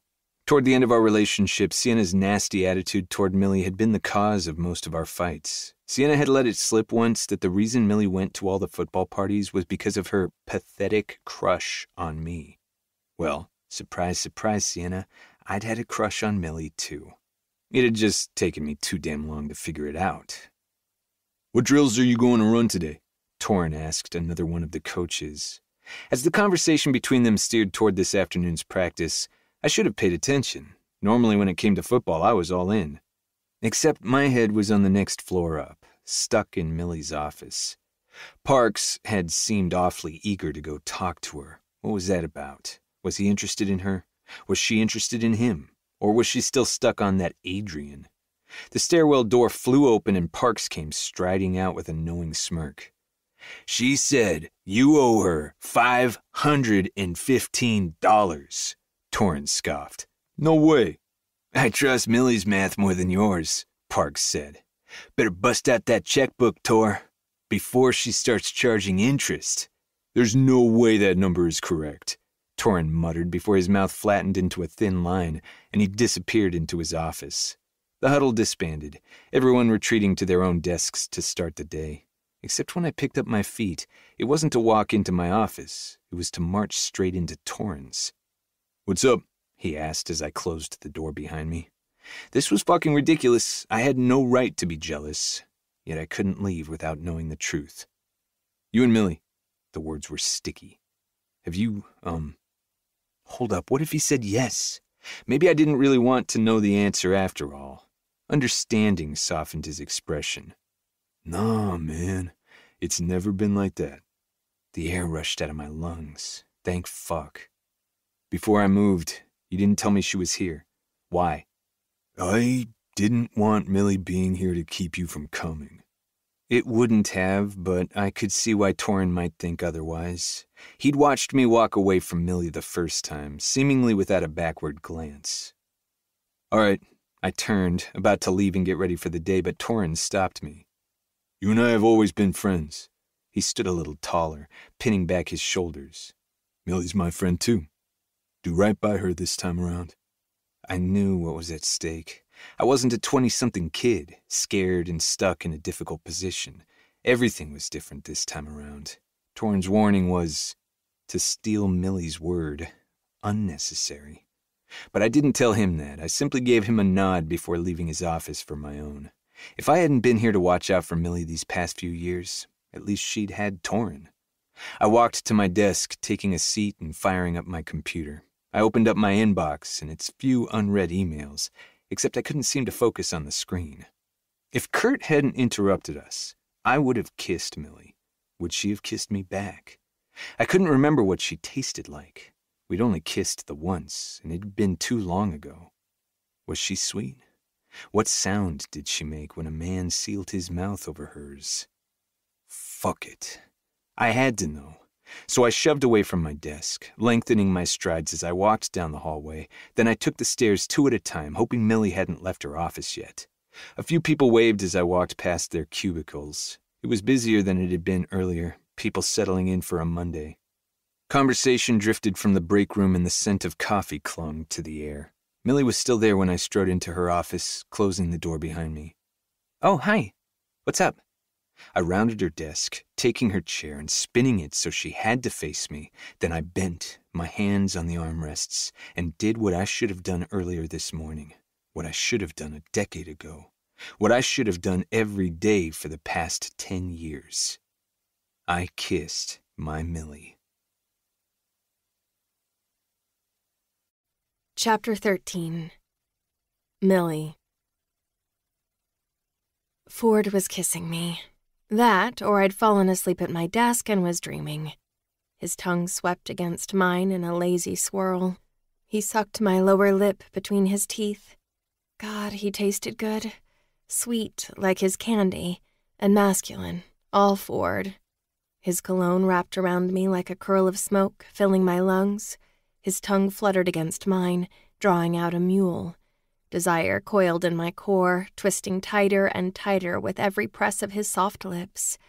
This was no dream. My imagination wasn't rich enough to afford this kiss. It put the kiss we'd had in college to utter shame. Not even Adrian, who was a good kisser, could compete.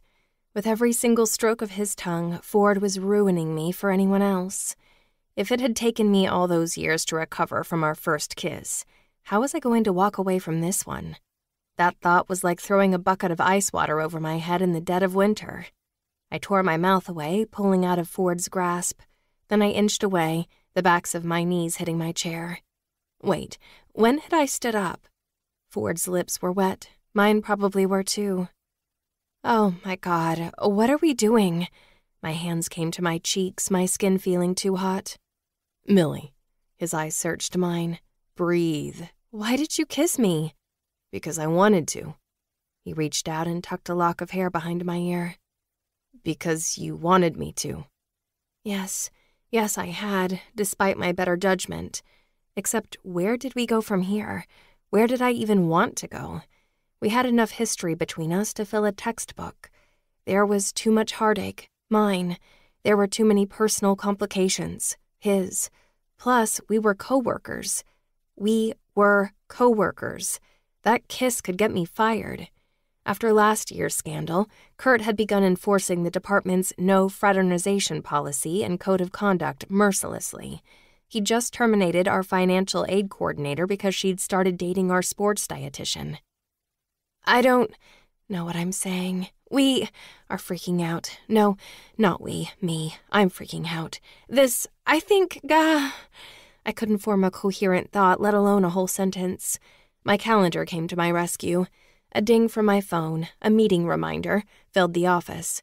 I swept it up from my desk, clutching it against my chest like it was a shield. Then, after sucking in some oxygen, I stood taller, squaring my shoulders, and looked Ford in the eye. He was grinning, it was sexy. My eyes dropped straight to his mouth. I wanted to kiss it again. Oh shit, don't look there. My gaze fell to his chest. It was broad and wide. Did he have chest hair now? I couldn't remember if he'd had chest hair in college. Strange, considering I remembered everything else about Ford Ellis. I liked chest hair. Why am I thinking about chest hair? Right, because I was staring at his chest. I lifted my phone, swiping the screen to unlock it. Since it was the safest place to look, I glued my eyes to the screen. I need to go. Mills, he said as I skirted around him with a see you later. I needed my laptop for this next meeting, but it was left behind, with Ford, as I hurried for the door. With my chin ducked, my hair formed a curtain around my face, a shelter as I rushed for the stairs. The minute I stepped into the stairwell, I loosened a breath and touched my lips. They burned. Ford's kiss was like a brand, searing my skin. I closed my eyes, taking a long inhale, then I started down the stairs. My ankle rolled on the first step, but luckily my hand shot out for the railing. Ugh, get a grip, Millie. It was just a kiss. The best kiss of my life, but whatever. Later, tonight, with a bottle of wine, I'd decide how I felt about it. This morning, right now, I had a job to do. So I swallowed hard, made sure my footing was solid, then marched stair by stair to the first floor for my meeting. Aspen Quinn, the women's volleyball coach, was waiting for me in the Jefferson conference room. Hi, Millie. Morning. My cheeks still felt hot. Aspen couldn't tell that I'd been kissed, right? I, um, I shook my head, clearing the Ford haze. How was your weekend? Good. I went on a long hike and got a sunburn. She nodded to her angry red shoulder. Did you have a good weekend? Yeah, it was nice. I, uh, baked. With Ford and his daughter. Then he'd kissed me two minutes ago, and now I had the urge to crawl under this table and hide. Or rock in the corner. One of the two. Ten years ago, I would have been dancing through the hallways and telling anyone who would listen that Ford Ellis had a great tongue. Oh, how times had changed. I'd changed. Ford had changed, too. What happened to him wanting friendship, anyway? And wait a minute, I'd told him I needed time. Barging into my office and kissing me wasn't exactly him giving me space, was it? Millie? I blinked. Shit. Oh, sorry, Aspen. Are you okay? Yes, I sighed. It's a Monday, and I'm all over the place this morning. Shoving all thoughts of Ford aside, I folded my hands on the table. How's everything going? So far, so good. The girls are all starting to filter back into the gym. The freshmen are here and getting settled into their dorm rooms. Most of the incoming freshman recruits were able to get into their rooms well ahead of the official campus move in day. The athletes would get settled, join the upperclassmen on the team for practices, and spend a couple weeks with quiet halls. Then the madness of the fall semester would begin. Aspen gave me the rest of her short update, the meeting only lasting 30 minutes. Normally, our weekly meetings took a whole hour, but at the moment, we were relatively drama free. It was a glorious time in the athletics department, like a honeymoon, when everyone was happy, students and coaches alike. It wouldn't last, but for now, I was enjoying the levity. Part of my job was mediating any disputes between athletes and coaches or more commonly, coaches and other coaches. Though Aspen rarely had an issue with anyone. She was a favorite, sweet and smart. She loved sports and was always willing to compromise. Her athletes adored her, and the other coaches respected her. So, without much official business to discuss, we chatted about a new restaurant downtown instead. Thanks for the recommendation, Millie, she said, leaving the conference room. Anytime. Let me know if you need anything. I will. She smiled, then headed for her office. I aimed my feet for the stairwell, checking my phone to see what meeting was up next. Too focused on my schedule, I rounded a corner and nearly collided with President Cruz. Oh my goodness, I'm so sorry. She laughed, raising her phone in the air. My fault. I was texting and walking. Guilty. I lifted my phone too.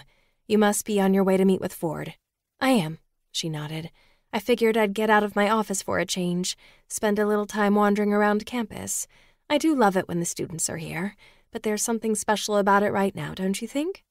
It's the anticipation, I smiled. It's electric. Yes, exactly. She pointed to my nose. That's the perfect way to describe it. Describe what? A male voice asked. Kurt walked up to my side, inserting himself into the conversation. Was he just going to barge in on me all day? Oh, um, campus, I said. We were just talking about how there's an electricity in the air this time of year. Ah. He gave me a tight smile, then practically shouldered me out of the way to talk to Carly. Good morning, President Cruz. Kurt? It was her turn for a tight smile. You're meeting with Ford? He asked. Apparently everyone knows my schedule this morning. His fingers began tapping on his leg at his side. I'll walk you to his office. Oh, that's all right. I'm sure I can find it. There was an edge to her tone, a reminder that this was her university, that she knew her way around. Maybe I wouldn't have noticed that edge, except it was such a sharp contrast to the warmth she had when talking to me. Good to see you, Millie. You too, President Cruz. Frustration rolled off Kurt in waves as she disappeared. Well, I'd better. Kurt stopped me with a scowl. You need to let me handle communications with Carly. Don't roll your eyes. Do not roll your eyes. I was just saying hello. And with Ford? Oh shit. Maybe Kurt hadn't bought that whole eyelash in my eyeball ploy after all. Um, I, uh. This season is critical. I know the season is critical, I said. You never told me you knew Ford. You never asked. Instead, he'd hired Ford without a word to the rest of the freaking department. We just went to college together. And he just kissed me, but. Details. Kurt's lips pursed. I need Ford coming to me if there's a problem. We can't have another problematic year. He couldn't have another problematic year. I'm not trying to interfere. Just stay away from him, Millie. Kurt's voice rose. I tensed. What the hell? Had he just verbally slapped my hand? Yep, I'd just been scolded by my boss. Never, ever, ever in my entire life had I been reprimanded at work. Granted, I hadn't had many bosses other than Kurt, but still, I'd just gotten in trouble. An imaginary pink slip might as well have appeared out of thin air. My nose stung. My throat burned at the threat of tears. You have plenty on your own plate, Kurt said. Focus on your programs. Understood. I nodded, then pointed toward the stairs, needing to get out of here before he saw me cry. I've got to get to another meeting. Without another word, I walked past him, skipping every other step as I run walked. Then I flew up the stairs, seeking the sanctuary of my office. The moment I was inside, I closed myself in, sagging against the door. Ouch, I sniffled, my eyes flooding. How long had it taken me to get this office instead of a cubicle? Years. I'd worked my ass off for this room with a window and a desk and an actual door. I'd worked my ass off to establish myself as a leader on this team. I'd worked my ass off for nine years. Ford had been in mission for less than a month. There wasn't a doubt in my mind that where Kurt was concerned, in a contest between Ford and me, I'd come out the loser. Millie Cunningham, Assistant Athletics Director, was easily replaceable. Ford Ellis was not. I wouldn't lose my job, not for Ford, not for a kiss, no matter how good. So I shoved off the door, standing tall. Then I walked to the plastic container on my desk, taking a long look at the half eaten piece of chocolate cake inside. Then I tossed the whole thing in the trash. Chapter 14 Ford I was late to practice. Are you going to ignore me forever? I'd sent that text at 7:13 this morning. Considering it was noon and Millie hadn't replied, I guess I had my answer. It had been a week since our kiss, a week of nothing. Millie had become a ghost, and I was fucking sick of it. I dragged a hand over my jaw, the stubble I hadn't shaved this morning scraping against my palm. Was I bad at kissing? Had it been an epic disappointment and that was the reason she was ignoring me? No, no fucking way. God damn it. That had been a great kiss. So what was her problem? Sure, maybe I'd come on a little strong. Call it desperation. Sienna had been the only woman in my life for years, and even then our sex life hadn't exactly been active. Well, hers had been. I, on the other hand, hadn't touched a woman in years. There had been no temptation. My fist and I had gotten on just fine. Except just the thought of Millie's mouth made me hard. And no matter how many cold showers I'd suffered through this week, jacking off to the mental image of her face, it hadn't been enough. She'd flipped a switch. Like hell I was going to let her ignore me. I'm not suffering alone. I muttered, shoving away from my desk. The first practice of the day had started 15 minutes ago. Millie probably thought I was on the field. Maybe she'd have her guard down. Maybe she'd be in her office thinking it was safe. Instead of walking out the door and into the sunshine, I let my long strides eat up the hallway to the stairwell. I was just about to shove through the door when I heard my name. Ford! Parks rushed my way. The look on his face said I wasn't going to make it to Millie's office. Damn. What's up? Got a problem. Rush is missing. Missing? I blinked. What do you mean missing? I doubted anyone would try to kidnap a 21 year old man standing 6'3 and weighing 220 pounds. No one has seen him today, and he's not answering his phone. Fuck. Okay, I drawled. But he was at practice yesterday. Has anyone seen him since? Nope. His roommate said he never came home last night. Hell. I dragged a hand through my hair. This was not something I needed today. Who does he live with? Maverick Houston, punter. He's the one who told me Rush was missing. What's Rush's number? I dug my phone from my pocket, unlocking the screen just as footsteps pounded behind Parks. Coach! Houston jogged to us, his chest heaving as he breathed. His brown hair was sweaty. Maybe we needed to double up on conditioning for special teams. Find him? Parks asked. Houston shook his head, still panting. No. But his car is parked at the stadium. It's empty. Ran back as soon as I saw it. Maybe he's somewhere in the building? I grumbled, not in the mood to track down a missing quarterback. Any idea why he wouldn't show up to practice or go home last night? Was he partying or something?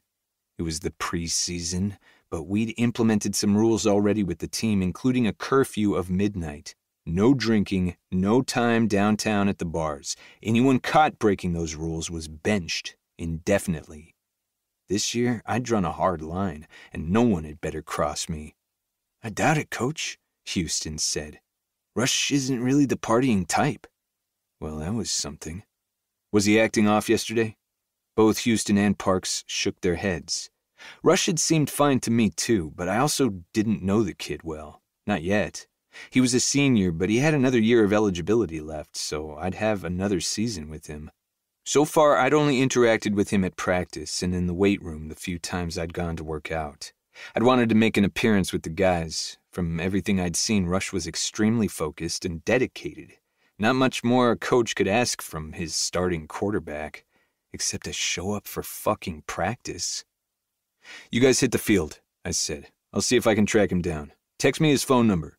Parks nodded, then jerked his chin for Houston to follow him outside. I gave the door to the stairwell a longing glance, then turned around and trudged toward the locker room. It smelled of metal lockers, sweaty cleats, and sharp cologne. But there was an undercurrent of fresh paint and bleach.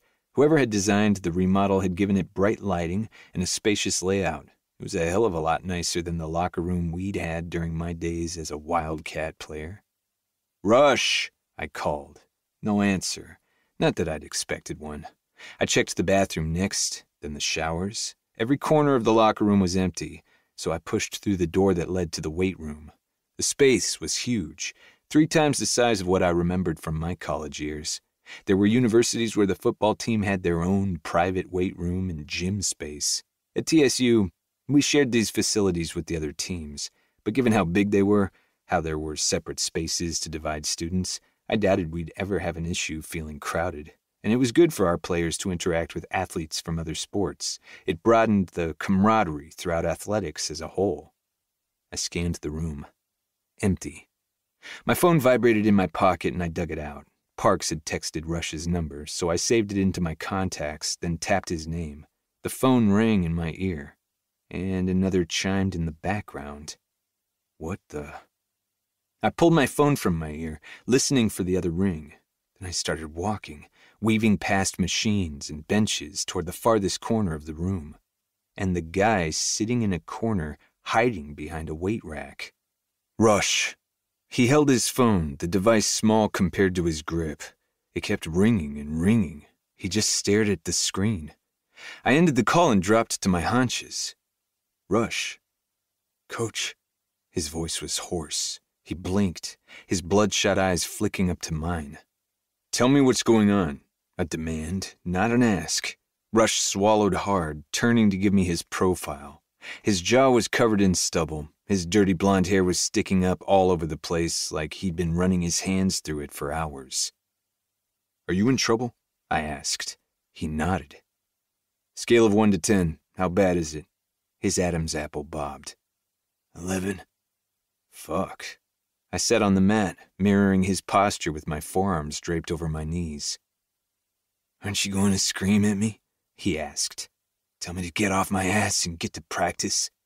Not really a fan of screaming, on or off the field, but given that he'd even asked me that question, I now knew more about the previous head coach. Maybe Rush's high school coaches, too. He kept staring at the wall, at some invisible spot in the concrete. So I waited, giving him time, hoping that he'd open up. It took so long that my ass started to go numb, but I didn't shift. I didn't move, I just waited. Then finally, he shifted his gaze to his phone once more and began tapping the screen. His eyes flooded. He sniffled. Then he handed it over so I could read the text he'd pulled up. I'm pregnant. Two words that dragged me ten years into the past. It was a damn good thing that I was sitting. Maybe I did feel like screaming after all. I missed practice. So did Rush. Instead, we sat on the floor of the weight room, and I told him a story. Turns out, Rush Ramsey and I weren't so different. Though instead of knocking up his girlfriend, the text that had sent him into a spiral had been from a one night stand. My life is over. Your life is different, I corrected. Not over, just different. Rush opened his mouth like he was going to argue, except then his gaze snagged on my shirt. I hadn't done laundry this weekend. We'd had the coaches over for a barbecue, then the rest of the time I'd spent it with Joey. Laundry was on tonight's agenda since my hamper was overflowing. When I'd gone to get dressed this morning, each of my Treasure State shirts had been dirty, so I'd chosen this shirt because it was white and lightweight, good for hot afternoons spent on the practice field. It was a Super Bowl championship t shirt. Maybe exactly the shirt that Rush needed to see. Dad's made it to the Super Bowl, too. It'll be all right. I stood, reaching out a hand to help Rush to his feet. Call her. Talk it through. He took it, no hesitation, and stood. Thanks, coach. Welcome. You have my number. I'm here, day or night. Rush's face was still pale, his eyes too wide, but the hopelessness had faded, just a little. Sorry about practice. I'll make it up to you. I believed he would. We'll talk tomorrow, yeah? Yeah. I clapped him on the shoulder, then steered him for the door. Your car's at the stadium. Houston found it. I, uh, Rush ducked his chin. Sometimes I come to the field to think. Sorry, that's probably breaking the rules. If football was his safe haven, I sure as hell wasn't going to punish him for it. It had been mine too. That and Millie. I escorted Rush to the door, watching as he started across the fieldhouse parking lot and to the stadium beyond. Then, when he vanished from sight, I retreated to my office, feeling like someone had shaken each and every one of my bones. Had I helped Rush? Had I made it worse? I'd been honest about my life, about Sienna, about the years of misery we'd spent together simply because of Joey. Maybe I shouldn't have shared that much. Maybe I shouldn't have shared at all. My stomach knotted, and before I even made it to my chair, I spun around, returning to the hallway. My legs carried me to the second floor. I followed the faint scent of tangerines and flowers, finding Millie in her office. Her eyes went wide when I strode in, closing the door behind me. She shot up from her chair, taking a step back and holding up a hand. Um, what are you doing? I walked right into her space, brushing that hand aside as I trapped her in the corner. Stop, ignoring me. I'm. Before she could lie, I bent and sealed my mouth over hers. The knot in my gut untied. The rattling in my bones stopped. My tongue swept inside, tangling with hers. A whimper, sexy and subtle, escaped her throat. Damn, but she tasted good. Sweet, warm. Just a swirl, just a taste. That was all I let myself take before I pulled away. Her eyelids fluttered open. My gaze searched hers, soaking in every striation of green and gold and brown and gray in those pretty hazel irises. Ford. She placed a hand over my heart, like she was about to push me away, but there wasn't any force behind the touch, so I covered it with my palm. Millie. She stared at my knuckles, her shoulders sagging as she blew out a long breath. You have to stop kissing me. I tucked a lock of hair behind her ear. No. Chapter 15 Ford A knock at my office door startled me out of my staring contest with the window. Coach Ellis? I spun around. Rush lingered in the hall, so I waved him in. Come on in. For a guy his size, Rush didn't make a lot of noise when he walked. Light feet, a great skill for a quarterback. Or maybe I'd just been too stuck in my own head to hear him approach. My focus had been as sharp as a spoon the past two days, since I'd kissed Millie in her office and she'd asked me to stop. Why was she so against this? Probably a question I should have asked instead of telling her no and marching out of her office, but I wasn't going to argue about this. I'd endured too many years with a woman I hadn't loved. I'd stayed with Sienna because I thought it was best for Joey. Turns out, a shit marriage didn't create a great environment for a child. Joey's happiness was my utmost priority. Maybe there was a chance I could have that happiness for us both. And if there was even a slight chance that Millie and I could have something special, something we'd missed the first time around, then damn it, I wasn't going to stop. What was holding her back? Was she still hung up on the past? Maybe she hadn't forgiven me for what I'd done. I wouldn't blame her. But damn it, if we could get through it, if we could get to the other side, that was the win, the ultimate win. So no, I wasn't stopping, not a chance in hell. But I'd give her some time to catch up.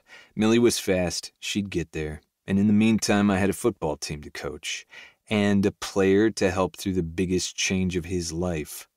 Rush took the chair across from my desk, sitting on its edge with his hands folded in his lap. How are you? I asked. He lifted a shoulder. A mess? This kid's honesty was refreshing. Understandable. You did good at practice yesterday. Rush had worked his ass off, running circles around everyone else. He'd pushed himself, he'd pushed his team, and damn, this kid had an arm. I'm just. It's what I can control. Me and the ball. My heart squeezed. Staring at him was a lot like staring into a mirror. I hadn't voiced those exact words ten years ago, but I'd felt them deep in my soul. Football had been the only steady in the earthquake that had been my life. Did you talk to her? I asked. To Faye? He nodded. Yeah, she's freaking out too, but, um, she wants to keep it. The baby. How do you feel about that? He swallowed hard. I don't know. Give it time, I said, my gaze drifting to the framed photo on my desk. The picture was of Joey and me at the Super Bowl. We were each wearing the championship hats they'd passed out after the win. Confetti flitted in the air, mingling with the noise, the deafening cheers and applause. Joey was sitting on my shoulders, her arms raised high. I had my head tipped back to stare up at her as she smiled. Sienna had taken that picture. For all her faults, she'd been a good cheerleader for my career. Maybe that was because it had been her way to garner a sliver of attention. Whatever the reason, I'd always just been glad that she'd brought Joey to my games. Thanks for the other day, Rush said, for talking me through it, telling me your story. You're welcome. I'd probably crossed a hundred different professional lines with how much I'd shared with Rush, but if it had helped, I'd do it again. I'll let you get back to work. He smacked the arms of the chair, then stood. See you at practice. I waved as he headed out the door, then plucked my phone from the desk to call the nanny. Except Stephanie didn't answer, Joey did. Hi, Daddy. Hey, why are you answering Stephanie's phone? I was just sitting here and I saw your name come up. I chuckled, shaking my head. You can't answer other people's phones. But didn't you call to talk to me? It seems like a waste of time for Stephanie to answer just for her to hand me the phone. This kid, she was too smart for my own good. Yeah, I did call to talk to you. What are you doing? She sighed. Reading? Reading is good for you. Reading is boring, she groaned. What are you doing? Working. Where's Stephanie? Cleaning up the kitchen? Stephanie had been the hire of the century. She was in her mid 40s and divorced. Her twin sons had just graduated high school and were about to attend TSU as freshmen. She'd been a teacher before she'd quit to stay home with her kids, but with an empty house, she'd decided to go back to work. The minute the nanny agency had sent me her resume, I'd requested an interview. She was willing to stay late and work weekends. Since she'd started, each evening when I'd walked through the door, the house had been clean, and she even let Joey paint her nails a different color every day. Can I talk to her? I asked. Sure. A muffled noise and footsteps filled the background, then Joey's voice explaining why she'd answered the phone. Hello, Stephanie said. Sorry about the phone. We'll work on boundaries. Oh, don't worry about it. She misses you. If she jumps to answer your call, let her. Sooner than you can blink, she'll be a teenager, and you'll be begging for her to pick up. I wasn't ready for that stage. Not yet. If Joey and I fought now, what was it going to be like when she was in her teens? How would you feel about an afternoon off? I asked. Maybe you could bring Joey over in about an hour. We'll have lunch and she can hang with me the rest of the day. That's fine by me. Are you sure? Yeah, I miss her too. Then we'll see you in a bit. Bye. I ended the call and sagged in my chair. It wouldn't be as easy to concentrate at practice this afternoon with Joey in tow, but school was starting in a week. She'd start making friends and getting involved in her own activities. The football schedule was demanding already, but it was about to reach sheer chaos. My window of time with Joey for the fall was closing, so today I was having a spontaneous take your daughter to work day. Ford. Torin knocked on my door, coming in with the latest version of the playbook. Question. Hit me with it. The hour passed in a blink. Torin's concern over a couple of players and their positions demanded an impromptu meeting with a couple of the other coaches to swap out a few roles. The minute the meeting was over, Joey arrived, running down the hallway at the field house, her blonde hair streaming behind her. My kid loved to run. Sort of like Millie. Hey, princess. I swept her into my arms, kissing her cheek before putting her down. Stephanie joined us, giving Joey a quick goodbye, before promising to be at our place at 6.45 tomorrow morning. Then she headed out, and I clasped my daughter's hand. She still let me hold her hand. That would probably end sooner rather than later, too, wouldn't it? Feel like exploring? I asked. Joey shrugged. Sure. We set off from the field house, taking the long way around campus to the student union. We crossed a few of the green lawns, taking in the brick buildings. See that building over there? I pointed to one of the halls. I had some classes in that building. What about that one? Joey pointed to another. I shook my head. No, but your mom had some in there. Sienna had been a business marketing major, but she'd never earned her degree. When we'd moved to Seattle after Joey was born, I'd asked if she wanted to finish school, but she hadn't wanted to go back. Where else did Mom hang out? Mm, that building in front of us was another one. We strolled around campus for 20 minutes. I pointed out places from the past. She asked questions. But as the walk continued, those questions dwindled, and a familiar look I hated with every fiber of my being fell over her face. Longing, disappointment, rejection. Joey missed her mother. Sienna called each day. Sometimes it would be so late that I'd have to wake Joey up so they could say goodnight. But phone calls weren't enough, not for a nine year old girl. Unfortunately, it had been like this in Seattle, too. Joey had lived with me after Sienna had moved out when we'd separated. Then I'd pushed hard for full custody. The weekends I'd had away games, Sienna would come over to stay with Joey. But otherwise, when I was home, Joey would only get phone calls. And Sienna had lived in the same fucking city. Sienna had thrown a fit when I'd told her Joey and I were moving to Mission. She'd threatened to sue for partial custody, to make me stay. Yet we'd moved regardless, and no surprise I hadn't heard a peep from her attorney. What Sienna didn't seem to comprehend was that it wasn't about her. Hell, she didn't understand that I'd basically done her a favor. Because now Sienna had an actual excuse 500 miles for why she couldn't pick Joey up from school or come to a school holiday concert. No more texts at the last minute canceling plans. No more promises broken. If Sienna ever decided to visit, not something she'd offered so far, I wasn't going to tell Joey until Sienna's feet were on Montana's soil. It was for the best. But Joey was nine, and all she knew was that her mother had basically disappeared from her life when we'd gotten divorced. Did she blame me for that? Probably. There was nothing I could do but wait until she was older, and hopefully, one day, she'd understand. How about some lunch? I waved a hand to the student union building. Popcorn, chicken, and fries?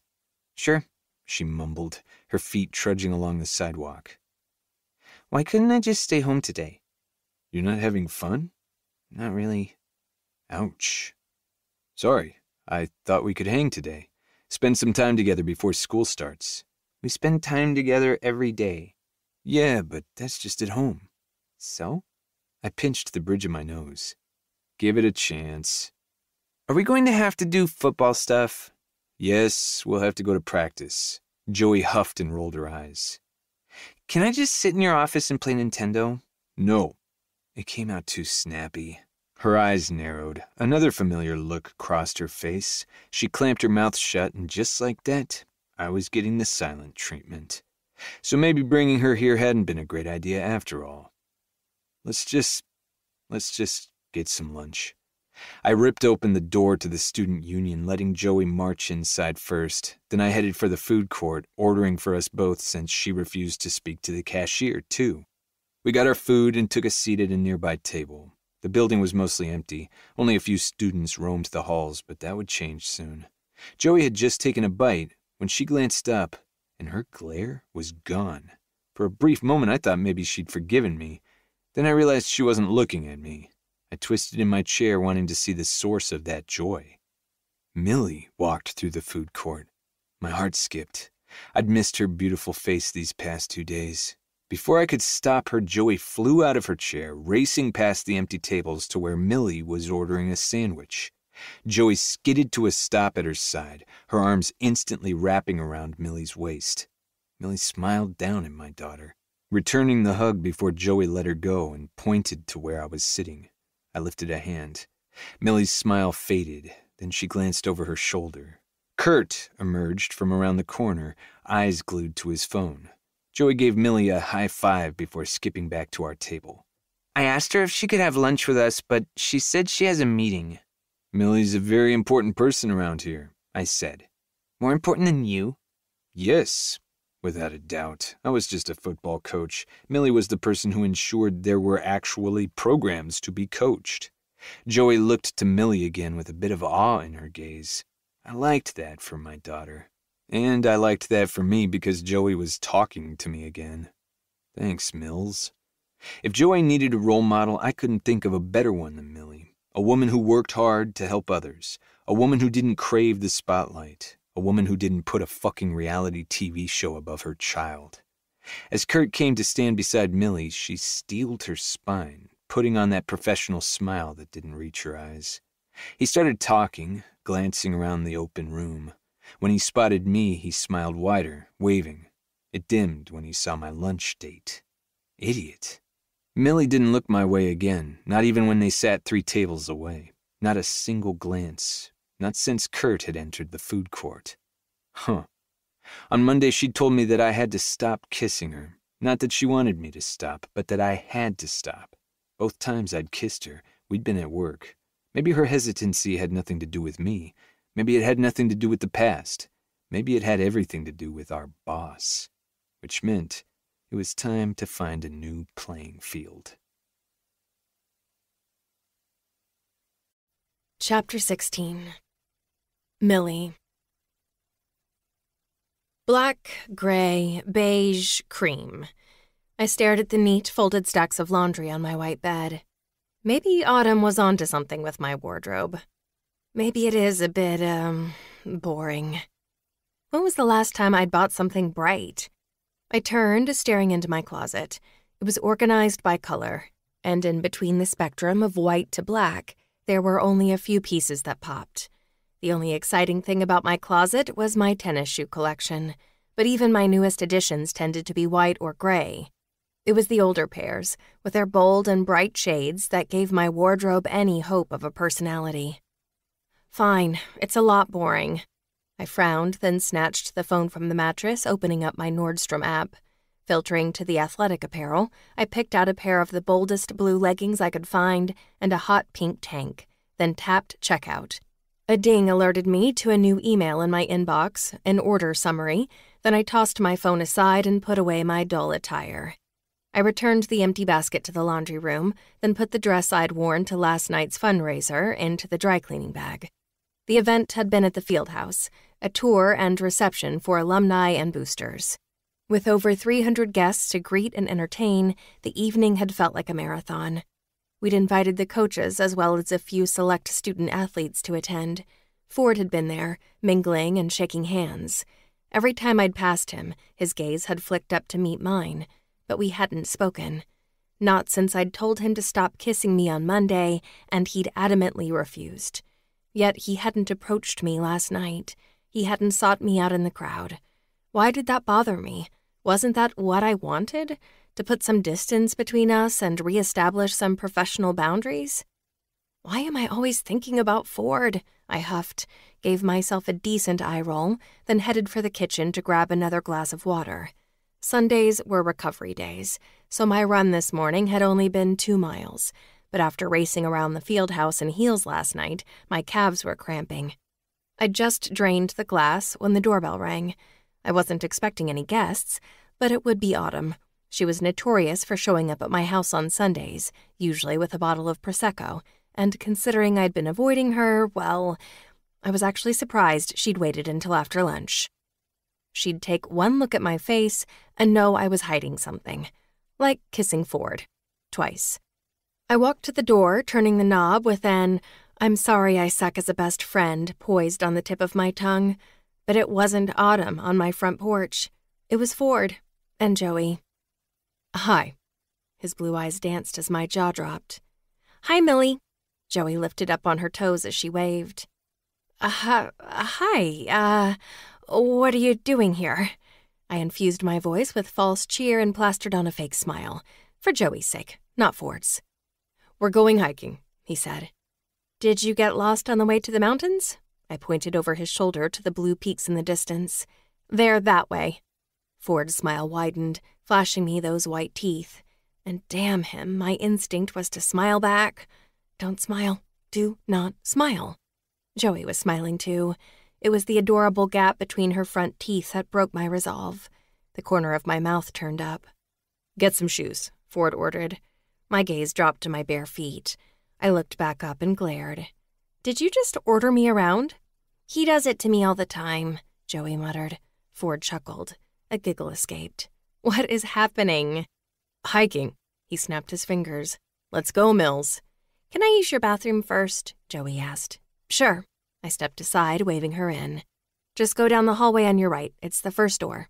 It was a mistake to step so far to the side, because the moment Joey came in, Ford followed. I didn't have a massive house. My cottage was 80 years old, and though the previous owners had done a renovation, the rooms, albeit charming, were small. With him inside, it might as well have been a dollhouse. His presence consumed every inch, charging it with the same electricity he'd brought into my office. He was in a navy, sleeveless, athletic shirt. His arms, ripped with muscle, were on full display. My gaze traced the lines of his biceps, the curves of his triceps down to his sinewed forearms, his black mesh shorts draped over the bulk of his thighs, and the tattoos on his right arm. Oh my god, the tattoos. Ford was so focused, so steady. The tattoos gave him a reckless, sexy edge. I wiped the corner of my mouth. Yep, that was drool. Millicent. My face whipped up to his. While I'd been gawking, he'd closed the gap between us. Ford leaned in just an inch like he was going to kiss me. I put my hand in front of his face. Do not kiss me again. There was a challenge in his eyes. I was so busy trying to make sense of it that I didn't notice his hand shoot up to capture my wrist. His fingers were so long he wrapped it easily. Even when I tugged, he had me trapped. With that smirk on his mouth, he pulled my hand toward his lips, turning it at the last second to place a chaste kiss on the inside of my wrist before loosening his hold. I yanked my hand free and took a step away, my skin buzzing from the softness of his mouth. You listen as well as a brick wall. His laugh filled every corner of the house. My taste in home decor was a lot like my choice in clothing black, gray, beige, cream. Ford's laugh was like a burst of color yellow and orange and neon green. Even with the sun streaming through my windows, that laugh brightened every room. Please don't. I squeezed my eyes shut. What do you want, Ford? To kiss you again. The toilet flushed from down the hallway. But Joey's not ready to see that. Joey was always first for him. I loved that for her. We're hiking the T, Ford said. The T was the collegiate symbol made out of white rocks on a nearby mountainside. It was one of the more popular hikes in the area, mostly because it was close to town and the view was incredible. Plus, it had an easy rating for kids and families. Great. Have fun. Wear sunscreen. It's in the truck. Get some shoes, he ordered again. I've got an extra water bottle, but if you have one you want, grab it too. I'm not going. Wait, how did you know where I lived? Before he could answer, Joey emerged from the hallway, walking slowly as she looked around the living room and entryway. I like your house, Millie. Thanks, Joe. I smiled at her, then shot a glare at Ford, quirking my eyebrow as a silent reminder to answer my question. I asked for your address. You what? It came out nearly a shriek. Who did you ask? Please don't say Kurt. Torin. Oh. The air rushed from my lungs. Phew. Momentary panic attack over. Ready? Joey asked, slipping her hand into his. Yeah, if Millie ever puts on some shoes. He held my stare, unwavering. Trapped. Again. The bastard had trapped me, because the moment I glanced down to Joey, I saw the hope on her face. It was the same look she'd given me earlier this week when I'd bumped into them in the student union over lunch. She'd invited me to eat with them, and I'd had to turn her down because of a meeting with Kurt. Her entire face had crumpled. I'd do just about anything not to see that look again. Ford must have known I wouldn't tell her no. Jerkface. Give me a minute, I spun on a heel and marched into my bedroom, finding a pair of older running shoes that could get dusty on a trail. With my shoes on my feet, I returned to the living room where Ford and Joey stood waiting. Let's go. He headed for the door, holding it open for Joey to go out first. Maybe once he was outside, I could fake a sudden migraine and lock him out. I'd make Joey cookies as my apology. After you, I waved him forward. Ford shook his head. I don't trust you not to lock me out. This was the problem with Ford Ellis. It might have been ten years, but he knew me too well. Fine. I walked out first, and when I glanced back, his gaze was locked on my ass, encased in simple black biker shorts. Eyes up, coach. His jaw clenched. Joey hopped down the porch steps, passing two flower pots teeming with white petunias. The exterior of my house was much like the interior gray siding, white trim, brown cedar shakes. Boring. Even the flowers I'd planted this spring were colorless. Then there was Joey in her lime shorts and matching tank top. I glanced down at my own tank, a dove gray. When had my life become so drab? Actually, I'm going to grab a water. Be right back. I spun and veered around Ford to dart back in the house. Then I rushed to the kitchen, rifling through my cabinets until I found a hot pink water bottle. I filled it at the sink and twisted on the lid, about to run to catch up, but when I turned, I slammed into Ford's large frame. Whoa! His hands clamped around my arm, studying me. Just making sure you weren't making a getaway out the back. I'll go hiking. You win. Happy now? Yes. His smile was victorious, like the smiles I remembered from game days when the Wildcats had won. So lost in that smile, I didn't have a chance to stop him when he closed the gap this time and sealed his mouth over mine. One dart of his tongue against my lower lip, and I opened for him, my body liquefying as he swept inside. God, this man could kiss. I didn't remember it being like this. I didn't remember any kiss ever being like this. It was like the color he'd brought into my home with his laugh. Ford's kiss was a symphony of blue and green and red and yellow, a kaleidoscope. I clung to his arm with my free hand, afraid if I didn't hold on, my knees would buckle. He moaned, the deep, rich vibration running straight down my throat and settling between my legs. My pulse bloomed, a throb begging for more. Before I was ready, Ford pulled away. His lips were wet. He swallowed hard, then dropped his hands, using one to wipe his mouth. Ready? I shook my head. Maybe this hike is a bad idea. Even to my own ears, it sounded weak and pathetic. Like me, any time Ford was in the room. I told you to stop kissing me, I whispered. Ford plucked the water bottle from my grip. And I told you no. Chapter 17 Ford. Joey's squeak had my gaze shooting to the rearview mirror. What? I lost my tooth. She smiled, revealing the hole where her eye tooth had been. Nice. I chuckled as she held it up, slimy with a little bit of blood. We've been waiting for that one to fall out, I told Millie. The permanent tooth was already poking through, and hopefully this would give it space to come in straight. Though Joey was going to need braces, there was no avoiding that with the gap between her front teeth. I thought it was adorable. I doubted she'd agree when she was 15. Think the Tooth Fairy will give you a quarter? Millie asked. He's the Tooth Fairy. Joey leaned forward to poke my arm. And he gives me five dollars for every tooth. Millie whistled. Prices have gone up since I was a kid. Daddy says I'm expensive. I chuckled. You are expensive. Joey's and Millie's laughter filled the truck's cab. The radio was on, low in the background, but I reached forward to shut it off. I'd listen to them laugh for the rest of my life over any music, even my favorite classic rock. Millie glanced over, a flush rising in her cheeks. Fuck, I could kiss her again. And I'd made the decision that every time she told me to stop, I'd kiss her twice instead. Can I call mom to tell her about my tooth? Joey's question doused my mood like a fire extinguisher.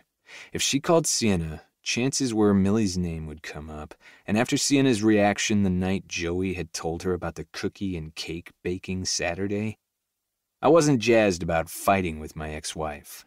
We're just about to the trailhead, I said. Joey pouted. But I didn't get to talk to her last night. Sienna had been too busy to call her daughter. Please, Joey begged. God damn it. I'd promised myself no matter how much resentment I had towards Sienna, I'd do my best to hide it from Joey. I wasn't always successful, but I tried. I could count on my hand the number of times Joey had asked to call Sienna since we'd moved to Montana, so I took the phone from the console and hit Sienna's name. It rang three times. Maybe I'd get lucky and she wouldn't answer. Hey. Not lucky. What's up? Sienna's voice was groggy, like I'd woken her up. Joey wants to talk to you.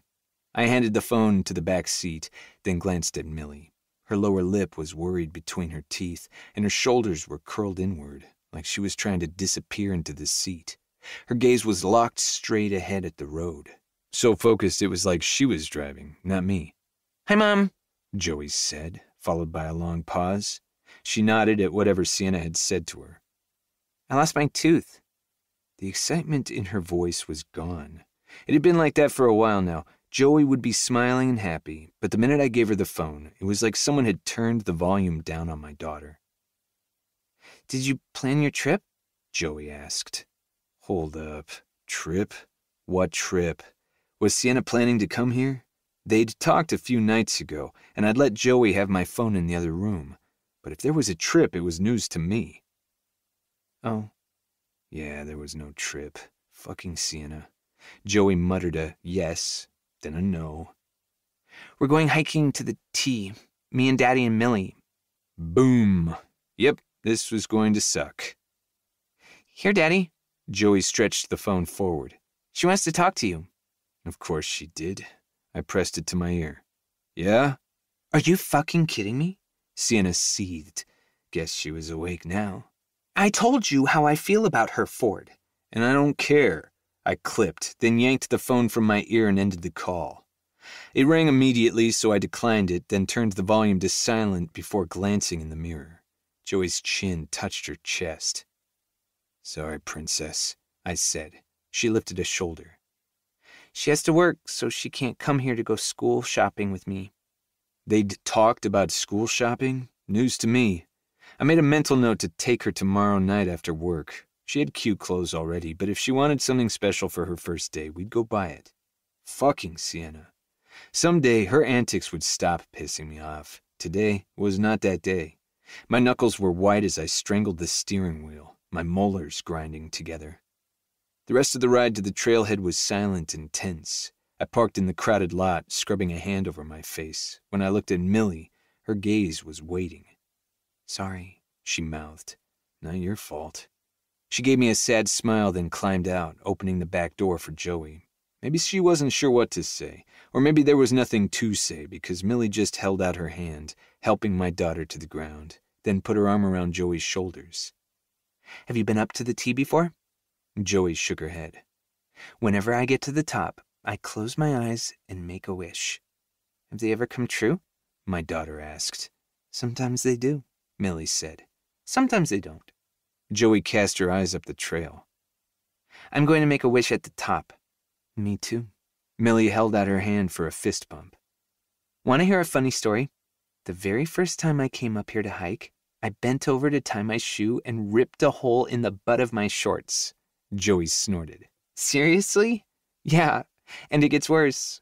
I was with this boy I had a crush on, and he saw my underwear. It was so embarrassing. Joey giggled as Millie feigned a cringe. Who is the boy you had a crush on? Joey asked. Me. Oh, just a guy from the past, Millie said, waving it off. Maybe someday, when she was older, I'd be able to tell Joey the whole story that the guy Millie had been hiking with that day was me. It had been the spring of my senior year. I'd been dating Sienna for months, and Millie had become a regular at our hangouts. She was the first girl I'd met who understood football. It was awesome. A few of us guys had wanted to hike the T, and I'd asked Sienna to come along. She'd been hung over from a party the night before. I told her not to drink so much, especially during the track and field season when it was prohibited, but she hadn't listened. So while Sienna had spent the day in bed, Torin had invited Millie to come with us. Mills had been wearing a pair of shorts, not the second skin biker style like she was in today, but running shorts with that slick fabric that didn't really stretch. Maybe they'd been old, but as she'd bent to tie her shoe, rip. We'd all laughed, even Millie. She'd been a hell of a sport about it, taking one of my old sweatshirts to tie around her waist. I hadn't had a damn clue she'd had a crush on me. Not then. Maybe things would have gone differently if I'd known. If I'd paid more attention to those pretty hazel eyes, her shy smile, or the flush of her cheeks. There was no point in dwelling on what might have been, not with Joey, so I took the backpack I'd brought out of the truck and got ready for our hike. The bag was full of water bottles and granola bars. I added Millie's pink bottle, then strapped it to my shoulders. Want to lead the way? I asked Joey. Um, sure, she shrugged. Where do we go? I pointed to the trail. Up. She let me slather her with sunscreen before we embarked. Then we fell in line, taking the first few corners single file. The incline was gradual, but I let Joey set the pace, glancing back every once in a while to see Millie close behind. Do you ever come up here? I asked her as the trail widened, falling back to walk by her side. Sometimes. I'll hike up, then jog down. Joey marched on about 20 feet ahead, oblivious to our conversation, but I lowered my voice anyway. Sorry about the phone call earlier. I take it Sienna isn't thrilled I'm spending time with you and Joey?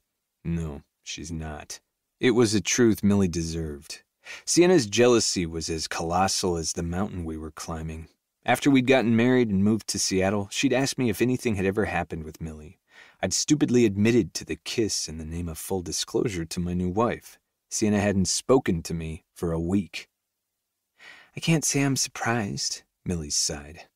I don't want to cause any problems. You're not. She's going to have to get over it, I said. She doesn't get to dictate my life anymore, or Joey's. Ahead of us, my daughter's blonde ponytail swished across her shoulders. Where is she, Ford? Millie asked. Why isn't she here with Joey? I inhaled a long breath, slowing my pace just a bit to let Joey gain a bit more space. She's in Seattle. About five years ago, she decided she wanted to start a lifestyle blog. It started small, mostly photos of our house and her daily outfits, but grew quickly. She'd post on social media every day and play up her role as an NFL player's wife. It got her a lot of followers. Sienna used to come to my games and would spend the entire time on her phone.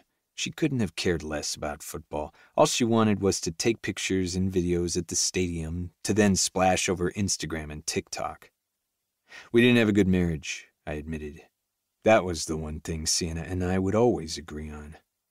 About 18 months ago, after my injury, I told her I wanted a divorce. She was rarely home, always planning these trips with friends and whoever else. Joey was never her priority, and it pissed me off. So I was done. Her biggest concern with the separation wasn't our daughter. She was worried what it would do to her brand. Sienna threw that term around as often as I threw a football. Millie cringed. Wow. Exactly. Sienna had made friends with some of the other players' wives and girlfriends. A few were models. One, an actress. The football world had become her identity, yet she didn't know anything about the sport. So I take it the divorce wasn't an amicable one? Millie asked. Not at first. Sienna wanted to try and work it out, but then I found out she'd been sleeping with one of my teammates. Millie gasped. Who? Jordan Powell. Oh. Her nose scrunched up. He's a showboat. Yes, he is. Jordan was all about Flash. So was Sienna. They were actually perfect together. The divorce went fairly smoothly after that point. I knew there was only a slim chance I'd ever play again and was in discussions to take on the coaching position. I wasn't the star anymore, and dating an assistant coach wasn't nearly as attractive to Sienna as scoring a player. Maybe for her, Millie muttered so quietly I barely made it out. She didn't want custody of Joey? Oh, she did. She wanted 50 50. I just refused, I told her. We were in the very beginning stages of the divorce, a little over a year ago, and a TV producer approached Sienna about a reality show. Or maybe she approached them. I never did get a straight answer but there are five women doing it. Each is either married to, engaged to, or dating a Seahawks player. A reality show? You're kidding. Nope. I shook my head. It hasn't aired yet, but apparently they're wrapping up the first season. I don't know. I don't ask many questions. I just knew that I didn't want Joey anywhere near it. I refused to let her be in that sort of situation where everything is on display for the world to see. No kid needs that kind of public scrutiny. So I told Sienna that the only way I'd agree to shared custody was if she refused the show. Millie's mouth parted. She chose the show? I looked ahead at my beautiful daughter. We're in Montana, aren't we? Sienna had given up Joey for a chance at fame. Oh my god. Millie put her hands on her cheeks. I mean, I hate her. She was a total bitch to me in college, but wow. I'm so sorry, Ford. I'm sorry for Joey. Not a day had gone by that I'd mourned my marriage. It's ugly. Not many people know what happened. I don't talk about it. Millie nudged her arm against mine. Then I'm a vault. Vault? Without question, Millie wouldn't tell a soul. It was why she'd always been an incredible friend. The best, actually. Joey looked over her shoulder, cocking her head when she saw how far we'd fallen back. Are you guys coming? Millie smiled, taking off at a jog to catch up. I hung back a bit, letting them talk as they hiked. It didn't take long before we reached the top. They'd added a bench at the base of the T since the last time I'd been here, so I took a seat, staring out over the green valley surrounded by mountain peaks. Do you think we can see our house from here? Joey cupped her hands around her eyes, squinting into the distance. Millie stood at her side, pointing toward our neighborhood. The two of them together were picture perfect, better than any staged photo Sienna could conjure for social media. This was real. This was life. I dug my phone from my pocket, snapping a quick picture of Millie and Joey together as they stared into the distance. It was the best photo I'd taken in years, so I set it as my wallpaper. Then I tucked my phone away and enjoyed the view. And when a breeze wafted the scent of pine and earth through the air, I closed my eyes and tipped my face to the sun. I made my silent wish at the base of the T. I wished that Millie might have a crush on me again. Chapter 18 Millie I have a confession, I said, answering Autumn's call. You've been hanging out with Ford. Yes, I slouched in my office chair. How did you know? Because for the past five years, I've talked to you at least four times a week. Since he showed up in Mission, you've been quiet. Sorry, I sighed. Don't be, I get it. This is a tough situation. I'm just confused. And you're trying to figure it all out on your own. How's that going for you? It was equally wonderful and annoying to have a friend who knew me so well. Not great, I muttered. Autumn hummed, and I didn't need to see her face to know she wore a smug smile. Spill. I filled my lungs, holding the breath until it hurt. I exhaled. I spilled. I told her everything, from bumping into him at the grocery store, to the cookies, to Kurt's warning, to our hike, to the three times Ford had kissed me. I told her every tiny detail, hoping maybe she'd be able to help me make sense of my feelings. What should I do? I asked. I mean, I think there's really only one option. My heart sank. End it now, before it gets even more complicated. No, dummy, bang him. I laughed. Of course, that was Autumn's advice. That's not helpful. I could lose my job over this. Then it will have to be a secret affair. Those are the most fun anyway. Autumn, I deadpanned. I'm serious. What should I do? I'm serious too, Millie. The teasing in her tone was gone. You pined after Ford for years while he dated that bitch Sienna. You settled for being his friend and when he finally cut her loose, you went for it. And look how well that turned out for me, I muttered, total humiliation. That's my point, she said. You went for it and got burned. You've been guarded ever since. I scoffed. I'm not guarded. Oh, you're not guarded? How many men have I dated in the past five years? Oh shit. Was I supposed to be keeping track? Um, a lot? A lot. I put myself out there, and yeah, I've found a lot of losers, but I don't regret them. I drew an invisible circle on my desk. What about the douchey lawyer? Fine, maybe the douchey lawyer, whatever. We're not talking about me. You're the one who brought it up. I was talking about me, and then you started talking about Millie, she snapped. I have a client coming in 10 minutes, so shut up and listen. I giggled, having missed my friend these past few weeks. Okay. Adrian is the one and only man I've seen you let in. But even then, it was like you cracked a window and expected him to crawl through it because the doors were still locked. Ouch, I winced. Maybe I don't want to talk to you anymore. The truth hurts, sweetie. Autumn's voice softened.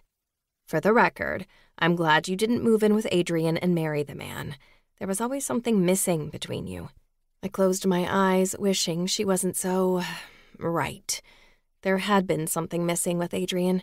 I wished I had realized that sooner, that I hadn't hurt him, but Adrian was a topic for another day. How does having sex with Ford solve my problem? I asked. You'll always wonder what might have been. This is your chance to find out. So keep it a secret. Don't put your career at risk. But let the guy give you an orgasm, and then maybe you can really let go of the past. Besides, it will also be like a big fuck you to Sienna. This is true. Autumn hated Sienna arguably more than me. She hated that Sienna had betrayed my friendship. It was a sour note for me, too, though not as bitter as it had been to watch Ford and Sienna together. Their relationship had started strong, and seeing them kissing and cuddling around campus had been excruciating. My crush never did go away. But by the end of their first year together, they'd had plenty of ups and downs. By our junior year, it had mostly been downs. It had been Ford's last semester, the semester we'd been trapped together in philosophy, and he'd spent less and less time alone with her at parties. Instead, he'd spent more time with the rest of us, watching a game. Whenever he'd see me walking across campus, he'd rush to catch up and say hello. Most times, he'd carry my backpack, too. He'd tease me mercilessly about my addiction to tennis shoes, and whenever he got a new tattoo, he'd send me the first picture. I'd confided in him about my dad's death. He'd told me about high school in Vegas and never feeling like a part of the school, how people would befriend him because of his talent on the football field, and how others would resent him for the same. We'd shared our dreams mine to work with a university sports program, his to get drafted and go pro.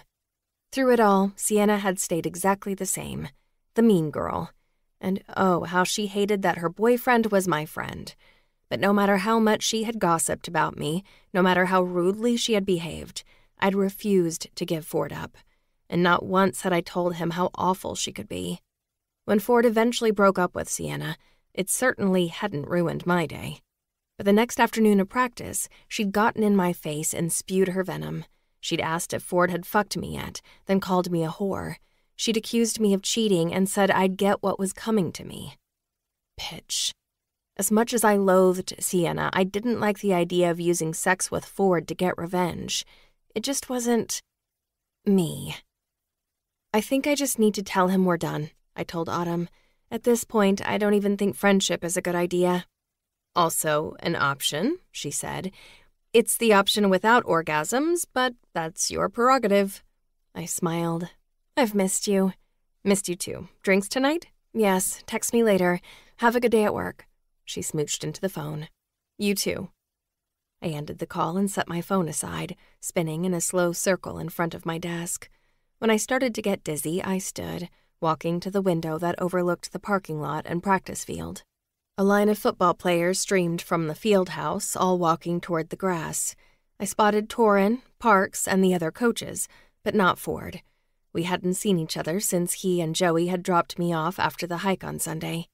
And though school hadn't started, campus was beginning to flourish with activity. Football was about to begin. This coming weekend, there would be a scrimmage at the stadium, then the following weekend, the first home game. If there was ever a time to cut Ford out, it was now. For the next three months, he'd be consumed with work. Maybe I wouldn't have to do a thing. Maybe if I just kept my distance, his schedule would become the wall between us. By the time the season was over, he might very well have forgotten about me. Ick, my stomach churned. I'd already been forgotten by Ford once. Not a great experience or one I cared to repeat. A ding from my phone pulled me away from the glass. I was due to meet the facilities manager in five minutes to talk about the basketball season. Both the men's and women's teams practiced in a smaller gym, but they had their games in the field house. The weekends they were away, we'd tear the court down and make room for other events, like the college rodeo and a local home exhibition. We'd had a few stumbles last year with setup, and I wanted to make sure we didn't repeat those past mistakes. Since Kurt was so set on keeping men's basketball and football under his umbrella, he should technically be at this meeting. But he delegated logistics to me, so I collected my laptop, walked out of the office, and headed downstairs. The moment I opened the door to the first floor, I was met with angry voices. Are you calling me a whore? There was a tremble in the woman's voice. What the hell? No, fuck, would you just listen to me? The man's voice sounded vaguely familiar. I changed course, veering down the hallway toward the noise. Feet away, Rush Ramsey was dragging both hands through his hair, while a petite girl with a strawberry blonde ponytail stood in front of him, her arms wrapped around her waist as tears streaked down her cheeks. You think I planned this, don't you? she asked, her entire body shaking. That's not what I'm saying, Faye. His arms stretched wide at his sides. Then what? Oh boy, it was too early in the year for this level of student drama. I cleared my throat. Both students jerked, their eyes widening as they turned my way, just as Ford rounded the corner behind them. What the hell is going on? His presence, large and commanding, chased away the anger from the previous moment. Do you realize that everyone in this part of the building can hear you? Rush's arms dropped, his head hanging. Sorry, coach. How about we take this conversation into a conference room? I met Ford's gaze, waiting until he gave me a nod. Then I led the way into a nearby room, closing the door once everyone was inside. Okay, what is going on? Ford asked them, standing at my side against a wall. Faye sniffled, wiping at her cheeks. Just a misunderstanding, Rush mumbled. Wrong thing to say. Faye's eyes blazed as she raised her chin. In a single breath, you asked me for a paternity test and how many guys from the team I've slept with. Yikes.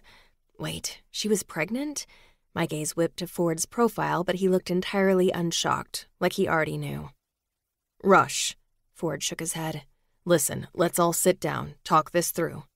Faye didn't budge from her spot in the corner, but Rush obeyed instantly, pulling out a chair from the table and slumping in the seat. Ford took the spot beside Rush while I stayed on my feet, inching closer to Faye. She glanced at me, her pretty eyes swimming with unshed tears. I offered a kind smile and waved to a chair. Come on. She finally moved, sitting stiffly on the seat's edge while I sat beside her. I'm Millie, I said. I work upstairs. Faye, she whispered. And I'm Coach Ellis. Ford leaned forward, his hands folded together. Nice to meet you. She swallowed hard, nodding, but she kept her eyes on the table, her chin tucked. I hope you don't mind, but Rush told me what's happening, Ford said. He was so calm, so collected. I guess he should be. He'd lived through this before. How about we start at the beginning? I asked. Rush glanced to Faye, waiting until she gave him a nod. Then he told me about how they'd met and hooked up, and how they'd be parents in the not so distant future. I didn't mean to insinuate anything in the hallway. Rush dragged a hand through his hair. I'm just. I don't know what I'm doing or saying. I only asked about other guys so that I wouldn't be surprised. I don't like surprises. And the paternity test? Ford asked. It's fine, Faye said. Her hands were fisted on her lap. Her eyes held unshed tears. I'll get one. You don't have to. Rush shook his head. There was an apology written on his face but Faye didn't see it because she wouldn't look at him. No. Faye's voice was sharp, pained. I'll get the test, then there won't be any doubt. We all heard the conviction in her tone. There wasn't any question in my mind that this baby was Rush's. Bit of advice, Ford said once it was clear Faye had nothing else to say. Find a way to talk to each other in person, texts, calls, emails, whatever. You're going to get a lot of external input, but at the end of the day, all that matters is what you both decide together. Faye's chin began to quiver. I reached over and put my hand on hers. You'll be okay. She sniffled, a single tear falling down her cheek. I'll be okay. She spoke so quietly I barely heard the words. Rush nodded. Things, coach. Ford blew out a long breath. You're late for practice, Rush. Yes, sir. He stood, leaving the conference room. Faye waited until he was gone, then, without a word, stood and left too. The tension in the room should have vanished with them, but it was there, charged in the air and bunched in Ford's shoulders. His blue eyes shifted from the doorway to meet mine. Was it like that? I asked. With you and Sienna? Strained meetings, accusations, tears, and pain. More or less. Was it hard for him to watch this? To be on the outside this time? Did you ever find a way to communicate with each other? Not really. He shook his head, his eyes softening. I was always better at talking to you than I was Sienna. Part of the problem. Then why did you choose her instead of me? That question had been plaguing me for years, and still I didn't have the courage to ask. The answer, no matter what it was, would only hurt. So I stood from my chair and left the room. I was late for my meeting. Chapter 19 Ford I was tired of watching Millie walk away from me. But considering that the pregnancy thing with Rush had sent me reeling, it had probably resurfaced memories for Millie too. Rather than talk it through with me, or look at me, she'd marched out of the conference room and disappeared. I always seemed to be chasing her around this building. Not today, I was late for practice. So I swung by my office to get a hat, then headed out to the field and got to work. By the time practice was over and the players were all filtering into the locker room for a shower, I had sweat beating at my temples and could use a rinse myself. It's going to be a hot son of a bitch on Saturday for the scrimmage, Torrance said as we walked inside the field house, following the other coaches to a conference room for our regular post practice meeting. Yep, I'll ask Patty to ensure we've got plenty of water. Patty was my new assistant. She was 61 years old, something she'd announced during our interview, along with her zodiac sign, a fellow Taurus. She'd started two weeks ago, and so far she'd proven to be a dream, taking care of the administrative tasks that would have otherwise buried me. I was the last man to enter the conference room, so I closed the door behind me and took my regular seat at the head of the table, pulling off my hat to run a hand through my damp hair. My phone was in the back pocket of my shorts. I shifted, digging it out to make sure there wasn't a text or missed call from Joey or Stephanie. The screen was blank, so I set it down on the table. When I looked up, Parks was staring at my screen. On the wallpaper, set behind the time and date, on the photo I'd taken of Millie and Joey on our hike. That wasn't a moment I wanted to share with anyone, so I grabbed my phone and returned it to my shorts pocket. Then I leaned my elbows on the table, glancing around the room. Good practice today. That statement was met with nods all around. Day by day, we were becoming a team, a solid team, there were still a few kinks to iron out, but we had a couple more practices and then the scrimmage. I was just hoping we'd win our first game. The rivalry with the Grizzlies would be the pinnacle of our regular season play. But damn, I loved having a first game victory in my grasp. It set the pace for the season. Who wants to go first? I asked. Torin raised his hand. I will. One by one, my coaches each went over their strengths and weaknesses. We talked about their players, who'd had noticeable improvement, who was on tap to be a starter, and who'd be backup.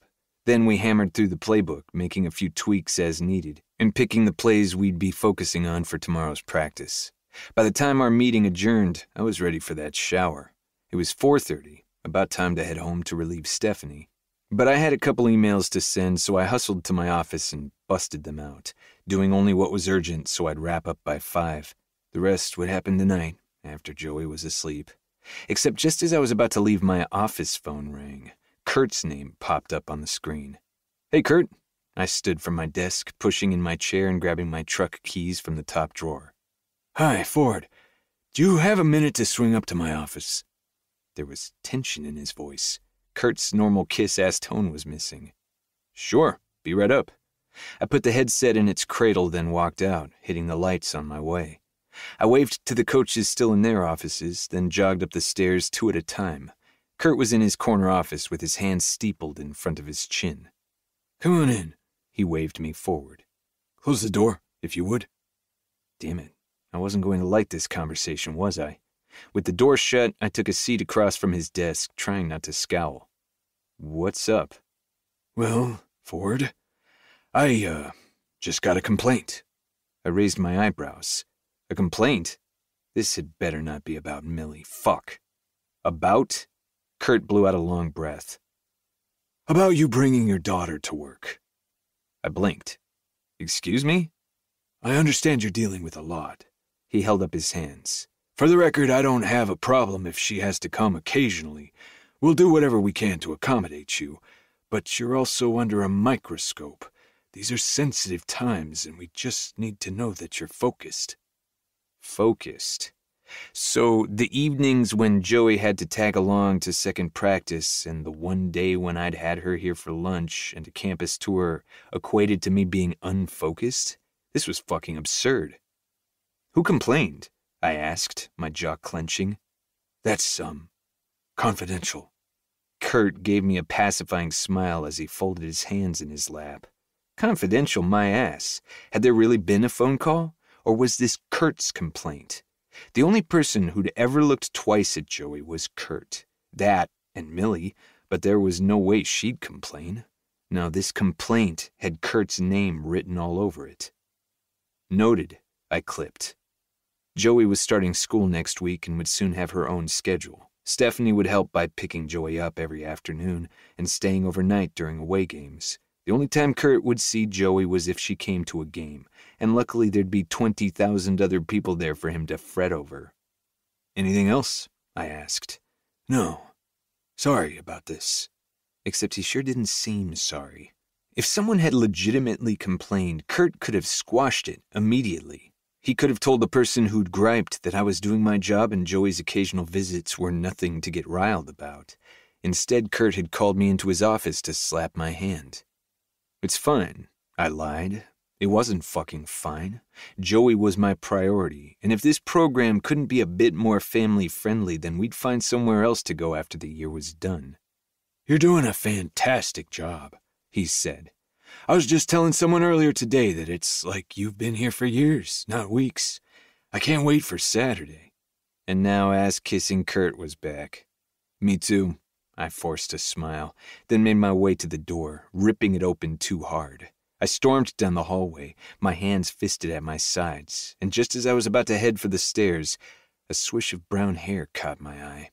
Millie came out of an office, talking to another assistant AD. She laughed at something, her smile bright and beautiful. Then the other woman, Tiffany, Tina, returned to the office. When she glanced up, Millie spotted me, and that smile dimmed. Then she spun on a heel and retreated to her own office. Yeah, I was fucking tired of watching Millie walk away. I should have let her go, but my shoes pounded on the floor as I followed. She was fast, but her legs just weren't as long as mine, and it only took a moment to catch up. Millie, she kept walking. Are you going to stop and talk to me? I asked. Nope. She shot me a frown over her shoulder and quickened her steps. She bypassed her office, probably because she had to know I'd just follow her in there. She was practically jogging every other step as she rushed forward, heading straight for the women's restroom. Did she really think that was going to stop me? She shoved through the door. I followed. Ford, she hissed. No more walking away from me, Millie. I let the door swing closed, then flipped the lock. Her eyes widened as she turned, bending low to check each of the stalls for shoes, but the bathroom was empty. What are you doing? If someone finds you in here, it will just lead to a bunch of questions. So? So? She threw her hands in the air. I'll get fired. I can't get fired. What are you talking about? You're not going to get fired, Millie. Not a soul I'd met here didn't hold her in the highest regard. Everyone loved Millie. If there was anyone on the chopping block, it was me, especially after that conversation with Kurt. We have a no fraternization policy. We do? Yes, and Kurt has been strictly enforcing it lately. All right, that complicated things. This was what I got for not combing through the human resources paperwork. I hadn't realized there was a policy, let alone one that was so strictly enforced. She pinched the bridge of her nose. You're the head football coach. So? So I'm just an assistant AD. Her shoulders slumped. Who do you think Kurt will choose? I wanted to argue. I really did. But she truly believed she'd get fired, and I wasn't entirely sure she was wrong. Mills. I'm not giving up my career for you. I wouldn't have asked her to give it up. Never. But the way she delivered that statement was like a slap to the face. I'm not asking you to give up anything. She looked up, her hazel eyes so full of defeat it made my chest pinch. Then what do you want, Ford? You. A chance to see what's happening here. Thought I'd made that pretty clear. Oh. Millie drew her lower lip between her teeth. Oh, that was it? The bathroom went quiet as I stared at her, as she stared at the tiled floor. Her silence was shredding me to ribbons. Was her hesitation entirely about the job, or was there more holding her back? Guess there was only one way to find out. We'll keep it a secret. I crossed the space between us, taking her face in my hands.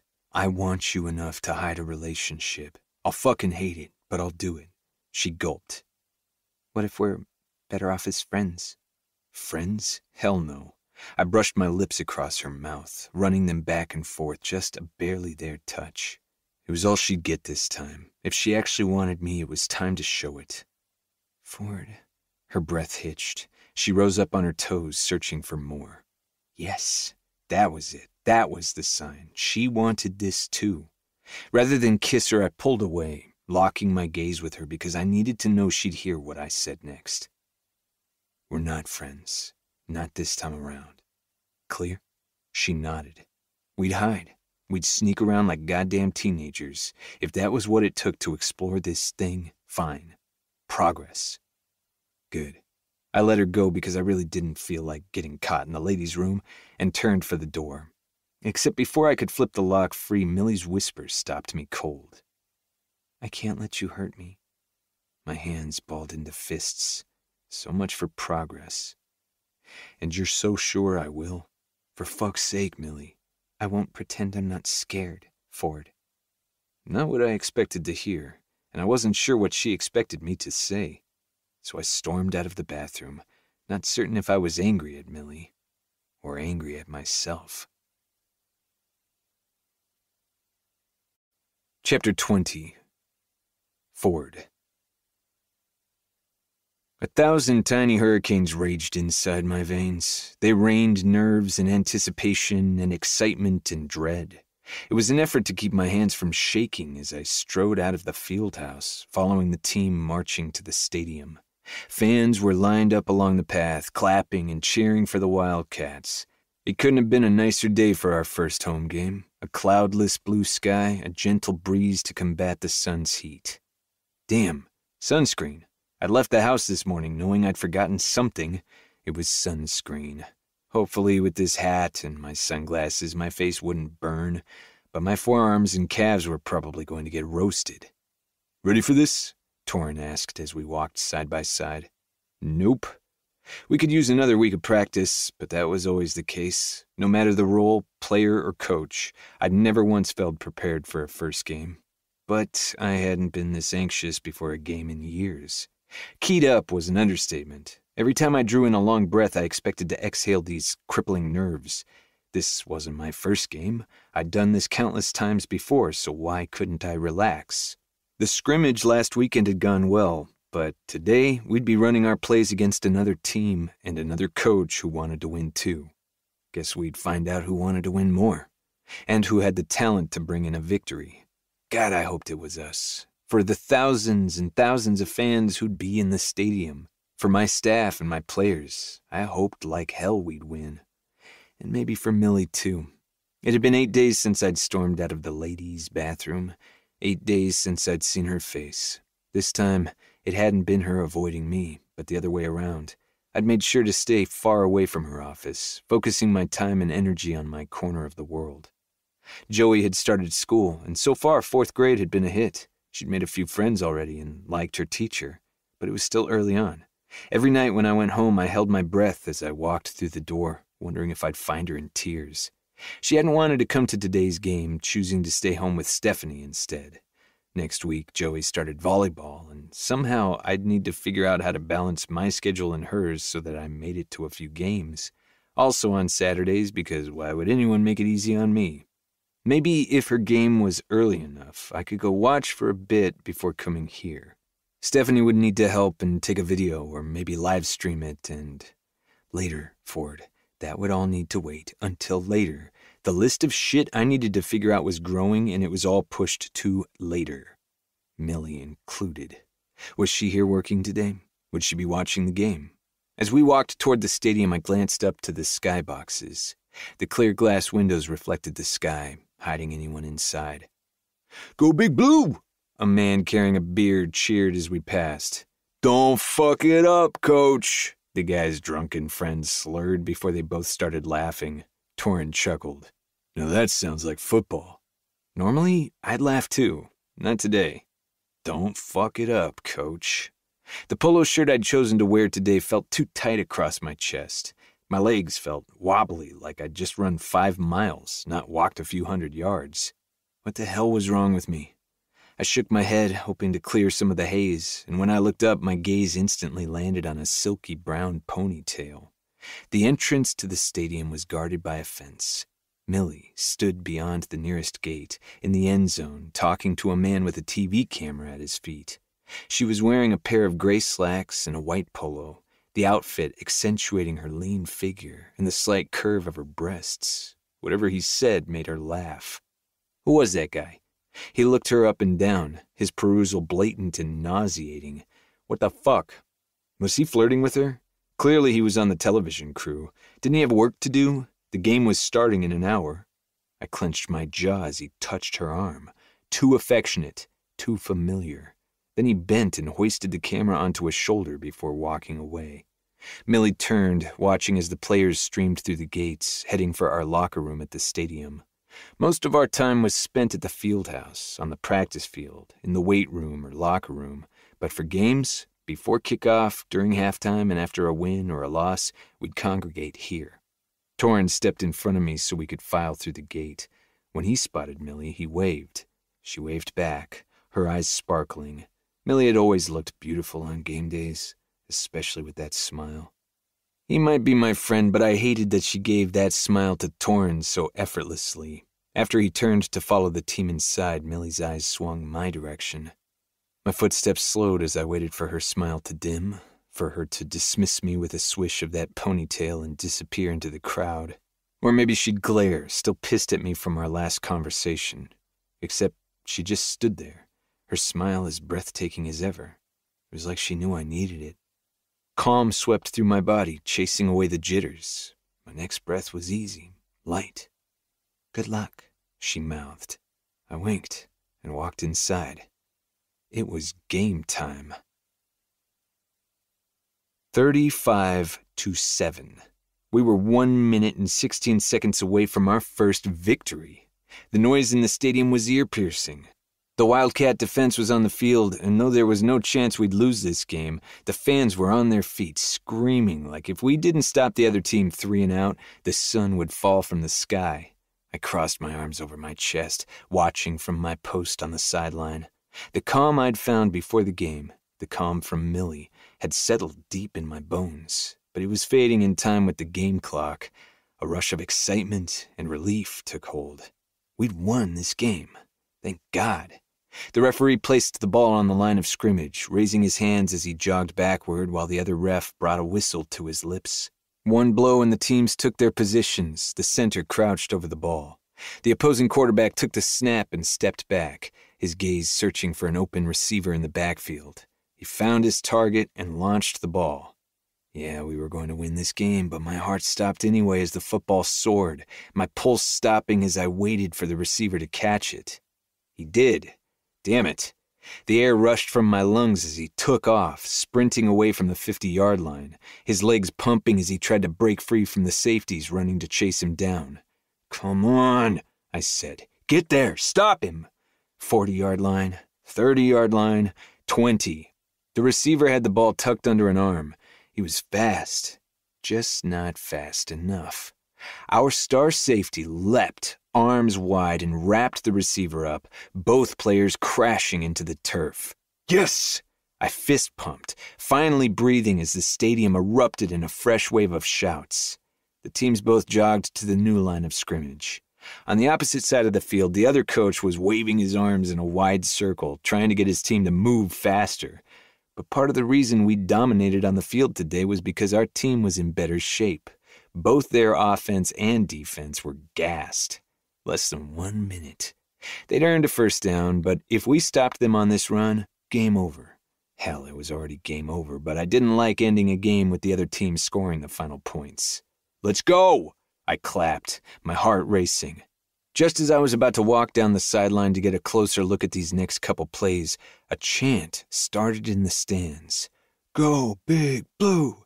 Go, Big Blue! Go, Big Blue! Each word was accentuated with a clap. I let the rhythm of that cheer sink into my blood, feeding off the excitement as I walked the sideline. I glanced up, another check of the clock, just as the image on the Jumbotron changed. Millie's face filled the screen. She had no idea she was on camera. Her focus was entirely on the field, her face a mask of concentration. She was in the end zone, like she had been earlier, standing in a reserved section for special guests and wealthy donors. Her forearms were resting on a metal rail. A lanyard with an all access was looped around her neck. Why was she on the screen? Was that her friend, the cameraman's doing? Maybe he was as obsessed with her face as I was. It took an effort to force my eyes away, to focus on the field just as the center snapped the ball. Their quarterback took a handful of steps, and that was all he got before the line broke and he was pummeled into the ground. A sack and loss of five yards. Yes! I glanced up to the screen again. To Millie, who was screaming with the people around her. Her arms were raised in the air as she jumped up and down. My God, she was stunning. And gone too soon, the camera panned to another area of ecstatic fans. The other team's offense fell apart after the sack. They managed two yards and attempted to go for it on fourth down, but we held them until the clock ran to zero. The stadium erupted. Yes. A smile stretched across my face as my heart climbed out of my throat. Torin reached me first, smacking me on the shoulder. Congratulations, coach! He had to shout in my ear, and still I could barely hear him over the noise. First win, I laughed. Not the last. He grinned as we were mobbed by the team. I smacked helmets, I clapped kids on the shoulders, I weaved through the crush, making my way to the center of the field to shake the other coach's hand.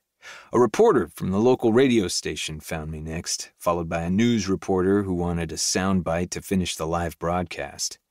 I went through the motions, giving the lines I'd rehearsed over the past week, commending our team and my staff on their hard work.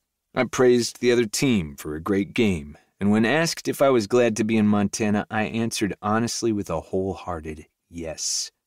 Then, finally, I was able to jog down the field, to join the team in the locker room and give them a congratulations of their own, before releasing them to the field house to get showered and changed. I was the last one to come out of the locker room, the stadium having mostly emptied out while I'd been talking to the team. I was about to head to the field house myself when a familiar laugh caught my ear.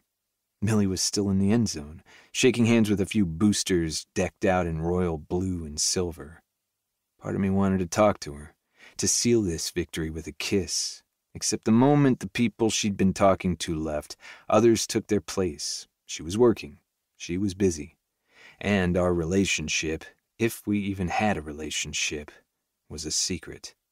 So I turned and followed my team to the field house, retreating to my office where I sat in my chair and called to check on Joey. Hey, Daddy, she answered Stephanie's phone. Hi, Princess. How's your day going? Good, you guys won, huh? Yep, did you watch? Yeah, a little. Better than nothing. Next time, maybe you'll come, too. Kurt could go fuck himself if he ever told me not to bring Joey to a game. Sure. Can I go with Millie? Uh, maybe. I sighed.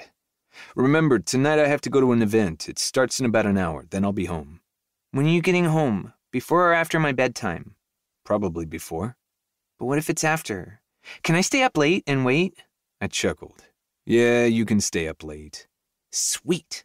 Joey would be rooting for me to get home after nine. I closed my eyes, wishing I didn't have this damn event so I could just go home and spend time with my kid. See you later. Be good for Stephanie. I will. The minute she ended the call, I sagged in my chair, the adrenaline from the game still coursing through my blood. My knees bounced, my fingers tapped on the armrests.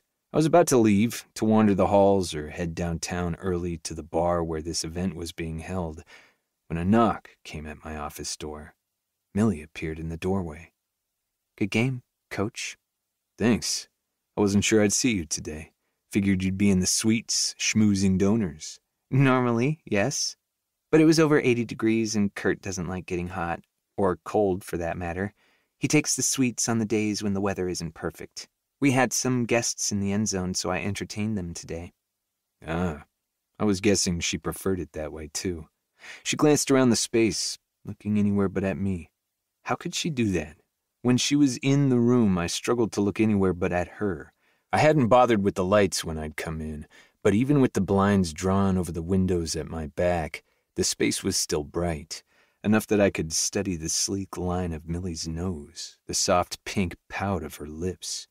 How I'd ever ended up with Sienna over Millie was still a damn mystery.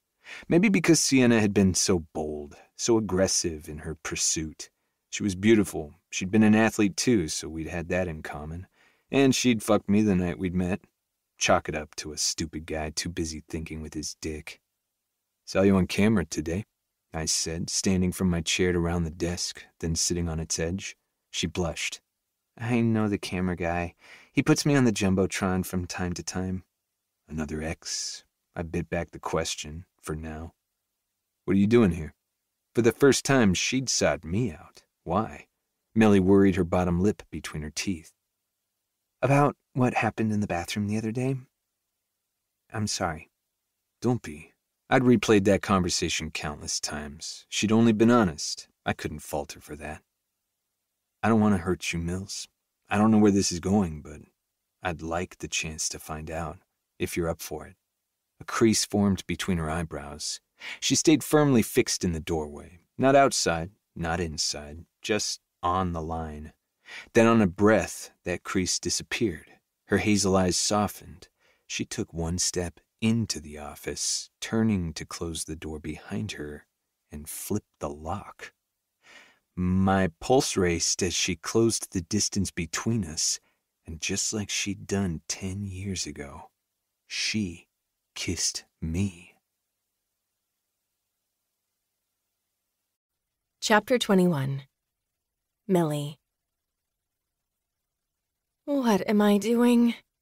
My lips pressed against Ford's, and a moan escaped my throat as he licked my bottom lip. No man should have this amount of power over me the ability to blank my mind and turn my insides to mush with a single stroke of his tongue. He stood from the edge of his desk and his arms banded around me, hauling me flush against his broad chest. Why did he have to taste so good? I'd done such a good job this past week, stealing my defenses and putting some distance between us. Except today, watching him on the sidelines, seeing his face on the massive screens around the stadium, hearing the other women in the end zone talking about how hot he was. This kiss was Envy's fault. That bitch had led me to his office and made me lock the door. Autumn's advice echoed in the back of my mind. You'll always wonder what might have been. This is your chance to find out. This was my chance. I was going to take it. Fuck, Millie. Ford tore away, panting against my mouth. Then he leaned back to meet my gaze. His blue irises were darker than normal, the heat between us making the shade a rich cobalt. Those women in the end zone hadn't gotten his eyes today. He'd had them shielded behind mirrored sunglasses. These blues, they were just for me. So was the hardness pressing against my hip. Our eyes stayed locked, searching. What do you want, Mills? he asked, his low voice sending a shiver down my spine. You. He was what I'd always wanted, except admitting that would be too much. So I lifted on my toes, my lips brushing against the corner of his mouth. How many times had I wished to be the woman to kiss Ford Ellis after a game? This was my chance. His arms loosened, he shifted, like he was going to round the desk and put it between us. If he stopped this now, we'd have to start this dance all over. I'd have to work up the courage to kiss him again. I wouldn't. In my heart, I knew I wouldn't have the guts to lay it all out there again, especially if he shut me down today. So I reached between us, in a move so bold I startled myself, and palmed his erection through his gray shorts, dragging my hand up his length. Ford's pained groan filled the room, mingling with our ragged breaths. Millicent, he warned on a growl. His body went taut, like every muscle had tightened, turning him into a statue. Don't fucking tempt me. A shiver zoomed down my spine. My entire body felt like it was on edge, primed and electric. Like any touch and zap, the spark would ignite. The ache between my legs began to throb, matching my pulse's thundering beat. I begged for more than just a kiss. I inched closer and lifted the hat from his head with my other hand, tossing it to the side. Then my arm wrapped around his neck so I could pull myself higher and lick the seam of his lips. My skin felt too hot. These clothes were too tight. I'd stood outside all morning and afternoon, never once breaking a sweat, even in the heat. But God, it was sweltering in this office. Ford. I peppered that sharp, stubbled jaw with kisses. Then I closed my eyes and waited. My courage was fading fast, like someone had tipped over a bottle and the water inside was slowly leaking to the floor. This wasn't me. I wasn't a brazen woman. I didn't initiate sex, ever. Not in a bedroom, certainly not in an office at work. Did Ford have any clue how far out of my comfort zone I was walking here? A flush crept into my cheeks. The reality of the situation slapped me in the face, and I was about to turn, to run out of this room and chastise Autumn for putting the idea of sex with Ford in my mind. But before I could move, Ford's hands skimmed up my hips, trailing across the smooth fabric of my pants until his hands palmed my ass. God, he had big hands, and that hardness between us was like a steel rod. I gulped. Look at me, he ordered. Breathe. I sucked in a short inhale, then tilted up my chin. If his blue eyes had been heated before, an inferno burned in his irises, the pools as dark as midnight. We're in my office. The world around us was blurry. We could be anywhere in the world, and all I'd see was him. Fuck, I want you, Millie. I craved him. I ached for him. I needed him to put out this fire. For once, I needed him to choose me, not the proper path, not the other girl, me, just me. Maybe my insecurities had come so close to the surface he could see them in my eyes. Because one moment he stared at me like he didn't have a clue what I was thinking. Then something flashed across his gaze, like he could read my thoughts. Ford slammed his mouth down on mine, swallowing a gasp. Then his arms wrapped around me again, hauling me off my feet as he stood to his full height. My legs wrapped around his narrow hips as he hoisted me up higher, enough that my core pressed against his erection. I rolled my hips, seeking any friction I could get against my clit. A rumble came from deep in his chest, the vibration pebbling my nipples beneath my bra. I clawed at his shoulders, unable to get close enough. More. I need more. Ford gripped me tighter, his hold nearly crushing, like he felt exactly the same. Then, with a quick spin, he turned us, laying me down on the top of his desk, never once breaking our kiss. My fingers started grappling for fistfuls of his shirt, pulling and tugging, trying to get it over his head while I kicked off my shoes. He yanked my polo out of the waistband of my pants, then reached between us, frantically working free the button. Millie. His lips left mine to trail across my neck.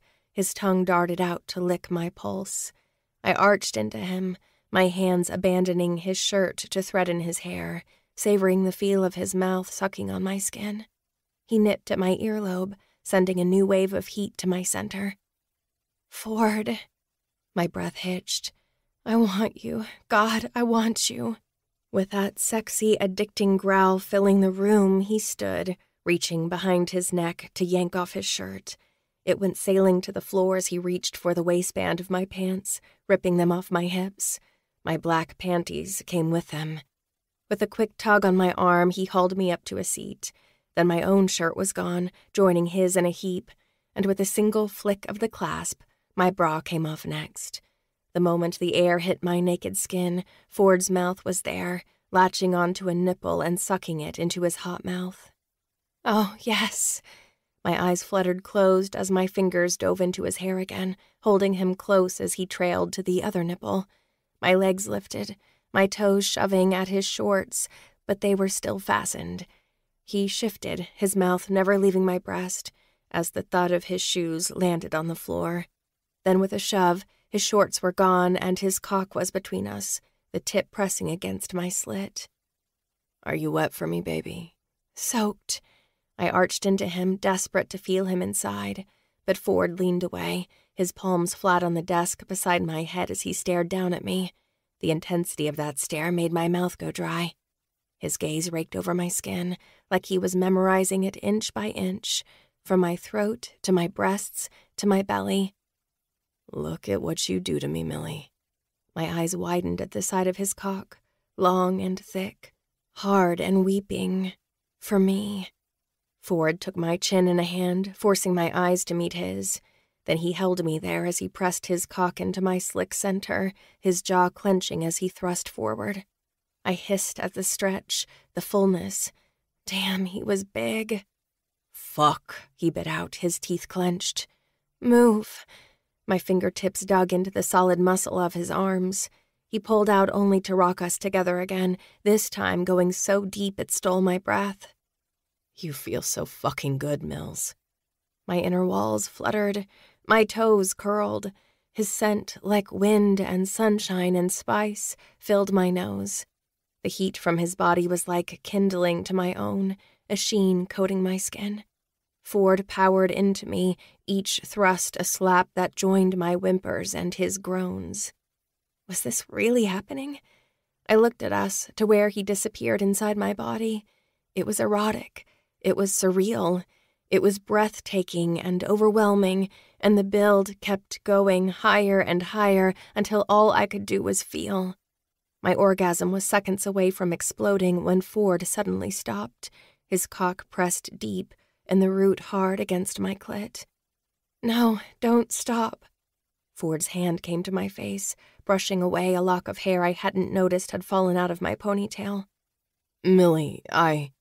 I waited, but he didn't continue. What? He shook his head, then crushed his mouth to mine, our tongues tangling. With a single effortless sweep, he pulled me from the desk and walked us connected to the nearest wall. My back collided with the cold surface as Ford pressed himself against me, sending his cock deeper and surrounding me entirely. My legs hooked around his back, my arms holding tight to his shoulders. Not that I needed to hold on, he held me like I weighed nothing. He was a work of art, from the muscled arms to the washboard abs. His hands palmed my ass, spreading my cheeks apart as he pulled out, then pistoned forward. Stroke after stroke, his cock hit that spot inside that made me tremble. The intensity climbed, the pleasure climaxed. Ford, I. My orgasm broke, silencing my warning as I detonated. Pulse after pulse, I came apart, my body shaking as I clenched around him, my head falling back against the wall as stars broke across my vision. Fuck, Millie. In the haze, I heard Ford's curse. Then I felt his own body shake and tense as he poured into me. I was ruined, cataclysmically ruined. Never in my life had I come apart like this, and when I finally came down, my chest heaving against Ford's, I cracked my eyes open to find his waiting. He looked sexy and disheveled. An arrogant smirk tugged at his mouth before he bent to pull my bottom lip between his teeth. His chest glistened with sweat, but he didn't let me down. He kept me pinned against the wall, his cum dripping down my thigh. We didn't use a condom, I whispered. He dropped his gaze to where we were still connected. Fuck, sorry. I'm, um, I'm on birth control, and I haven't been with anyone in a while. Ford dropped his forehead to mine, blowing out a long sigh. Neither have I. The air rushed from my lungs. My heart was still thundering, but I unlocked my legs until he set me on my feet. My knees wobbled as I slipped past him to collect my clothes. The room smelled like Ford and sex. My cheeks flamed. What if he had a meeting later? What if someone had overheard? Oh shit, I needed to get out of here. I needed to breathe and think, and oh my god, I'd just had sex with Ford in his office on his desk against a wall. I just had sex with Ford.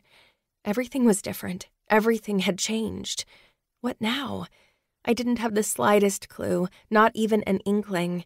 I was about to pull on my panties and get dressed, to race out of here and find a quiet corner to rock in for a few hours, when an arm banded around my chest.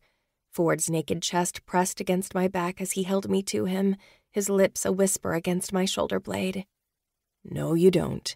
Huh? You're not running out of here. His hand dipped lower, trailing down my belly.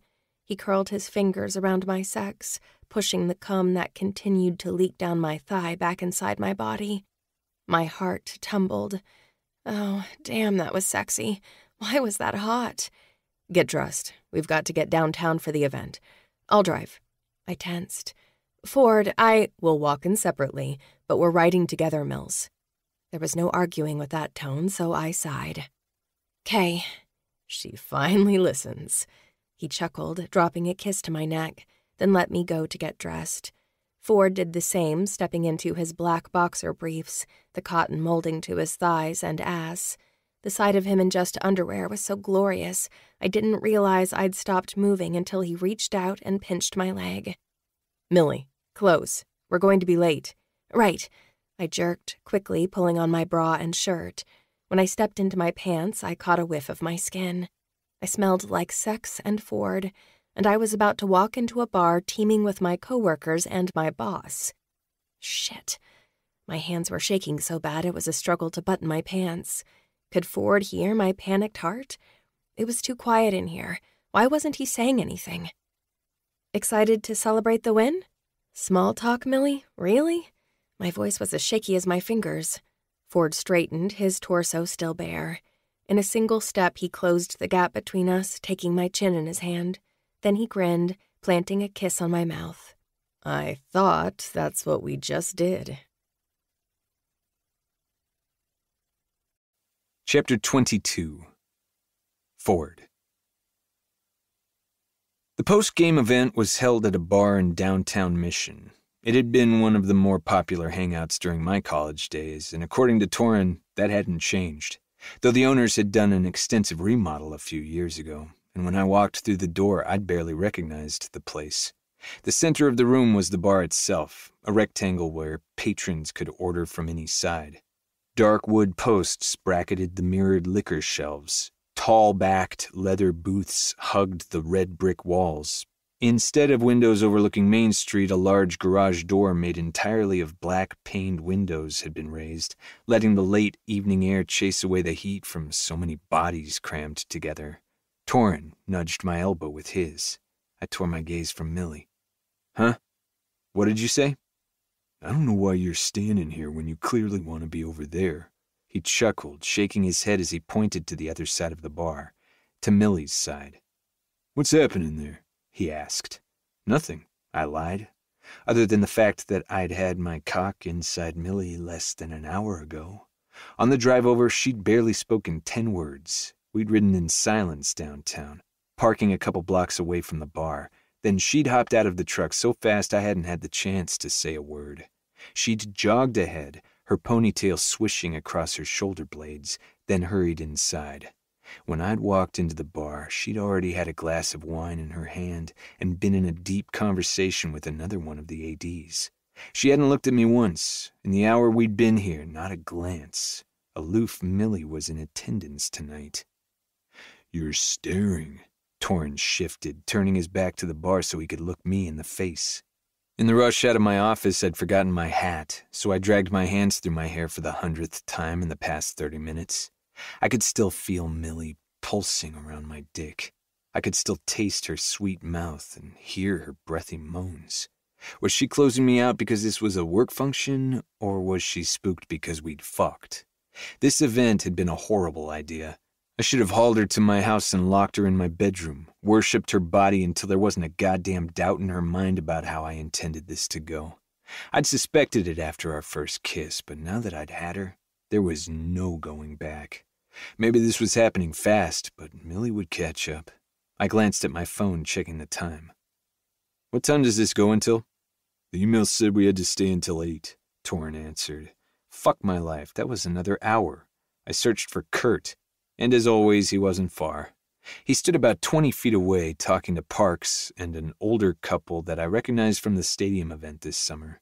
But Kurt was about as distracted as I was. His gaze kept sweeping the room, landing on one staff member, then the next, like he was taking attendance. When he looked over at me, he nodded like he was giving me his sign of approval for the day. I fought an eye roll and gave him my own nod. Then, because she was a magnet, my gaze settled on Millie once more. Ford, if you keep looking at her, everyone in this bar is going to know something's going on. Despite being surrounded by loud conversation and a background of booming music, Torin spoke low enough that only I could hear him. I sighed, rubbing a hand over my jaw. She'd twisted me inside out. My bones felt hollow, my muscles twitchy, and yet she looked so normal, unaffected. How could she be so aloof? That was the best damn sex of my life, and we'd only done it on a desk and against a wall. What would it be like if we had an actual bed, room to play? I wanted to find out. Tonight. Torin raised a hand, flagging down the bartender. Two shots of tequila, please, best you've got. He's buying. Do I get one of these shots? I quirked an eyebrow, digging into a back pocket for my wallet. Torin smirked, waiting until two shots of cold, clear liquid appeared on the bar. I handed my credit card to the bartender, then lifted a glass. Torin clinked his with mine. Congratulations, coach. Same to you. The tequila burned on its path down my throat, warming my belly. Hopefully, it would take the edge off. I should be thinking about next weekend's game. I should be talking to my coaches and making nice with the donors. But that unsettled feeling only seemed to get worse as the night progressed, and every time I found Millie in the crush, the knot in my gut twisted. Was she ever going to look at me? No. The answer was no. As the minutes ticked by, as I stood in my place with Torin at my side, as people approached me offering smiles and handshakes and gratitude for the team's win, Millie stayed firmly on her side of the bar. Whenever I glanced over, unable to help myself, she was engrossed in everything other than me. It had to be because this was a work function, right? Once I got her alone, we'd be fine. Her Kia was on campus. I just needed to endure this event, and once it was over, I'd drive her to my place and we'd talk. We'd pick up where we'd left off in the office. As often as I looked to Millie, I checked the clock, and when the numbers on my phone's screen finally turned to eight, I breathed. I'm taking off. Thanks for everything today. Welcome. Torin smacked me on the shoulder. Monday. I nodded. Monday. With a wave to Kurt, I weaved through the bar, rounding one side to get to Millie's. She'd been in basically the same spot all night. Like me, people had come to her. But when I reached her space, it was empty. I scanned the room, finding her just as she escaped through the front door and into a waiting car. What the fuck? I muttered, my hands fisting. An Uber? Seriously? No. Just no. The cool evening air did nothing to temper my boiling blood as I strode outside, my legs eating up the sidewalk as I made my way to the Silverado. I climbed in, slamming the door, and raced across town. Millie was standing beside her car, keys in hand, when I turned into the fieldhouse parking lot. The moment my headlights flashed, she paused beside her door, watching as I skidded to a stop. Her frame slumped when I parked and climbed out. My chest heaved as I stared at her, pissed and confused, and not sure exactly what I wanted to say. So I stood there, hands fisted on my hips, jaw clenched. Ford, don't fucking run away from me, Millie. Guess I did know what I wanted to say. It's not what I was doing, she said, her gaze on the asphalt beneath our feet. I wanted her to look at me, so I took her chin, lifting it until she had no choice but to meet my eyes. The fear in her expression was like a dagger to the heart. My hand dropped like her skin was on fire. Mills, we had sex. Yes. I liked it. Thank fuck. So did I. I'm not good at this. this. She seesawed her hand between us. This. This? What was this? Yes, this. I don't know what to say. This time both hands flew in the air. When I came into your office, I just wanted to say congratulations. I didn't expect to kiss you or for us to, you know. And then we went to the event, and I knew that if I looked at you, the entire bar would know that we. Well, you know. I inched closer, taking her face in my hands. Millicent. I'm freaking out. I gathered that. She let her forehead fall against my chest. I need to go home. Okay. Just. She leaned back, giving me a shy smile. Will you kiss me goodnight? She didn't even need to ask. I bent, sealing my lips over hers. One sweep of my tongue against her mouth and she melted, a sweet moan coming from her throat and shooting straight to my cock. She opened for me, letting me have a taste. Then Millie rose up on her toes, searching for more. Our tongues dueled. Our lips were frantic, our teeth clattering as I banded my arms around her, pressing my arousal against her hip. And I dropped my mouth to her neck, sucking and licking. Feel how much I want you, Mills. Yes. Above us, a parking lot light flickered, like a warning that we were standing out in the open for anyone driving by to see. I tore my mouth away, ready to put some distance between us, but Millie reached behind me for the back door of the truck. As soon as it opened, she planted her hand on my chest and shoved. Fuck yeah.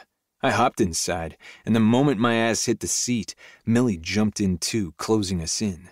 Then she straddled my waist, her mouth coming down on mine. I reached for her hair tie, tugging it from her hair and tossing it to the floor. Then I let her kiss me as her hair draped around us. Citrus and sweet. I growled when she started grinding against my dick. Get these off. I ripped at the button on her pants. Stripping her bare was clumsy and fast. She shifted to the seat beside me, tugging and pulling at her clothes while I did the same, furiously shoving my shorts and boxers free until they were bunched at my ankles. The moment her panties were gone, I took her by the hips and swung her to my lap, her head nearly colliding with the cab's roof. Then her mouth was on mine again, and she sank down on my shaft, sheathing herself fully. Fuck, baby. I squeezed my eyes closed, letting my head fall back against the headrest. The fact that I'd lasted as long as I had in the office had been astounding. This, feeling her inner walls flutter around me, was delicious torture. My stamina was shot thanks to years of a sexless marriage. With any luck, Millie would help me build it up. She lifted on her knees, only to sink back down and slam us together again. Oh, God, Ford. I held her at the hips, letting her set the pace. Over and over, she brought us together, our breaths heavy, the windows fogged. Millie didn't tire. She kept working us together, using the strength in those gorgeous, toned, mile long legs. Next time, I wanted those legs spread wide on my mattress or hooked over my shoulders. Next time. She rode me hard, taking us both to the brink as her perfect breasts bounced between us. Millie leaned in for a kiss, but before she could find my mouth, her forehead came to mine, her jaw dropping as a cry escaped right before she shattered. Yes. I nipped at her lower lip, feeling her pussy clench. God, this woman, this tight, wet heat, heaven. My own legs trembled. The pressure at the base of my spine reached its peak, and I let go of my control, pouring inside her as I came on a roar. The release racked my muscles and sent me shooting to the stars, only to float back down minutes later. My arms fell limp at my sides as the haze cleared. Millie collapsed against my chest, our bodies sticky with sweat. Well, damn. I threaded my fingers into her hair holding her to me as she buried her face in my neck. Her giggle was music to my ears. I held her closer, wrapping her tight as I kissed her temple. My muscles began to relax, my cock, still in her body, beginning to soften. But before I could pull her off my lap, a pinch came in my calf, tightening like a rubber band about to snap. Oh, hell. I grunted, swinging her off me as I massaged the muscle. What's wrong? Millie asked, shoving the hair out of her face. Cramp. This was what happened when you had your shorts bunched at your ankles. I shifted my hips, pulling up my boxers and shorts, then stretched the leg across the center console to the front seat, breathing through the cramp until it loosened. Millie's mouth twisted as she tried to hide a smile. You think this is funny? I smirked. Next time we're doing this in a bed. Understood? I'm too big for sex in the back of my truck. A flush crept into her cheeks. Next time? I twisted to face her, running a hand over her naked chest, down her heart to the space between her breasts. Make me a deal. Every time we win, this is how we celebrate. With fogged up windows like we're horny teenagers? No, with orgasms, baby. I chuckled, flicking one of her nipples. We'll celebrate with orgasms. Her entire body shivered. Then you'd better keep winning. Chapter 23 Ford The drop off line at Joey's school stretched for a block. Vehicles inched forward. The mother ahead of me had her arm out the open driver's side window and was tapping the side of her minivan, like it would make the process move faster. But this line had become one of the best parts of my day. Joey was a captive audience in the back seat. From home to school, I had her all to myself for 30 minutes each morning. What should we have for dinner tonight? I asked. Corn dogs? Chicken nuggets? Mac and cheese? I really needed to learn how to cook healthier meals. Corn dogs. There was a bagged salad kit in the fridge. We'd have that too and call it balance. Did you remember your gym shoes? I asked. Yep. She smacked her backpack. And your homework? We'd spent our Sunday afternoon doing three worksheets that her teacher had sent home on Friday. Got it. Stephanie will pick you up this afternoon, then I'll be home around five. Can we do something fun tonight? She asked.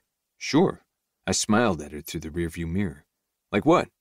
She lifted a shoulder, inspecting her fingernails. Maybe we could ask Millie to come over again and make more cookies. My heart swelled. It sounded like the perfect idea, but I wasn't sure where Millie's head was at after Saturday. I'd fought the urge to call her a hundred times yesterday. Instead, I'd settled for a single text. Hi. She'd replied with the same. That was a good sign, right? At least she'd responded. I'd pushed hard on Saturday, my only regret was that we'd been too reckless on campus, that we could have been caught and our jobs could have suffered. But that woman was irresistible. My instinct was to haul her into my life, to complicate the hell out of everything and run into this at a full sprint. Millie was so good. I wanted that goodness wrapped around Joey like a bear hug. Except what I wanted might not be what Joey needed. She undoubtedly liked Millie, but Joey knew her as my old friend from college. How would Joey feel about me having a girlfriend? I wouldn't have given it a second thought, except it had been hard on Joey when Sienna had started dating Jordan, even harder when they'd moved in together and gotten engaged. Joey hadn't told me exactly how she felt, but I think there were a lot of mixed emotions. Sadness as the permanence of the divorce sank in, Rejection as Sienna settled into a new home where Joey didn't even have a designated bedroom. Joey had endured enough change in the last few months new town, new school, new friends. Maybe adding a girlfriend was too much. How about we try to make cookies together, you and me? I asked. I kind of want to try it to see if we can do it. Okay. Her voice gave nothing away. Was she disappointed I wasn't inviting Millie? Was the reason she'd asked for Millie to come over because she wanted cookies? Was it this hard for all dads to read their daughters? The minivan ahead of us reached the curb and the sliding door flew open, two kids piling out and waving before they headed for the playground. My time with Joey was up this morning. When the van was gone, I took its place and twisted to give my daughter a smile. Love you, princess. Love you too, Daddy. She unbuckled, grabbed her backpack, and stretched forward to kiss my cheek. Then she was gone, rushing to join a group of girls on the sidewalk. Have a good day, I murmured, then left the school and drove to work. The parking lot was already crowded by the time I pulled in and headed for the field house. I grinned when I passed Millie's Kia, parked just one row away from where it had been Saturday night. The memory of her in the back seat of my truck made my cock twitch behind my zipper. We'd been explosive together. I craved her with every cell in my body. Maybe I wasn't ready to make a big announcement to Joey, but that didn't mean I was letting Millie go. Not again. We had shit to work out. We'd be keeping this a secret at work. For a time, we'd be keeping this a secret at home. But that was temporary. We'd figure this out, somehow. The familiar scent of cement and bleach greeted me when I walked inside. As I headed for my office, my to go cup of coffee in hand, I breathed in the start of a new week. About half of my staff had beat me into the office. A couple of the other coaches had kids too, so they were probably also making the drop off loop. We'd have a busy week, rehashing the game, watching film, and tweaking plays. This morning there was a large department meeting with each of the head coaches to start discussing budgets for the next school year, since planning took place 12 months in advance. I flipped on the lights in my office, another grin forming on my mouth when I moved behind the desk. Not a day would go by that I wouldn't think about Millie's spread on its surface, that I wouldn't picture her perfect body, naked and trembling beneath my touch, that I wouldn't see my cum leaking down her thighs. She'd asked me to keep my distance at work, but fuck it. I picked up my desk phone and dialed her extension. It rang twice before she answered. Hello? Hi. Yeah, definitely should have called her yesterday. I'd missed that voice. You okay? I, um, yes. Still freaking out? A little, she admitted. We'll figure it out, promise. She blew out a long breath. Okay. A knock came at my door, Kurt walked in wearing a tight smile as he closed the door behind him, clearly not caring that I was on the damn phone. What the hell? Was he like this with everyone? I'll let you go, I told Millie. Bye. With the phone back in its cradle, I leaned back in my chair. Morning. Ford. He took a seat across from my desk. What's up? I, uh. He pinched the bridge of his nose. I just got a strange call. It was about Saturday. Oh, fuck. No. I hadn't noticed anyone else in the parking lot. Or maybe someone had overheard us in here? Shit, shit, shit. She hadn't said anything on the phone. She hadn't sounded upset. Was Kurt going to go to her office next? Millie was going to flip out. What about Saturday? Maybe I could deny it. Maybe if Millie denied it too, we'd be fine. And next time, a hell of a lot more careful. Something about excessive drinking at the event. It took a moment for his words to register. Hold up. Say that again? You were seen drinking with Coach Greenlee, apparently in excess. Is this a joke? What the fuck was going on? Kurt shook his head. I'm afraid not. I held up a finger as my nostrils flared. I had one shot with Torin, One and other than water, that was the only thing I had to drink at the event. An event held at a bar. If they had expected it to be a dry function, then maybe they should have chosen a different location. Kurt held up his hands. I'm just relaying information. And I assume you won't tell me who lodged this complaint either? Was this like the previous grievance about Joey? Was this really Kurt's issue? It's confidential. Fucking confidential. If this was real, the coward bitching about my perfectly acceptable behavior was going to get an ass chewing if I ever figured out who it was. My nostrils flared. What did you say to this confidential complaint? Look, Ford, this is a unique year. Meaning Kurt hadn't defended me. Hell, he'd been standing feet away all night. He knew goddamn well that I hadn't been excessively drinking. You're the head coach, he said. Your point? Venom dripped from my voice. Kurt dropped his gaze, swallowing hard. We're just trying to fly under the radar this year. And apparently having a shot of tequila with Torin wasn't under the radar. Fine, I clipped. We told the players absolutely no public drinking. At this morning's staff meeting, I'd tell the coaches the same. Anything else? Sorry, Ford, I really am, but I wanted you to know. Kurt shook his head, standing from his chair. Bad news delivered, he headed for the door. Oh, and, uh, great win this weekend. Great way to start the season. Weather is supposed to be perfect this weekend. I'm looking forward to being on the sidelines with you guys. I had nothing nice to say at the moment, so I kept my mouth shut, waiting until he was gone. What the hell? How could anyone who'd been in that bar say I'd been excessively drinking? The complaint about Joey coming to work this summer had pissed me right the fuck off, but this? This felt a lot like I had a target on my back. I shot out of my chair, shoving it away so hard that it rolled and slammed into the wall. Ignoring it, I stormed out of my office and jogged to the second floor. When I reached Millie's office, she was in her chair, fingers flying over the keyboard. She spotted me and froze, her eyes widening as they glanced past me. Can we visit about the weight room schedule? I spoke loud enough that anyone listening would hear. Oh, um, sure. I closed the door behind me, then paced from it to the corner of her desk, too fucking pissed to sit. Kurt has reprimanded me twice in the past two weeks. He claims that someone has complained to him. She jerked back. What?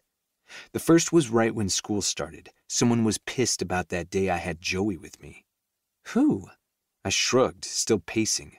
Kurt won't tell me. It's confidential. She rolled her eyes. It was probably him. He's weird about kids. What was the second complaint? That I was drinking excessively at the bar on Saturday night. What? Her voice was so loud she flinched. No, you weren't. I was watching you all night long. You had one shot with Torin. Exactly. I. My feet stopped moving. You were watching me? Because every time I looked at you, you pretended like I didn't exist. She lifted a shoulder. I was trying not to make it obvious. Speaking of, you need to work on that, or everyone in Mission is going to know where, um, you know. Yeah, I knew. You sound like Torin. I chuckled, some of my anger deflating. I rounded the corner of her desk, bent low, and took her mouth for a chaste kiss. I'll try to stop staring. Her cheeks flushed, her eyes flicking to the door. People can't find out, Ford. I know, baby. We'll keep it a secret. At least the complaint hadn't been about Millie. As much as it burned to know that someone was watching my every move, at least she was safe. Thank you, she whispered. I kissed her again, licking her soft pout, then went back to pacing before I did something reckless, like break in her desk this time. Who would do this? Let's assume Kurt really did get two complaints. Who would want me in trouble? I have no idea. I mean, the event was at a bar. Exactly. There's no rule that coaches can't drink. I mean, it's always been implied to keep it under control, but I see nothing wrong with what you did. I rubbed a hand over my jaw. This feels a lot like someone is gunning for my job. Who? Not a damn clue. My gut twisted. Could it have been one of the other coaches? Another department employee? Could this be Kurt? Maybe he has a problem with my daughter and me drinking, but why wouldn't he just tell me that? If you figure him out, please pass it along, she muttered. He's Kurt. Footsteps and dulled conversation came from the hallway outside her door as people passed. I'll get out of here. I gave her a smile, then opened the door again, talking loud enough for people to hear. Thanks for the help, Millie. Anytime. Great game on Saturday. See you around. With a wave, I headed down the hall. As I passed cubicle walls on the way to the stairs, Kurt stood at the mouth of the break room. His eyes were locked on me, and I had no doubt that he'd seen exactly where I'd just been. Millie had been hell bent on hiding this from the start. She was borderline panicked about keeping this hidden. At first, I thought she was just being paranoid, that she'd taken that no fraternization policy too literally. But now, with two bullshit complaints and a boss who hovered like a hornet at a picnic, well, Maybe she was onto something. Chapter 24 Millie Beyond the stadium club's floor to ceiling windows, the Wildcats were crushing the opposing team, 56 to 3. I actually felt bad for the other coaches and players. Well, sort of. I really liked it when we won. It would have been the perfect Saturday, other than the fact that I'd been trapped inside. Oh, what I'd give to be outside with the other fans, enjoying the sunshine and riding the high of impending victory. Instead, I'd only caught brief glimpses of the game in between conversations with boosters and alums. Millie. Fingertips grazed my elbow. Familiar fingertips, though not the fingertips I'd been dreaming about all week. Hey, Adrian. I pivoted away from his touch, taking a step back because he'd come too close for two people who were supposed to be friends and colleagues. How's it going? He sighed, not missing the distance I'd just put between us. Fine.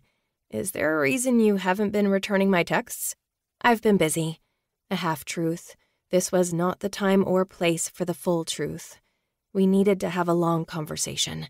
I needed to remind him that we were over, that the daily texts needed to stop.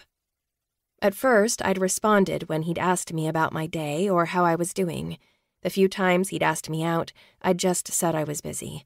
Except lately, there had been an urgency to his texts, an insistence. Every day, he asked me out to lunch or dinner. Yesterday, he'd stopped by my office again to take me out for a drink after work. I'd declined. I'd declined over and over, yet here he was, persistent as always. Was that why we'd dated for so long? Because he'd worn me down? Because I'd been a coward and it had been too exhausting to constantly say no? Busy? Too busy to return a quick text? Adrian shook his head. What the hell is going on with you lately? I've just had a lot on my mind. Like what? What happened that you can't confide in me anymore? Our breakup, that was what had happened. I'm trying here, Millie. I thought we were in a good place, working towards something. What changed? Oh, Adrian, nothing had changed, and everything had changed. All it would take was me saying no, that I was interested in someone else. A quick, brutal rejection, and this conversation would be over. But I'd never been good at brutal. Listen, how about we meet up later? Talk when there aren't so many people around. He sighed. Yeah, okay. Find me after the game. All right. He touched my arm again, a sweet caress that had once made me feel special. But today it took effort not to jerk my arm away.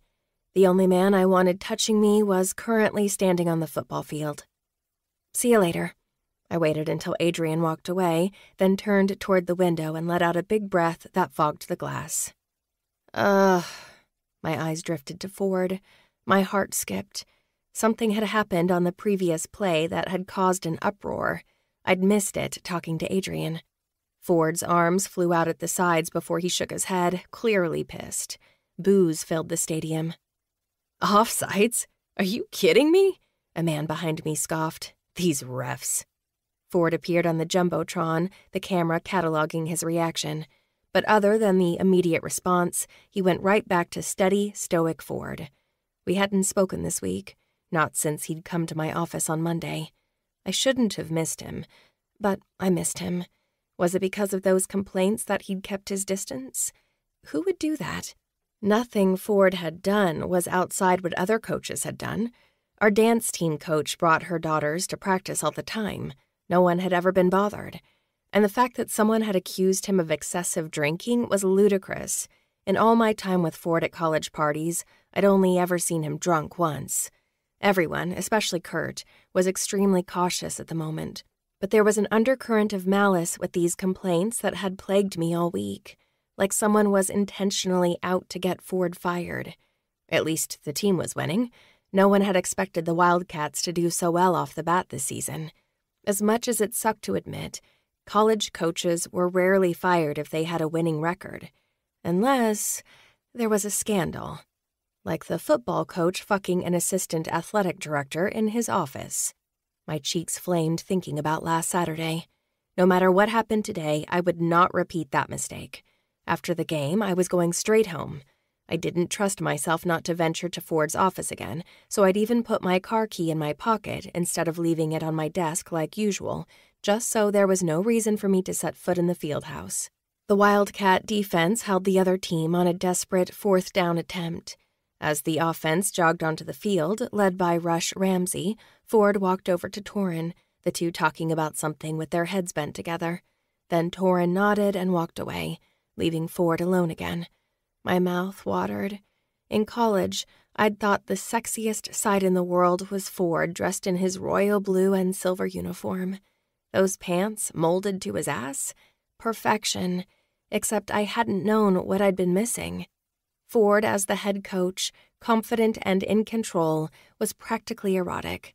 Waves of authority rolled off his broad frame, rolling all the way from his side of the stadium to mine, permeating the glass and sending a shiver down my spine.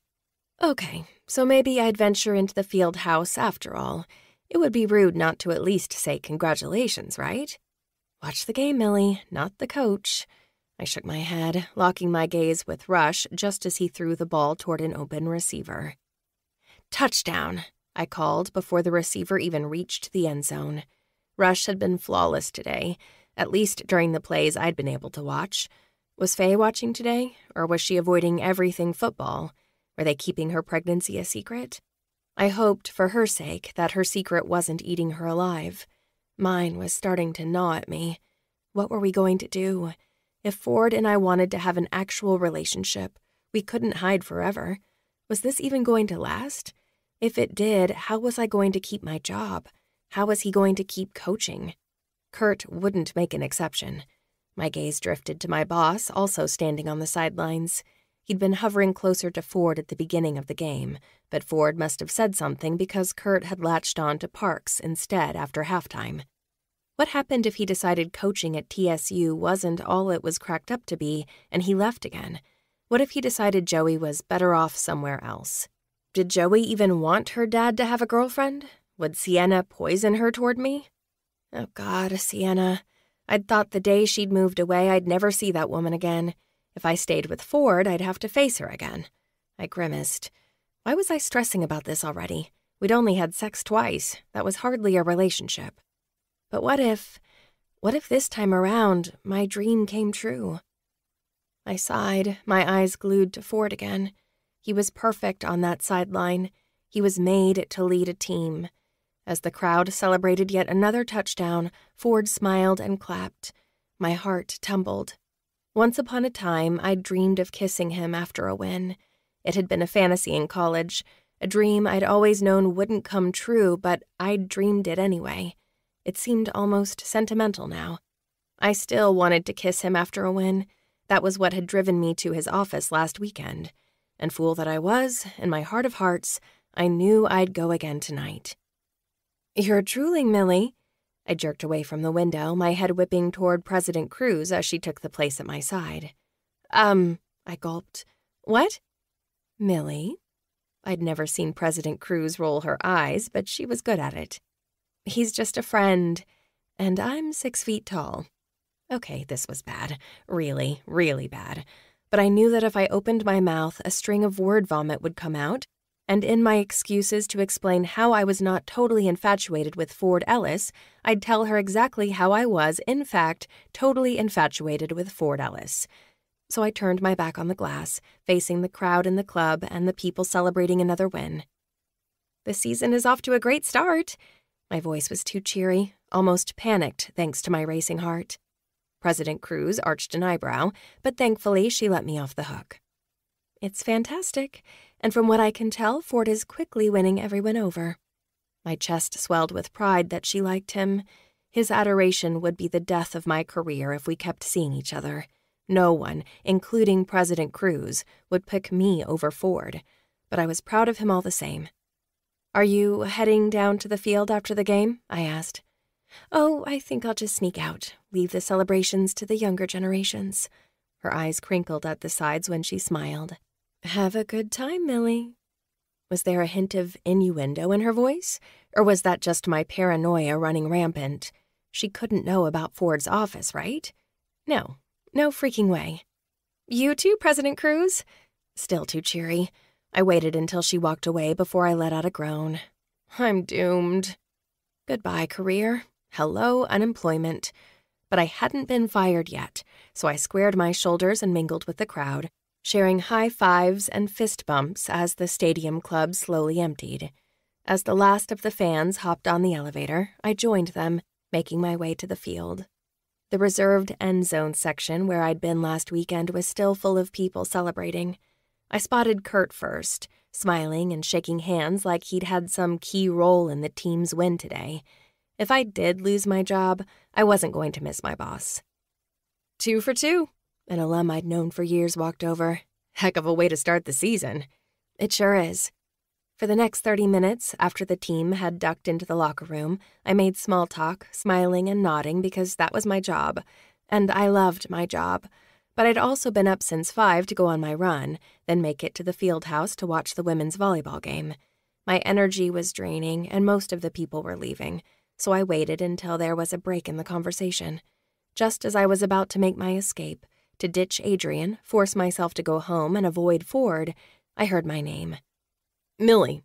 Adrian came stalking toward me, his body tense and his jaw clenched like he was pissed. Maybe he knew I'd been about to leave without meeting him. Hey, can we reschedule? Adrian moved so fast I didn't have a chance to stop him. I froze as he pressed his lips to mine. My eyes widened when he licked my bottom lip. It took a second for me to snap out of it, to plant a hand over his chest and shove, hard. Adrian, I hissed, wiping my mouth dry. Millie, he scoffed. Two years ago, you wouldn't have cared if I kissed you after a game. Two years ago, we were together. Sparing him from that brutal rejection felt too generous at the moment. He'd crossed the line. We're not together anymore, and we're not getting back together either. Hurt flashed in his eyes before they hardened. Then he strode past me, leaving as quickly as he'd arrived. What the hell was that? I pushed a hair off my forehead, glancing around, grateful that no one had been close enough to overhear. Most of the end zone was empty now, except for a few people milling toward the exit. Except before I could slip past them and duck out, my gaze caught on blue. Brilliant blue. Angry blue. Ford. Oh boy. Chapter 25 Ford. The plates and glasses inside the dishwasher rattled as I slammed the bottom rack closed. I didn't even care if something had broken. I'd deal with it tomorrow. Can I watch TV? Joey asked. Yeah. After spending all day at the game and coming home just in time for dinner, I'd normally insist we do something together, like play outside or do odd jobs around the house. But I was shit company at the moment, and Joey was in a bad mood too. Maybe because I'd been gone all day. Maybe because her mother hadn't called yet. Maybe because my attitude was contagious. Whatever the reason, the atmosphere in this house was, well, awful. Before you start watching TV, spend a couple minutes picking up your room, I told her. Why? Stephanie will do it for me on Monday. No, I drawled. That's not what Stephanie is here to do. You're responsible for keeping your room clean. You let her clean up your messes. Well, shit. I'd hired a housekeeper to do the heavy cleaning, but Stephanie had been great about tidying up around here. But I didn't want Joey slacking on her chores and expecting Stephanie to do it. Just clean your room, now. Whatever. Her eye roll looked so much like Sienna's that I wanted to rip my hair out. Watch your attitude, Jocelyn. Me? She gaped, pointing to her chest. You're the one who's been acting like an ass all night. I blinked. Did you just call me an ass? Yeah, and now I'm going to get in trouble even though it's true. Her voice wobbled along with her chin. As much as I wanted to deny it, to reprimand her about her language, she was right. I'd been an ass tonight. I don't want to fight with you, I sighed. I'm asking you to spend five minutes picking up your room.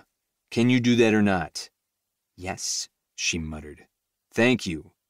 She spun on a heel and stormed away, her arms crossed over her chest and her blonde hair swinging across her shoulders. When she rounded the corner and slammed her bedroom door, I blew out a long breath. Did all parents feel like they couldn't do a damn thing right? Or was that just me?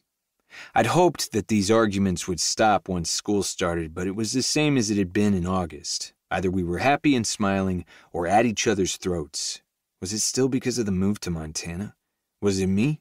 Was it Sienna? Or did all girls get an attitude when they reached a certain age? I'd hoped to avoid this until she was in her teens. Nine seemed too young to be so sassy and angry. Joey was just angry. And tonight, so was I. Every time I closed my eyes, I saw Adrian kiss Millie at the stadium. I saw red. Motherfucker. I stomped to the cabinet above the fridge, taking out a bottle of whiskey. After pouring myself a tumbler, I stalked to the living room, too pissed off to sit, so I stood by the window, watching the horizon as the evening light faded. The only thing keeping me from chugging this drink was the fact that we'd won today's game. Had we lost, Joey would have been justified in calling me much worse than an ass. Immediately after the game, I'd met with the team, congratulated the guys on a great win, then I'd cut them loose to walk to the field house to shower and change. I'd held back, mostly because I'd hoped to find Millie. And oh, I'd found her. She'd been in the end zone again, just like last weekend. The moment my eyes had locked on her, it had been impossible to tear them away. Maybe one day I'd look at her and my heart wouldn't skip. Maybe one day I'd stop thinking about how many years I'd missed. Maybe one day I wouldn't have to hold myself back from going to her. I'd felt eyes on me. While I'd been staring at Millie, Adrian had been staring at me. His nostrils had flared before he'd stalked toward her. For a moment, I'd thought he was going to yell at her. I'd taken a step ready to haul ass over there and tell him to fuck off. Except then he'd kissed her, and I'd nearly screamed. For a split second, I'd thought she wanted him to kiss her. They had a history, they had freedom. There'd be no hiding, no pretending. But she shoved him away, and I'd been able to breathe again. Clearly, it hadn't been her idea, so why was I this mad? Instead of talking to her about it, I'd marched to the field house and locked myself in my office. Part of me had hoped Millie would show, that she'd knock on my door. Except when I'd finally ripped the door open to come home, the hallways had been empty. There'd been no sign of her car in the emptying parking lot. She was mine, for fuck's sake, she was mine. And if we weren't being forced to keep it a secret, I would have pummeled Adrian for daring to think he could touch what belonged to me. My hand squeezed the tumbler so hard I feared the glass would break, so I tossed back the whiskey and retreated to the kitchen for a refill. Except before I could take out the bottle, Joey's door opened. My room's clean, she barked, then went to the bathroom and slammed yet another door. This has been a lovely evening. I deadpanned and reached for the bottle. Its glug, the splash of the whiskey in my glass, was music to my ears. Here I am, excessively drinking again, I scoffed, then took my glass to the living room, this time sitting on the edge of the couch as the shower turned on. I sat in silence in the darkening room, not bothering with the lights. Joey walked out of the bathroom. Jocelyn, I called before she could shut herself in a room. Come here, please. Her hair was combed and wet. She was dressed in yellow pajama pants and a tee printed with tiny daisies. Happy pajamas. Oh, how I wished her face would be happy too. That shower must have washed off some of the attitude because the defiant lift of her chin was missing. Her shoulders sagged as she shuffled into the living room. Yeah? My heart pinched. I love you. I love you too, she said, Except instead of looking at me, she told her toes. Got a hug for me? She walked over, her arms limp as she placed them over my shoulders. I wrapped her up tight, breathing in the scent of her watermelon soap. Another father probably would have known what to say. How to make this kid smile. How to fix this. All I could do was hug her. Can I go watch TV now? She asked, pulling away. I sighed. Sure. She practically jogged out of the room. I lifted my tumbler, inspecting the rolling waves of caramel liquor, then tipped it to my lips, grateful for the burn as I swallowed. There was no chugging this time. I sat on the edge of the couch, still too frustrated and tense to relax, and sipped my drink until darkness had fallen beyond the windows. Then I checked my phone as I took my empty glass to the sink. 8:30, and not a peep from Sienna. The Seahawks had a home game tomorrow, the first game of the regular season. There was likely a fundraiser or event tonight. Sienna was probably at a party, surrounded by people who didn't give a flying fuck about her. Meanwhile, the one person who did care was in her bedroom watching TV. I gave it another hour, hoping she'd at least send a text. She didn't. The only saving grace was that when I walked into Joey's room, she'd already fallen asleep. I wouldn't have to tell her tonight that her mom hadn't called. The remote dangled from her fingertips, so I picked it up, shutting off her show before kissing her forehead and tucking her in. A surge of new anger hit as I closed her door and padded down the hallway. Fucking Sienna. Fucking Adrian. Not a chance I'd sleep. I was too mad. But I moved through the house anyway, killing the lights, then aimed my feet for my bedroom because what else did I have to do? so I'd forced myself to get in bed, to toss and turn until I finally crashed. And in the morning, hopefully Joey and I could start fresh. I was just about to close my door when my phone vibrated in my pocket. About goddamn time, I muttered, taking it out and expecting Sienna's name, except it was a text from Millie. Are you asleep? My footsteps halted as I typed a quick reply. No. Can I come in? Hold up. She was here? I spun around so fast I nearly gave myself whiplash as I hustled to open the front door. Millie was in the same clothes from the game navy slacks, gray wildcat polo, her hair was down today, curled in silky waves. The image of Adrian kissing her flashed again, and my hands balled into fists. She noticed. You're still mad? Yes, I'm mad. I told him it was over. I arched an eyebrow. Either Adrian was hard of hearing or she needed to work on the delivery. She frowned. It's not like I asked him to kiss me. I leaned down, my eyes locked with hers. The only man who kisses your mouth is me. Clear? Millie looked like she was going to argue. Apparently, everyone was arguing with me tonight, but then she must have changed her mind because she simply nodded. Fuck. I raked a hand through my hair. Woman, what the hell are you doing to me? She lifted a shoulder. I don't know. That was a rhetorical question. She pulled her bottom lip between her teeth, and all I could think was that the last man to kiss her hadn't been me. Fuck that asshole. I reached forward, snagging the cotton collar of her shirt and hauled her close. Millie gasped and teetered, but before she lost her balance, I wrapped her in my arms and sealed my mouth over hers. I'd erase Adrian's kiss. I'd erase everyone's until the only man she remembered kissing was me. My tongue slipped between her teeth for a taste of her sweet. Millie, my Millie, and tonight she was in my bed. With a quick lift, I picked her up off her feet, backing up until we cleared the door. Then I shoved it closed with a foot before spinning us around, stalking through the dark house toward my bedroom. Millie ripped her mouth away, her eyes shooting over my shoulder as I walked. Wait, she whispered. What about Joey? Asleep. I kept walking, my hold on her tight. Tomorrow, I'd worry about what to do with Joey, but no more keeping my distance. No more staying away from Millie. No more letting another motherfucking man kiss her in my football stadium. No more. Kiss me, I ordered. She was still looking over my shoulder, so I stopped walking and waited. Kiss me, Millie. But do not argue with me, and don't even think about leaving. You're here for the whole night. Sheesh. She rolled her eyes. You're grumpy.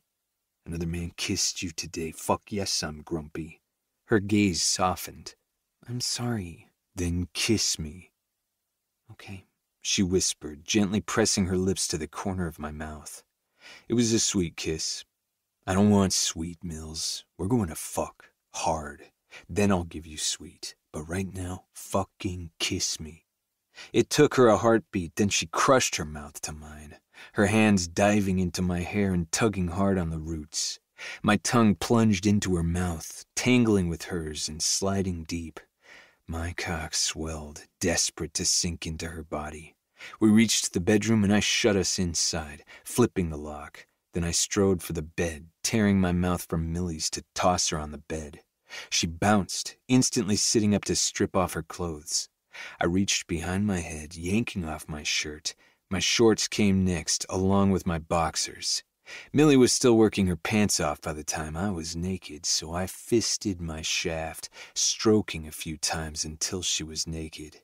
When she finally looked up, she saw what I was doing. If the lights were on, no doubt I'd see her cheeks flush. Spread, I ordered, still stroking. I want to see you.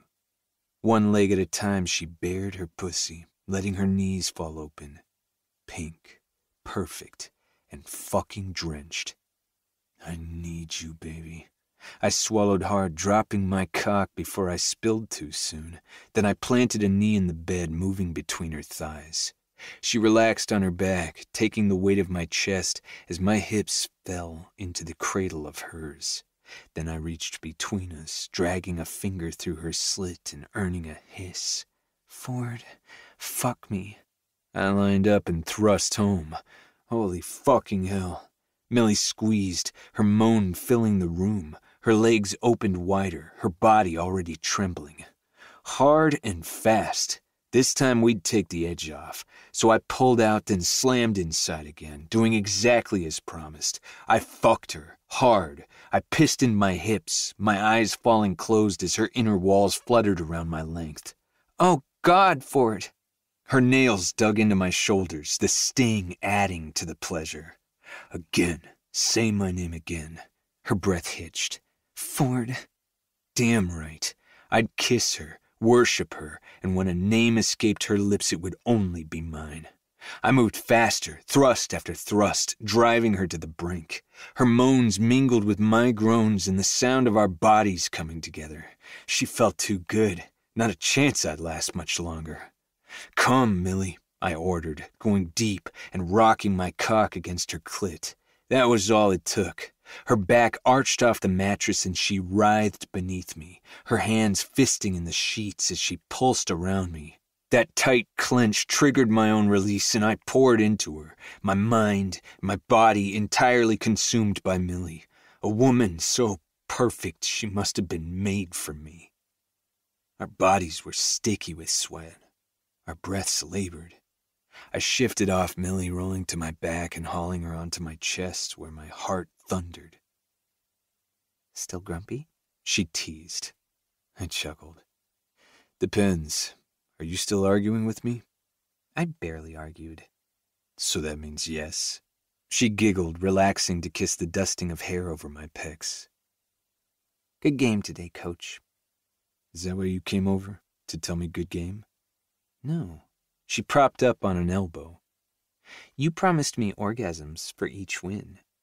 I leaned up, nipping at an earlobe as my hand slid to palm ass. I guess I did.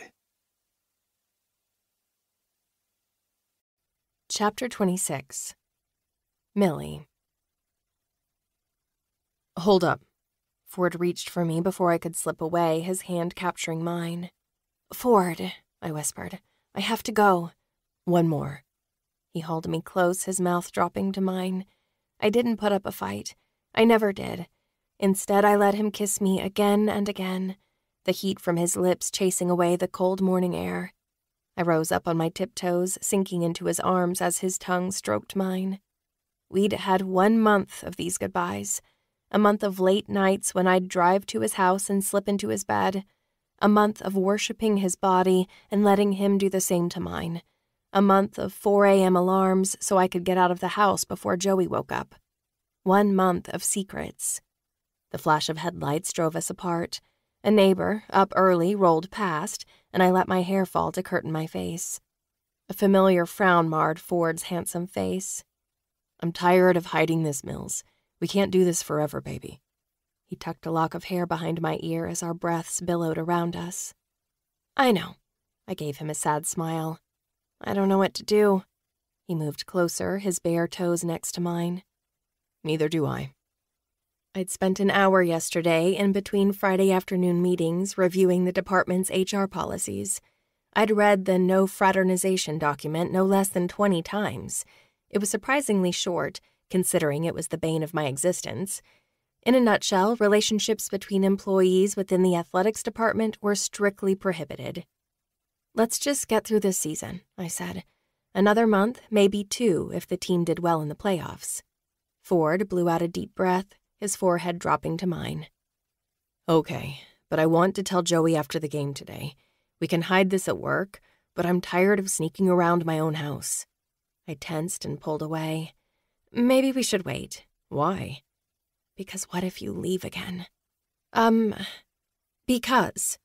Now I sounded like my mother.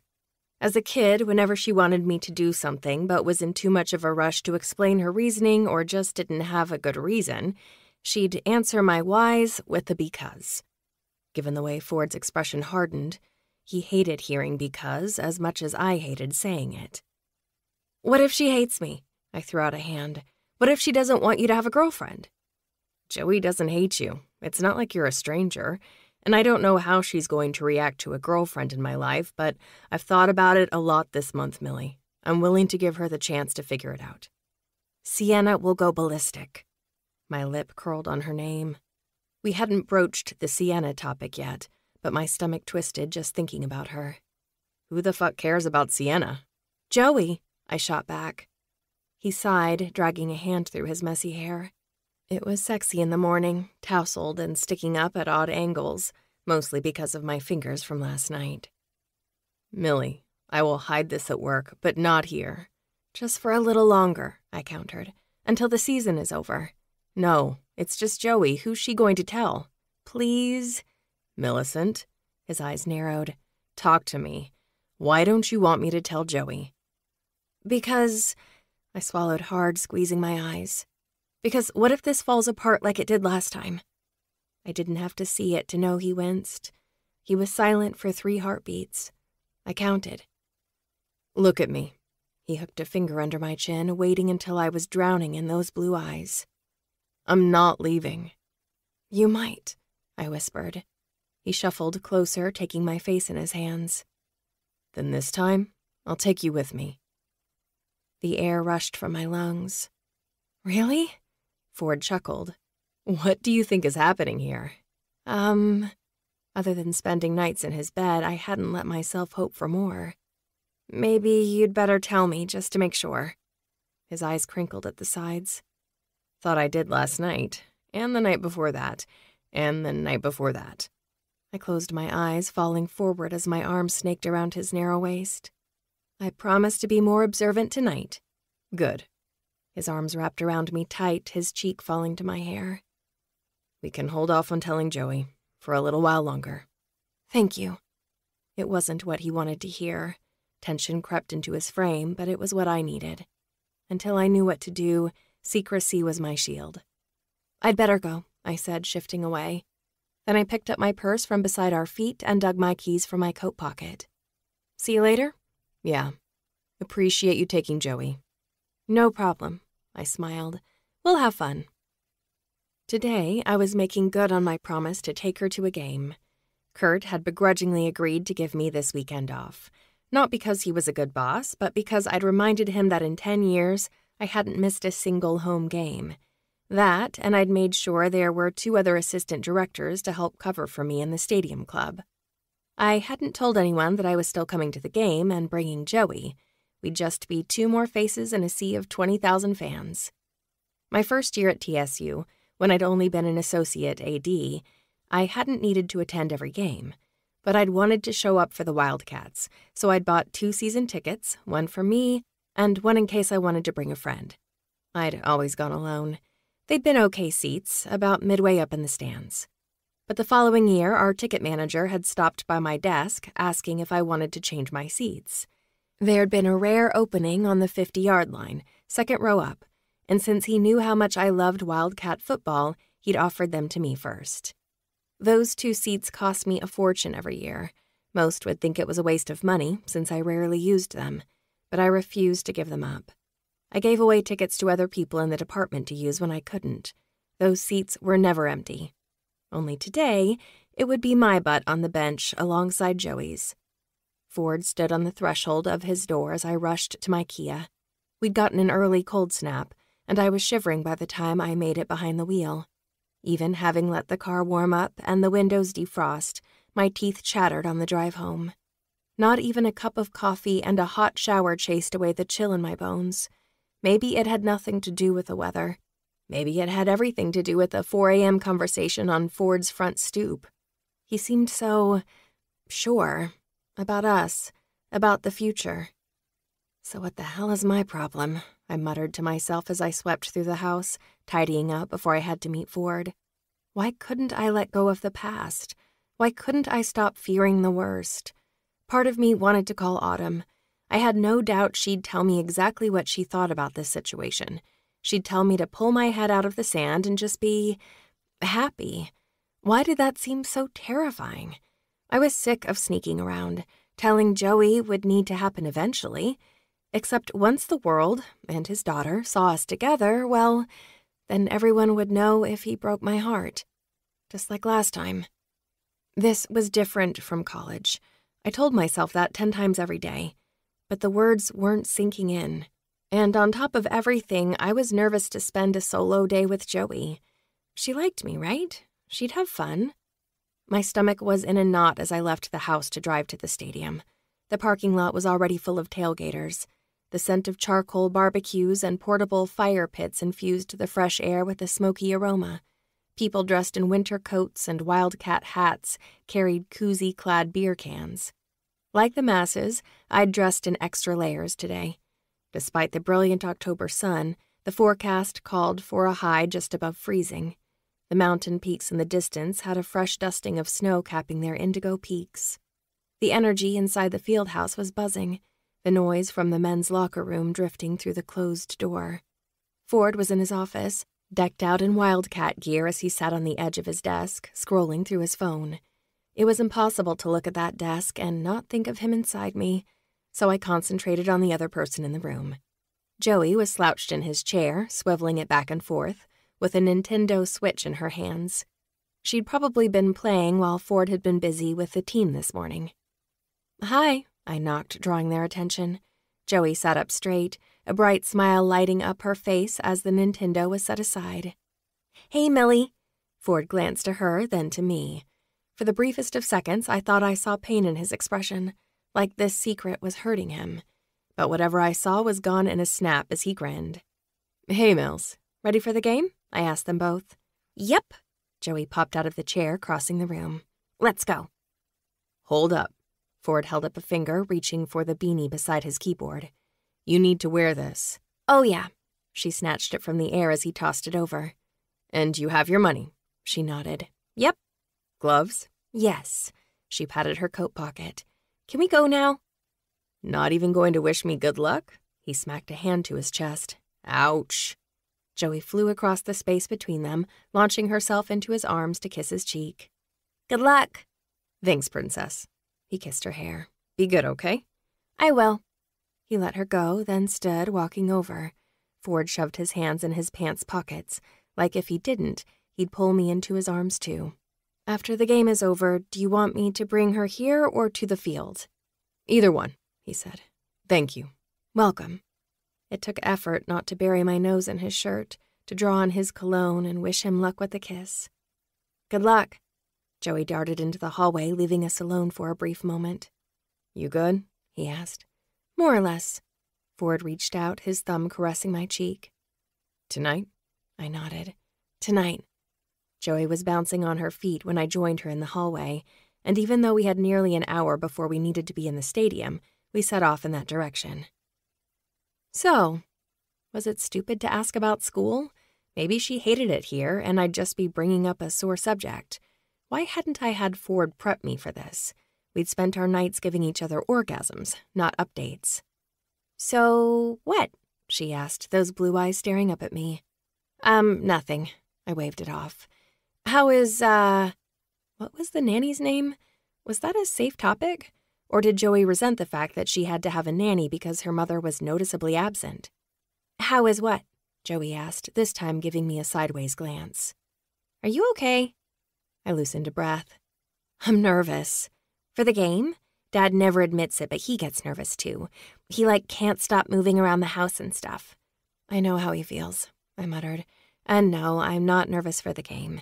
I mean, I want them to win, but that's not what's making me nervous. Then what is? You. Joey's eyebrows came together. Me? Why? I want you to have fun today, with me. I guess. This was pathetic. I was pathetic. I want you to like me, I blurted. Her cheeks flushed as she gave me a shy smile. I like you. A lot. Really? This girl had no idea how much I needed to hear that. I like you a lot too. A man rushed in front of us, waving a pom pom and wearing a football helmet. When he spotted us, he stopped, dropped to a squat, and roared, Go, Big Blue! Joey and I stared at him. Woo! the man screamed, then jogged away to attack some other people with his wildcat spirit. Joey and I stared at one another for a long moment, then burst out laughing. It was okay. We were okay. They have the best hot chocolate and cookies at the stadium, I told her. Better than your cookies? No way. Aw, thanks. I smiled down at her, reaching to take her hand. Come on, let's get loaded up on sugar and find our seats.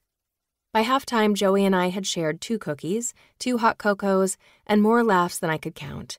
The Wildcats were ahead by 10, and even though it wasn't a blowout, the crowd acted like victory was already in the bag. The faith in this team, in Ford, was glorious. Hot dog or pizza? I asked Joey as we headed to the concession stand for the third time. Pizza, she said. That's what I want to. I led her to the line, my cheeks pinching from smiling so much. I was just about to move up and order when I heard my name. Millie. Kurt came walking my way. Oh shit. My smile dropped. My shoulders stiffened. Hey, Kurt. Thought you weren't going to be here today. Technically, I hadn't told him I wasn't going to be here.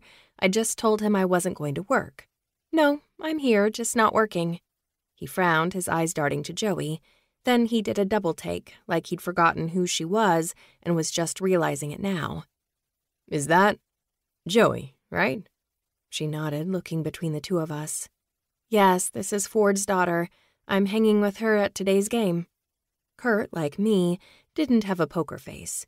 Either he was mad that I hadn't shared every detail of my weekend agenda, or he was irritated that I'd brought Ford's daughter. Probably both. A muscle in his jaw ticked. We could have had one of the students sit with her. Joey could hear him. He realized that, right? That kids had ears? I wanted to bring her today. I put my arm around Joey's shoulders, not wanting her to feel like she was an inconvenience. This was my idea. His mouth flattened in a thin line just as someone called his name.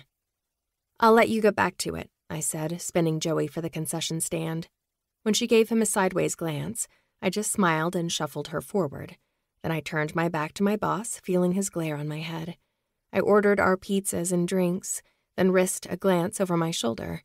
Kurt was gone. The air rushed from my lungs. Had I done anything wrong? No. Would I still get a lecture on Monday morning? Undoubtedly. My stomach was in free fall, but I plastered on a smile, not wanting it to put a damper on Joey's day. We returned to our seats, we ate our pizza, and I pretended like everything was perfect.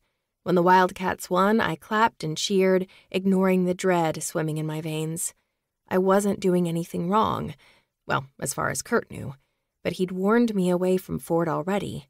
To find me with Ford's daughter. Oh, I was in trouble. Can we go on the field? Joey asked the moment the game was over. Sure, I said, taking her hand to lead her through the crush. We reached the gated entrance, and I flashed my access pass to security, then slipped onto the field, where the teams were still shaking hands. Joey followed me as we weaved past players toward the man in the center of the field. Daddy! she hollered when she spotted Ford, then took off running. The smile on his face was blinding. He bent, arms wide, when she rushed over. Then he swept her into a hug. He asked her something, his mouth by her ear so she could hear over the noise. She pointed my direction, and he followed her finger. The smile he sent me was equally devastating. Carefree, victorious, handsome. My heart skipped. Good game, I said. You're on a winning streak. Thanks, baby. Ford leaned in like he was about to kiss me. And for a split second, I was going to let him. Kissing him was as natural as breathing. I'd been doing it for a month. Then the noise registered. So did Joey, clinging to his side. And I pulled away. One step, then two. Baby. He'd called me baby in front of his daughter. I glanced around. Both Torin and Parks were close. Had they overheard? Had any of the players? I took another step away, glancing at Ford.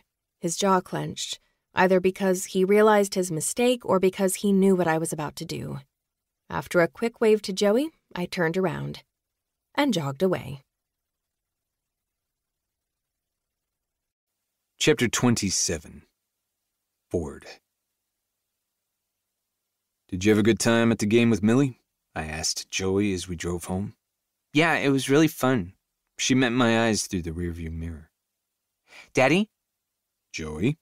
Her forehead furrowed. Why did you call her baby? And why did she run away? So she had noticed. Damn. I'd hoped that during the commotion after the game, maybe Joey hadn't heard my slip up, or that in the excitement afterward, meeting with the team before walking back to the field house, she would have spaced it. Of course she hadn't. This was my daughter, the girl who remembered every promise made and broken. Sienna would suffer the consequences of Joey's memory one of these days, but that was her problem to handle. At the moment, I had my own. My problem's name was Millicent Cunningham. Damn it, I'd messed up. I'd been so caught up in the win and seeing Millie and Joey together on the field that I'd forgotten we'd been standing in a sea of people, that there were cameras and fans, that too many eyes had been aimed my way. Millie's smile had blocked out the world, so I'd called her baby, and I'd leaned in to kiss her. I was so sick of hiding this, especially from my daughter. It felt like a betrayal to let Millie into our home each night and keep that a secret from Joey. Though, I guess that was over now. Joey sat quietly waiting for my answer. I like Millie. Like was an understatement. A lot. Is she your girlfriend? Would that be okay with you? She nodded. Yeah? No hesitation. I loved my kid. Her answer wasn't a surprise, but I released the breath I'd been holding. There's just one thing, Princess. Millie and I work together, so her being my girlfriend, it's a secret. You can't tell anyone. Not even Stephanie? I shook my head. Not even Stephanie. Asking Joey to keep a secret grated on my nerves, but it wasn't like we had another choice. Millie's job depended on it. So did mine. There hadn't been any complaints in the past month. I'd made sure that anyone watching could only say I was working my ass off as head coach. But I wasn't out of the woods. By the end of the season, if Kurt didn't think I was a good fit for the TSU program, there'd be no contract renewal. My head would be on the chopping block. Just as long as it was mine, not Millie's, I'd deal with whatever outcome. So I'd ask my daughter to keep this a secret, for a little while, and hope like hell nothing slipped. Millie wasn't going to like it. After this morning's conversation, there was a chance she thought I'd done this on purpose. A chance I'd be sleeping alone tonight. How pissed was she right now? I turned down our block, ready to be home, ready to have some privacy to call Millie, when I spotted a black Audi parked in my driveway. Who's that? Joey asked, sitting straighter and shifting to look past the seat in front of her. I don't know. I hit the button for the garage, trying to peer into the car's windows, but they were tinted. But then I looked at the license plates. You've got to be fucking kidding, I muttered, easing into the driveway. Today? She showed up today? The Audi's door opened and Sienna stepped out. Mom! Joey scrambled to unbuckle her seatbelt. Just wait until I'm parked, I said, pulling into the garage. The moment the truck's wheels stopped, Joey shoved her door open and flew down the driveway straight into Sienna's open arms. My day had started on such a good note, waking up with Millie's naked body pressed against mine, then a win for the team. My good day was unraveling fast.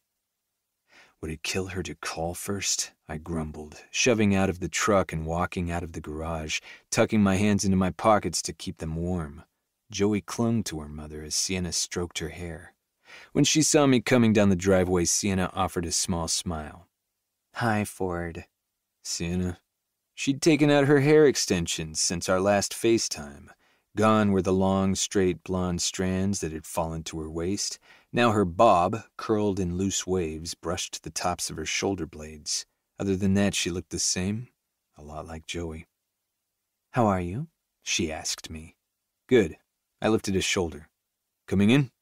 For Joey's sake, I needed her answer to be yes. For mine, a no would suffice. Yes. Excellent. Her eyes narrowed at the lie, but she covered it with a smile for Joey as she ran her fingers through our daughter's hair. How long are you here? Joey asked her. Let's talk about it inside. Sienna nodded to the house. Joey snatched Sienna's hand, holding it tight. She was probably afraid Sienna would disappear soon. A valid fear. Want to see my room? Sure. Sienna let Joey tug her in while I stood in my cold driveway, letting my breath turn into white clouds. I dug my phone from my pocket and pulled up Millie's name, typing out a text I would have sent hours ago, if not for the chaos after the game. Sorry. I stared at the screen for a few long moments, hoping I'd get a quick reply. Nothing. Yep, she was mad. So I retreated to the warm house, finding Sienna with Joey in her bedroom. How about pizza for dinner? I asked. Joey's blue eyes, brimming with hope, shot to Sienna's in a silent plea for her to stay. Would you order me a salad, please? Sienna asked. Yep. Without another word, I strode for the living room, sitting on the couch to check my phone again. There still wasn't a text from Millie, so I dialed her number, the call going straight to voicemail. Hey, it's me. Call me when you can. I'm sorry about earlier. I wasn't thinking and just. I pinched the bridge of my nose. Call me, okay? After ending the message, I ordered dinner from a local pizza place. Then I kicked off my tennis shoes, willing my phone to ring with Millie's name on the screen. Instead, Sienna emerged from the hallway, joining me in the living room. Joey trailed not far behind, like she didn't want to let her mother out of her sight.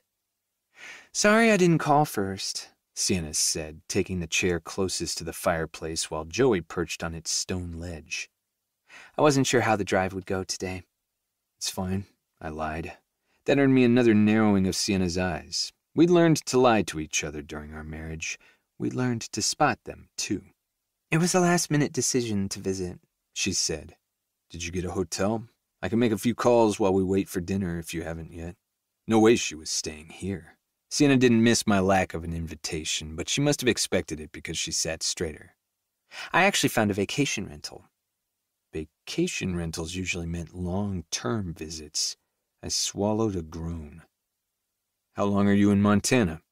Joey stared at her mother, unblinking, that hope so vivid and bright in her blue eyes. If Sienna crushed it, we'd have the fight to end all fights. I was done letting her hurt our daughter. Two or three weeks, Sienna said, giving Joey a small smile. I missed you too much. I missed you too. Joey stood from the fireplace and went to sit on Sienna's lap.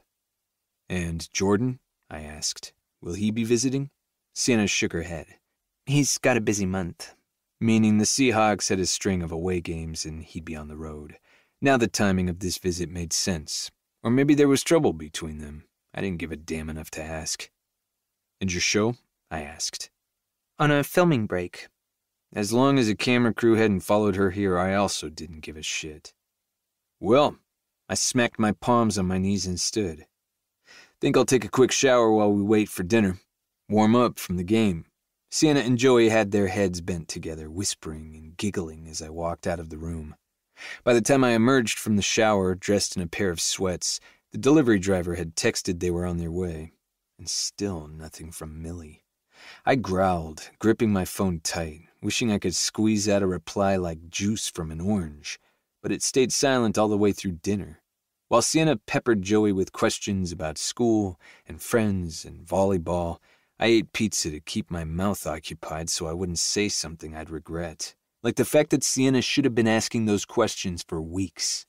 She should already know Joey had volleyball practice on Tuesdays and Thursdays. She should already know Joey's two favorite friends were Maddie, with a Y, and Maddie, with an IE. Sienna should already know Joey loved her teacher, and as of two weeks ago had decided green was better than pink. Maddie with a Y was to thank for that change. At least we hadn't painted her room yet. But Sienna didn't know any of that, because her phone calls had become more and more sporadic. Her absence had been as noticeable as the change in weather. Until now, apparently. I wasn't holding my breath that this trip of hers would last two or three weeks. Maybe she'd surprise me. Maybe, for once, our daughter would take priority over Sienna's thirst for fame. Once dinner was over, I did the dishes while Joey took her shower. Then she stole Sienna away to her room until well past nine, when I went in to say goodnight. Joey didn't beg Sienna to stay with us, maybe because she knew it would be a hard no. Or maybe my girl was a little bit hurt still that her mother was just now visiting after we'd lived in Montana for months. See you tomorrow, Sienna said. Bye, Mom. Joey yawned. Night, Daddy. Night, Princess. I blew her another kiss, then closed her door. Sienna stood in the hallway, a look on her face I'd seen before, a look I didn't like. Can we talk for a few minutes? Yep, this wasn't going to be good. What's up? I asked, walking past her. I didn't stop in the living room, but moved straight for the entryway, ready to show her out as soon as this little chat was over. Millie still hadn't texted, and if it took me calling her all night so we could talk, well, so be it. I've been thinking about our custody arrangement, Sienna said, crossing her arms over her chest. What about it? I'd like to spend more time with Joey. No one is stopping you. She rolled her eyes. You live in Montana. Really? I deadpanned. Ford, she snapped. I'm telling you I want more time with my daughter. Then move. I can't move, she huffed. You know that. Why do you want more time now? Why not when we lived in Seattle? Why not when we were going through the divorce? Why wait until we're settled somewhere new to decide you want to be more active in Joey's life? I've missed her. I narrowed my gaze. It wasn't entirely a lie. Sienna seemed genuine. But there was more to this request, more to this trip. We can't do this forever, she said. Then move. Her nostrils flared. You're asking me to give up my entire life. For your daughter, yes, yes, I am. My work is in Seattle. Really, because I was under the impression you could post on social media from just about anywhere on planet Earth. I have my show. That show was your choice. You knew exactly what you'd be giving up when you took it on, so don't use it as an excuse. Sienna tossed up her hands. I knew this conversation would be pointless. We either do things your way or not at all. That's the beauty of having full custody of our daughter. I leaned in closer, pointing a finger at my chest. I'm in charge. She jutted up her chin. I've been talking to a lawyer. Do not threaten me, Sienna. Her bravado disintegrated like a snowflake in hell at the harsh edge to my voice. I just wanted to know my options. You have no options. I'd fight, I'd fight her ruthlessly. After her behavior before and after the divorce, it was unlikely a judge would give her partial custody of Joey. But it wasn't beyond the realm of possibility. The idea of a custody battle made my stomach churn, but I kept my temper on its leash. By all means, talk to a lawyer. It's your money to piss away. This lawyer of yours can contact my attorney if he or she has questions. Or we could figure this out together. No. Ford. Her jaw clenched as she sneered my name. Sienna. She could glare at me all she wanted. I wouldn't change my mind. You're so stubborn. When it comes to what's best for Joey, damn straight I'm stubborn. I reached for the door, wrenching it open. Good night. She took a step like she was about to leave, but she paused, turning back. I left my phone in Joey's room. Stay here. I held up a hand, stopping her before she could go for it. I'll get it. I didn't trust her to be around Joey at the moment. The last thing I needed was for her to march into our daughter's room, wake Joey up and do something stupid, like blame me for her shitty parenting, or ask a nine year old girl if she wanted to fly back and forth across two states to split time with her parents. Mostly, I feared that Joey might say yes. Then I'd have to tell her no, too. I strode through the house and slipped into Joey's room. Sienna's phone was on the nightstand, so I snatched it up and left as quietly as I'd entered, retreating to the entryway. Sienna had closed the front door, so I opened it for her again. It's good to see you, Ford, she said, her voice dripping with honey.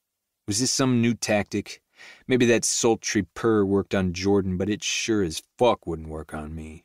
But before I could tell her to get the fuck out, Sienna slid a hand up my chest, placing her palm over my heart, then kissed the underside of my jaw. I reared away. What the? Night, babe. Babe? Was she high? Sienna plucked her phone from my hand, then walked outside. I tracked her steps, not sure what that goodbye was about until I looked past Sienna's car and saw Millie standing in the cold. Chapter 28 Millie I hated her. I hated her with every fiber of my being. Sienna wore the same snide smirk I remembered from college as she walked to her car. Bitch. But ten years later, and I still didn't have the guts to say it aloud. Instead, I stood on the sidewalk in front of Ford's house, stuck, as she walked to her Audi and climbed inside. It wasn't until she reversed to the street that I faced Ford. Sienna had kissed him. I zeroed in on his jaw, fury burning through my veins that she'd put her lips on his skin. Was that how Ford had felt when Adrian had kissed me? No wonder he'd been so pissed that night. Millie. Ford's voice carried across his frozen lawn. I unglued my feet and crossed the walkway, stopping on the stoop. Had it just been this morning that we'd talked in this exact spot? It felt like a lifetime ago. Ford stared at me for a long moment, jerking his chin toward the house. Are you coming in? If I'd stepped past the threshold, he'd kiss me. And if he kissed me, I'd lose the nerve to do what I'd come here to do to hit pause. It was time to pause. After the game, I'd gone home to my empty house. I'd immediately changed into some running gear and raced outside. It had taken every step of the 10 miles I'd run, my body sweating, my breath freezing, to sort through my feelings, to find a sense of calm, of direction. Through stretching, through my shower, through the drive to Ford's, I'd kept that peace. All it had taken was a single look at Sienna, and now I wanted to scream. I hated her. Oh, how I hated her. I hated that I'd once considered her my greatest friend. I hated that she'd turned out to be so awful. I hated that she'd had Ford for so long. I hated that she'd been his wife. I hated that he'd chosen her over me. I hated that she'd won. Would it always be this way? Would I always feel like second place? I'm sorry about earlier, Mills, Ford sighed. Just come inside so we can talk about this. It took every ounce of my resolve not to budge. I got your text and voicemail. But you're still mad. No, I shook my head. No, I wasn't mad. I hadn't even been mad at the stadium. I'm just. defeated. So entirely defeated. We couldn't keep hiding from the world. This was never going to work between us, not without a sacrifice. Ford Ellis was the Treasure State University head football coach. I was an assistant athletics director. Until one of those facts changed, we'd always be a secret. Just what? Ford took a step closer, but he stopped short. Maybe he sensed that I needed those three feet between us, or maybe I'd reinforced my walls so thoroughly that they kept him back. Did you tell Joey? I asked. He nodded. Even though I asked you not to, I whispered. His frame deflated. I slipped up at the game. Joey noticed. She asked. I won't lie to her. I won't ask you to. Not anymore. I gave him a sad smile. It didn't surprise me at all that Joey had picked up on Ford's endearment. She was too smart, too observant. Who else had noticed us today? There had been cameras around. Had that interaction been caught on video? One clip was all it would take for Kurt to fire me. Then what? We can't keep doing this, I said, bracing myself when Ford's expression turned to granite. What are you saying, Millie? I'm saying. My heart climbed into my throat. I'm saying that we need to press pause. Pause? Ford spoke that word with such disgust it made me cringe. No.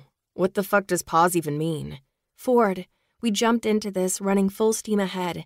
It means we slow down. It means we take a breather. He grumbled something under his breath, his hands raking through his hair. You've got to be fucking kidding me. I'm not asking for forever, just until the football season is over. His hands balled into fists. That's a month or more. No, it's too long. I'm not pausing this for over a month. I loved him for that. I loved him for a lot more. I'd been in love with him for over a decade. Those feelings hadn't vanished, they'd just gone into hibernation. They'd stirred awake the day he'd returned to Mission.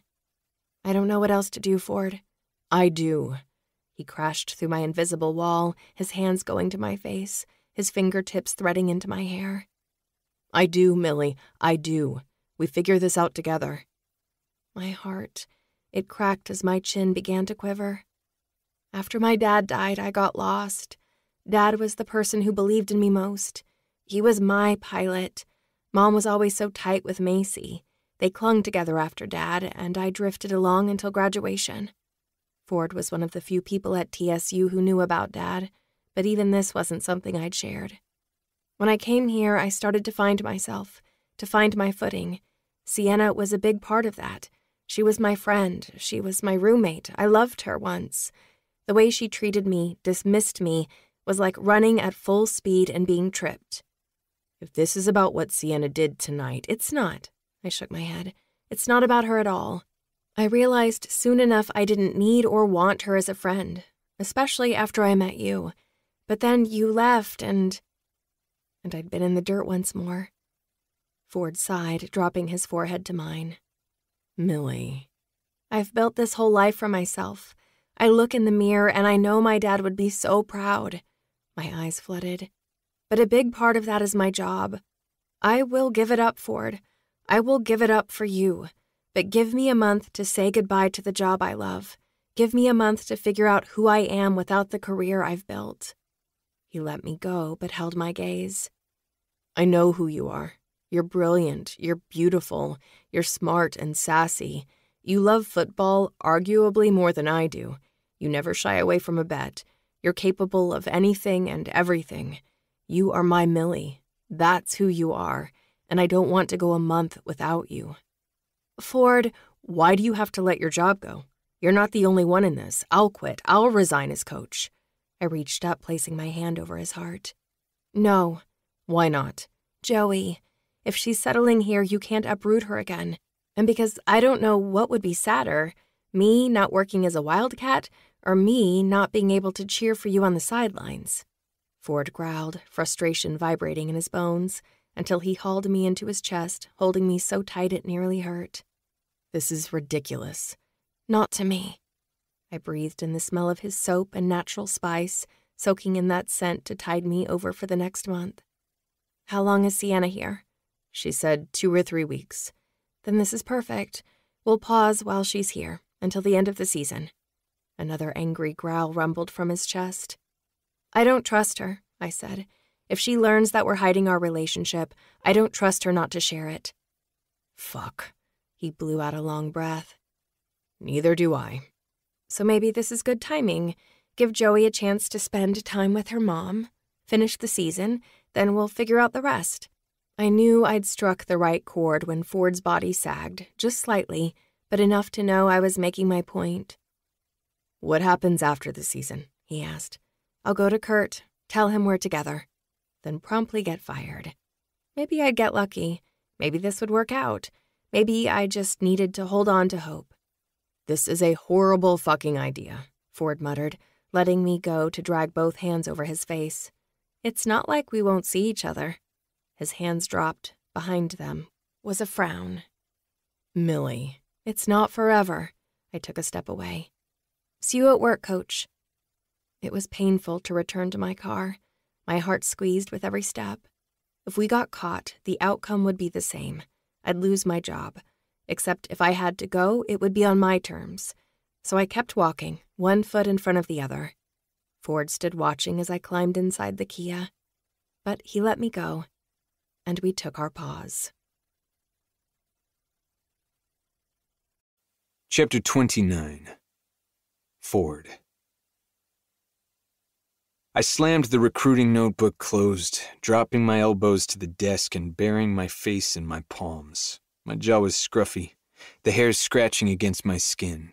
I hadn't bothered shaving today, or yesterday. Last night, unable to sleep, I stayed up watching film until three. Finally, I'd crashed on the couch only to sleep through my six o'clock alarm. Luckily, my body had jolted awake at 6.30, so I'd managed to get ready in time. Joey had been pissed that I'd woken her up late, so after demanding an alarm clock for her own room, she'd hustled to get dressed. By some miracle, I'd dropped her off in time for school, then hurried to get to work myself. A yawn stretched my mouth, and I shook my head, hoping it would wake me up. It didn't. Dead. I was absolutely dead on my feet. And it was Millie's fault. She was the reason I hadn't slept well in the past month. No, this pause was the reason.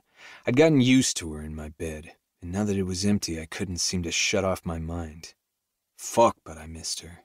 More and more each day, I was a wreck without her. If not for the team, the coaches and players counting on me, I would have marched my ass up to Kurt's office and handed in my resignation. But I'd honored her request.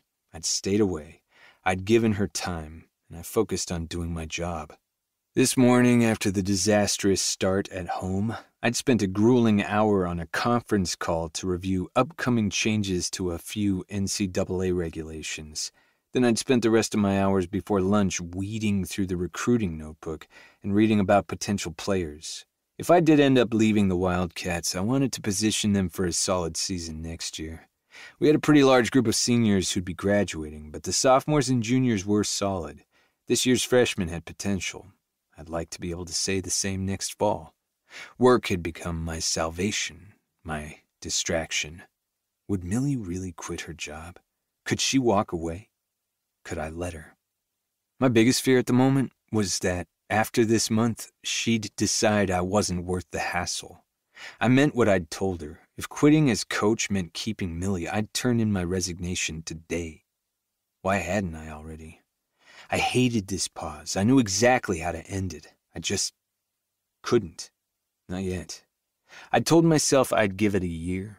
I owed it to the coaches, to the players. I owed it to myself. Millie wasn't the only one who needed time to say goodbye to a career. Who was I without football? The answer to that question scared the shit out of me. My phone rang. For a brief moment, I hoped it was Millie. I always hoped it was Millie. But when I snatched it up, it was Sienna's name on the screen. Hello, I answered. Hi. I was hoping to take Joey to dinner after volleyball practice tonight. Okay. Could she spend the night with me? It's a school night, meaning no. She huffed on the other end of the line. Fine. Anything else? Without answering my question, she ended the call. Guess not, I muttered.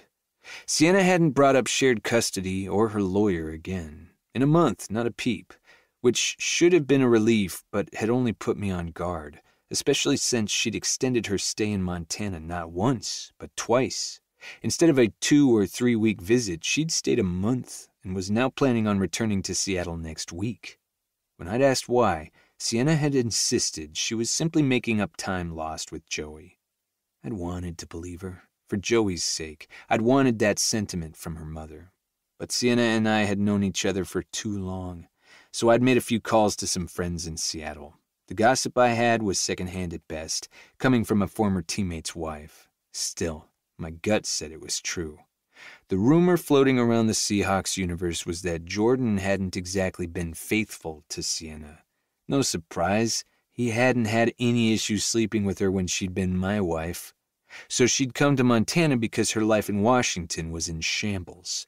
Maybe Sienna didn't want to face that sort of humiliation on her reality show.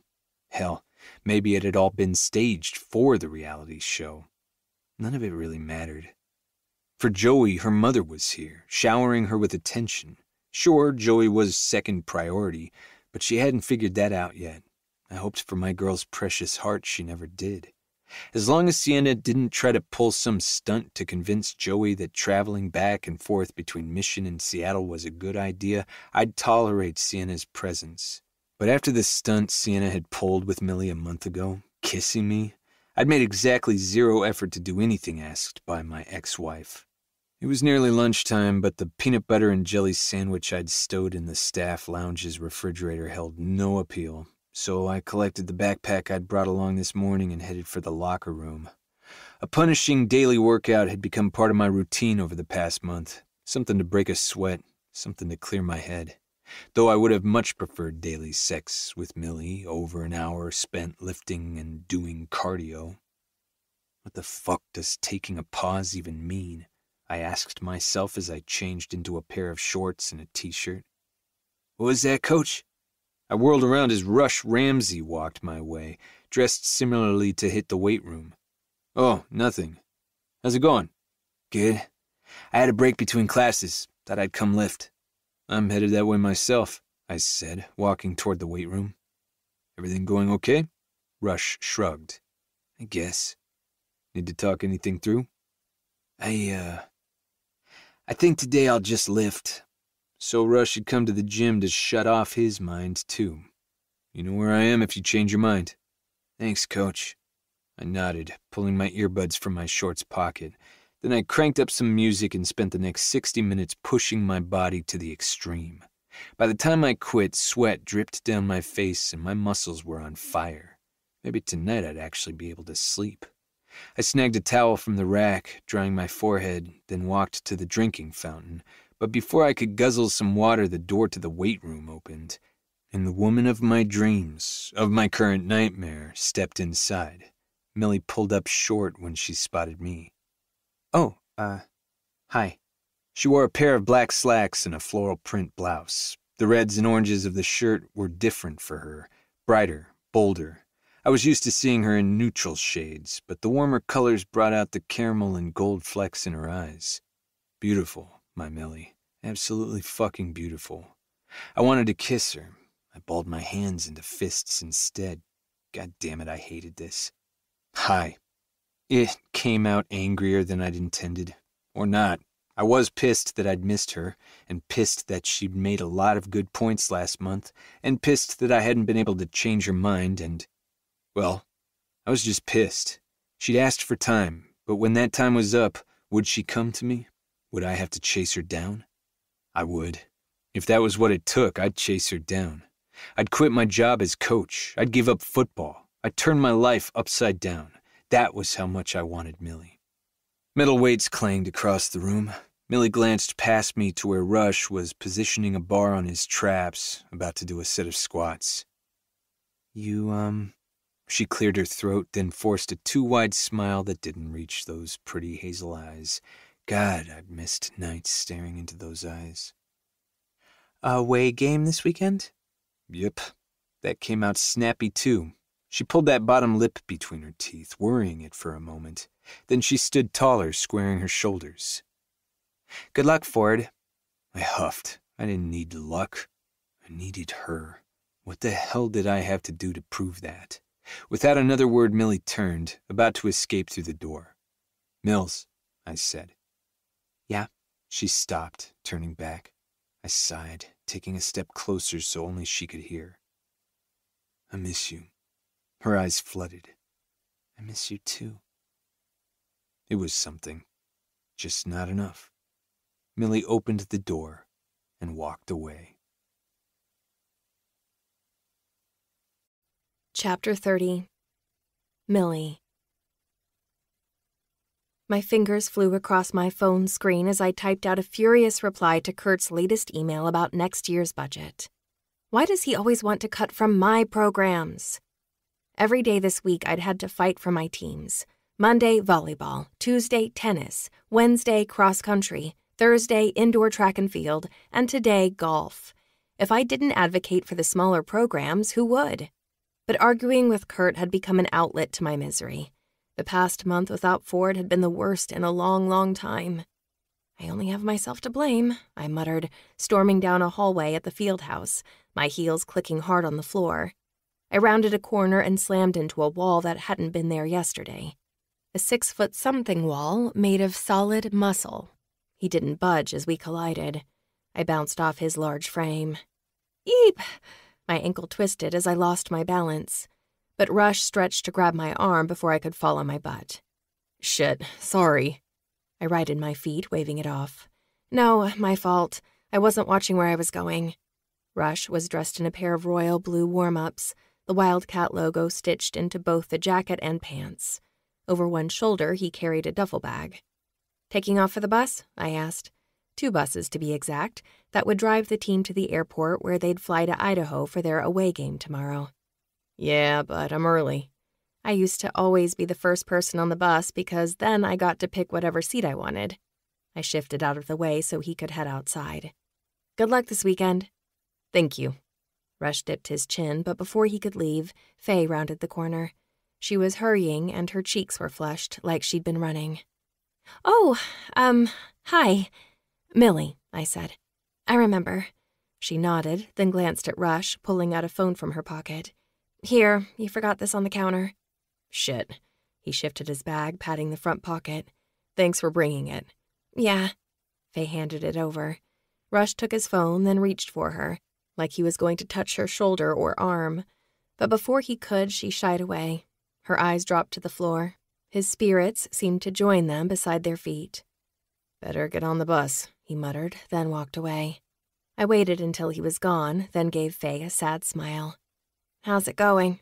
She shrugged, looking over her shoulder to make sure no one else was around.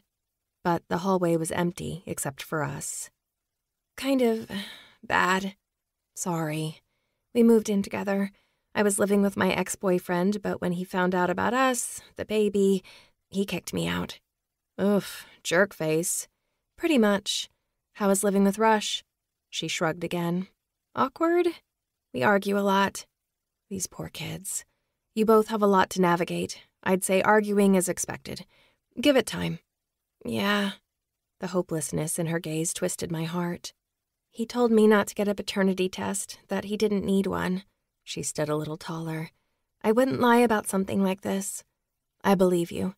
Faye's frame deflated. It's just temporary, us living together. Does it have to be? Rush seems like a nice guy.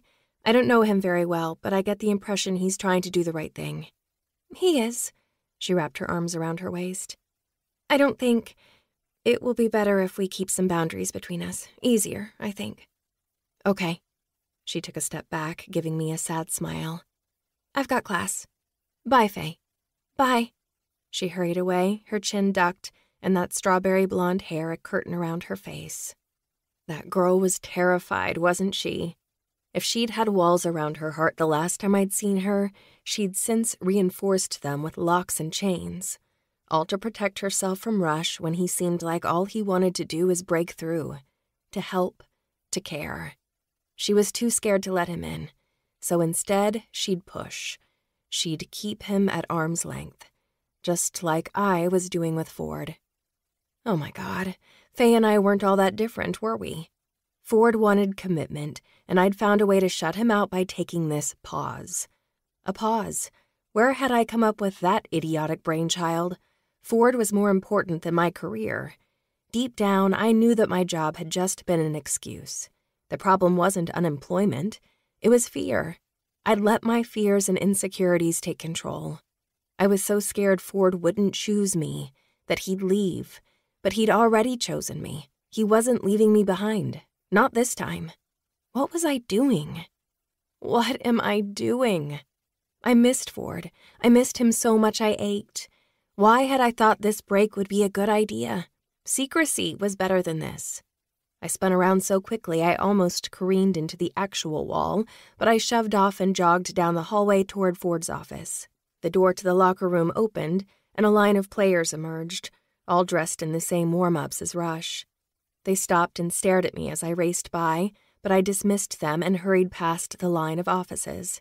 I skidded to a stop outside of Ford's dark, empty office. Where was he? His chair was pushed into his desk, and only a hint of his cologne clung to the air. Was he already on the bus? I whirled and, for the second time today, ran into a body. This time it was Torin. Everything okay? he asked. You came flying by my door like the building was on fire. Where's Ford? I need to talk to him. A knowing smirk spread across his mouth. About time. He's been a grumpy bastard all month, and I figured it wasn't just because Sienna was in town. Have you seen her yet? How did that reunion go?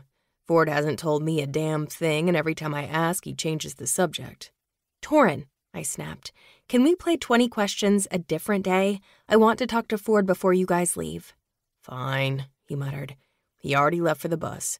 I was just about to head that way. Let me get my bag and I'll walk. Before he could finish his sentence, I breezed past him and raced down the hallway again, weaving past the players, all making their way to the parking lot. When we reached the exit, I fell in line with them, stuck as they all shuffled outside. As soon as I was clear, I shifted out of line, searching for Ford. Both buses were parked and waiting. Their storage compartments were open, and the players dropped off their bags before climbing the stairs and disappearing inside. I stood on my toes, trying to spot Ford. Where was he? I checked behind me at the door, making sure I hadn't passed him somehow. I was just about to run for a bus to look inside when a familiar stride caught my eye. Ford rounded the front of the first bus. His hair was trapped beneath a gray wildcat hat. He had on the same pants as the players, navy with a stripe down the side, and the stitched logo. But instead of the matching jacket, he wore a gray pullover that molded to his broad chest. He said something to the guys waiting to climb on the bus. They all nodded, then jogged up the steps, moving faster than they had been. Then he took up the spot behind them, about to climb those stairs too. Ford, I called. He stopped, twisting to stare at me over his shoulder. My heart hammered as his eyes locked on mine. In my rush to find him, I hadn't thought at all about what to say. There were 20 feet between us. I guess that gave me 20 feet to figure it out. I steeled my spine, about to walk over, when the door behind me clattered open. Guess we had the same idea, Millie. Kurt stopped at my side. Came to see the team off? Oh, um, yeah. Damn, so much for talking to Ford. I guess this wasn't really the place for a serious conversation anyway. When I looked back at the bus, Ford's blue eyes were waiting. A million words hung between us. They'd all have to wait. Kurt left my side and walked to Ford, hand extended. Whatever he said, Ford simply nodded as Kurt smacked him on the shoulder. I doubted anyone but me noticed the clench in Ford's jaw, the coolness in his gaze as Kurt went to the other bus, jogging up the stairs. Ford's gaze found mine again. A breeze swept through the air, carrying the scent of pine trees and the promise of snow. Football weather. And Ford had a plane to catch. So I lifted a hand in the air. He lifted his too, giving me a small nod. Then he faced forward and climbed the stairs for the bus. Chapter 31 Millie Throw it! I screamed at the TV, my hands diving into my hair to tug at the strands. If I had any hair left by the end of this game, it would be a miracle. Rush searched for an open receiver, but they were all covered. He lifted the ball, about to launch it, but a defensive end broke free from the line, barreling toward Rush for a sack. Run! Rush tucked the ball and took off, trying to break free, but one moment he was on his feet, the next slamming into the turf. He'd lost two yards. Damn it! Fourth down with 12 to go. The score was 21 to 3. For the first time all season, we were getting our asses kicked. The offense jogged off the field and special teams came on to punt. Ford was probably going to catch flack for not taking a fourth down attempt, but at this point, I think he was just trying to stop the bleeding. It's been a rough day for the Wildcats, the announcer said. They've been so dominating thus far this season, but Idaho has just ruled the game today. Shut up. I swiped the remote from the coffee table and punched the mute button. Then I paced the living room, barely able to watch the last minute of the game. It was too painful. Oh, how I hated to lose. I risked a look at the screen. The clock was at zero. The Idaho Vandals were celebrating a victory. Ugh. I was about to shut the TV off when the picture changed to Ford shaking hands with the Vandals coach. Ford looked gorgeous in his royal blue jacket and furious. I wasn't the only one who hated to lose. I hit the power button and slumped to a seat on the couch. It felt like a lifetime since I'd watched the buses leave the fieldhouse parking lot yesterday. If time had gone slowly this past month, the past 24 hours had been glacial. The next six or eight, or however many it took for Ford to get home, would be equally as vicious. My phone rang on the cushion beside me, so I picked it up. Hi, Mom, I answered. Hi there, how are you? If she paid any attention to Wildcat sports, she'd know the answer to that question. Good, I lied. You? I'm good. I'm actually at your sister's house. We were just talking about dates for her baby shower. Oh, okay. This was Macy's third baby, I hadn't expected Mom to plan another shower, but I'd happily go, just like I had for the previous two. When are you thinking? January 19th? That's a Sunday. I wasn't sure if you had a game or a function you needed to attend.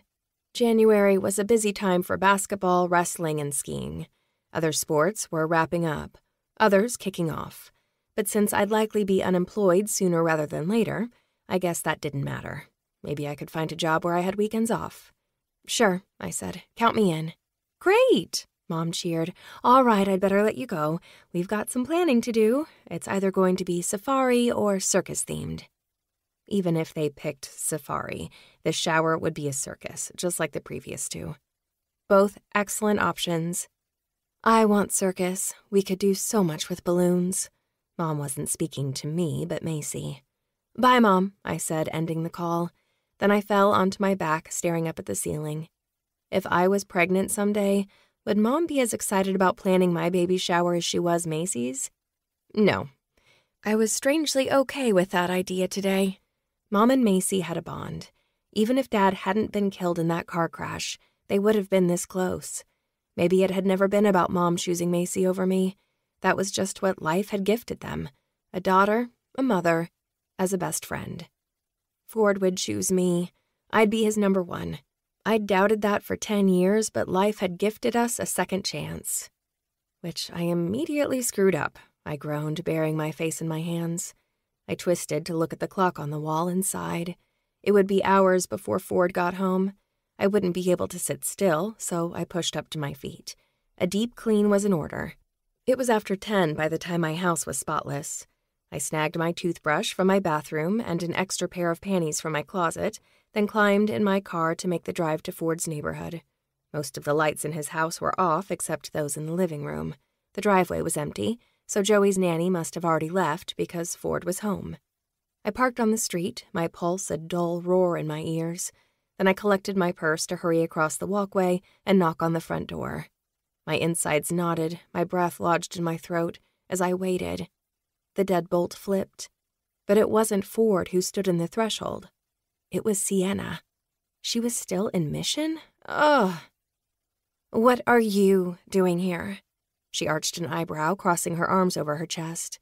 Once upon a time, that glare of hers had been intimidating, hurtful. Now I just found it pathetic, weak. So I flashed her a saccharine smile. Is Ford home yet? No. I was about to return to my car and wait for him there, but stopped myself. Why should she get to stay inside? Before she could block me, I shoved past her through the open door. She scoffed. Excuse me, what do you think you're doing? You just can't come in here. Oh, get over yourself, Sienna. I rolled my eyes and unzipped my coat, hanging it on a hook in the entryway. I'm in Ford's life. I'm not going anywhere. So somehow you and I will have to figure out how to coexist. Which had been a lot easier when she'd lived in Seattle. When was she leaving? Sienna huffed, looking to the nearest wall. What, no comeback? I swallowed the retort because I didn't want to stir up trouble. Besides, for the first time in my life, I knew that if it came down to a fight with Sienna, I'd win. I'd win Ford, no contest. I already had. I'd won him ten years ago. After towing off my shoes, I left her in the entryway, moving through the house to the living room. Strange that I'd been here so many times and had never actually sat on the couch. I took a seat, brushing a hand over the buttery leather. Then I relaxed, breathing in the scent of Ford's home, the smell I'd missed this month. Sienna, arms still crossed, took a chair beside the couch. You always wanted him. Yep. That wasn't the dig she'd intended it to be. I pulled my phone from my pocket, unlocking the screen with a swipe. I'm staying here tonight if you want to take off. Sienna opened her mouth, but before she could speak, a door opened. I twisted, rising from the couch as footsteps came our way. Ford strode through the kitchen, dropping a duffel bag on the island. He must have pulled into the garage when I'd been in the entryway with Sienna, so we hadn't heard him. His face was unreadable, his jaw granite as he strode to the living room. He looked pissed, like he had in the weight room on Thursday. Okay, maybe I should have called first. But if an argument, even one in front of Sienna, was what it took to put us back together, so be it. I squared my shoulders and kept my gaze locked on his as he rounded the end of the couch. Hi, I. Ford stretched out a hand, engulfing mine, and with a single tug, he hauled me into his chest. Hey, baby. The air rushed from my lungs. I sagged into his hold, my arms sliding around his narrow waist as he wrapped me up tight. Then I buried my nose in his shirt, breathing him in deep, until every molecule of oxygen in my lungs was coated in Ford. Sorry about the game. He held me closer. It's all good now. Chapter 32 Ford Fuck, but I missed you. I murmured against Millie's hair. She clung to my waist, her face pressed so deep into my shirt I could barely make out the words when she whispered, Me too. Sienna's throat cleared, but I didn't let Millie go. Never again. This fucking pause was over, effective immediately. I was Joey? I asked Sienna, not bothering to look at her as I spoke. Fine. Great. Have a good night. Millie's shoulders began to shake with a silent laugh. Nice, Ford. Sienna stood, likely shooting me a glare, but she left the room, heading toward the garage where she'd parked her car. Her suitcase had been waiting by the door, too. She'd asked to stay last night with Joey while I'd been away at the game this weekend, the only reason I'd agreed was because she was leaving for Seattle in the morning, so this sleepover had been a farewell. Sienna's reality show would resume filming next week, and whatever had been happening with Jordan must have worked itself out because I'd overheard her on the phone this past week talking to him about coming home soon. There hadn't been another word about changing Joey's custody arrangement. Either Sienna had realized that Joey had a good thing going in Montana, or it had been an idle threat to piss me off. Knowing my ex wife, I was fairly confident it was the latter. Sienna would return to the city and be consumed with her moment of fame, and whenever the roller coaster that was her life hit a low point, she'd remember she had a daughter. Whatever. She wasn't the woman I wanted to think about tonight. I focused on the woman in my arms, loosening my hold to thread my fingers in her hair. Hi, she whispered. The gold flecks in her hazel eyes glowed like midnight stars. We're unpaused. About fucking time. Not my best idea ever. Nope, I chuckled. My bad, Mills. You're in my bed from here on out. If we need to sneak around for a while, fine. We'll get through this season, but I'm not doing this apart anymore. We're together. Clear? The corner of her mouth turned up. Clear. I'd made a decision today on the flight home. As soon as this season was over, I'd resign. It wasn't like I needed the money, not with the millions I'd saved from my time with the NFL. It was the game that would be tough to give up, but I'd be a stay at home dad, give Joey my fullest attention, maybe see if the high school needed some volunteer help with their team. As long as I had my Millie, I didn't need football. I love you. Millie's eyes went wide before they flooded. Then she burst into tears, collapsing against my chest. Not exactly the reaction I'd hoped for, I teased, wrapping her up again. She shook her head, pulling away to swipe at her eyes. I just didn't expect you to say that. Ah. I caught a tear with my thumb at the corner of her eye. Ready for it now if I say it again? She nodded. I love you. Her expression softened. She closed her eyes, soaking in those three words. Then she made my whole goddamn life. I love you too. Look at me, I ordered, waiting until I had those pretty eyes. Say it again. She smiled. I love you. Ten years. Three words, ten years in the making. They were sweet, so fucking sweet. I crushed my lips to hers, sliding my tongue inside as she opened for me. I did a lazy swirl, her frame melting against me as I sank into the kiss. She'd be the last, the last woman I'd kiss until the end of my days. It was Millie. It always had been Millie. My arms looped around her as she clung to my shoulders, rising up on her toes when I picked her up and carried her away, our mouths fused. When we reached the dark bedroom, I shut the door and flipped the lock. Then we were a mess of frantic hands and sloppy kisses as we stripped each other out of our clothes, leaving a short trail on the floor to the bed. My beautiful Millie. My hands roamed her smooth skin, feeling every inch. Then I took her hand, bringing it to my steel cock. Look at what you do to me. Her cheeks flushed as she wrapped her fist around me, stroking hard. I closed my eyes, savoring the feel of her hand while the other reached to cup my sack. Fuck, I hissed. Millie shifted, about to drop to her knees, but I stopped her, picking her up so fast she yelped. With a spin, I lifted her to the bed, setting her on her knees. Then I climbed up behind her, letting my cock settle between her cheeks. Millie moaned, her back falling against my chest as she wiggled her ass. You want to suck me off?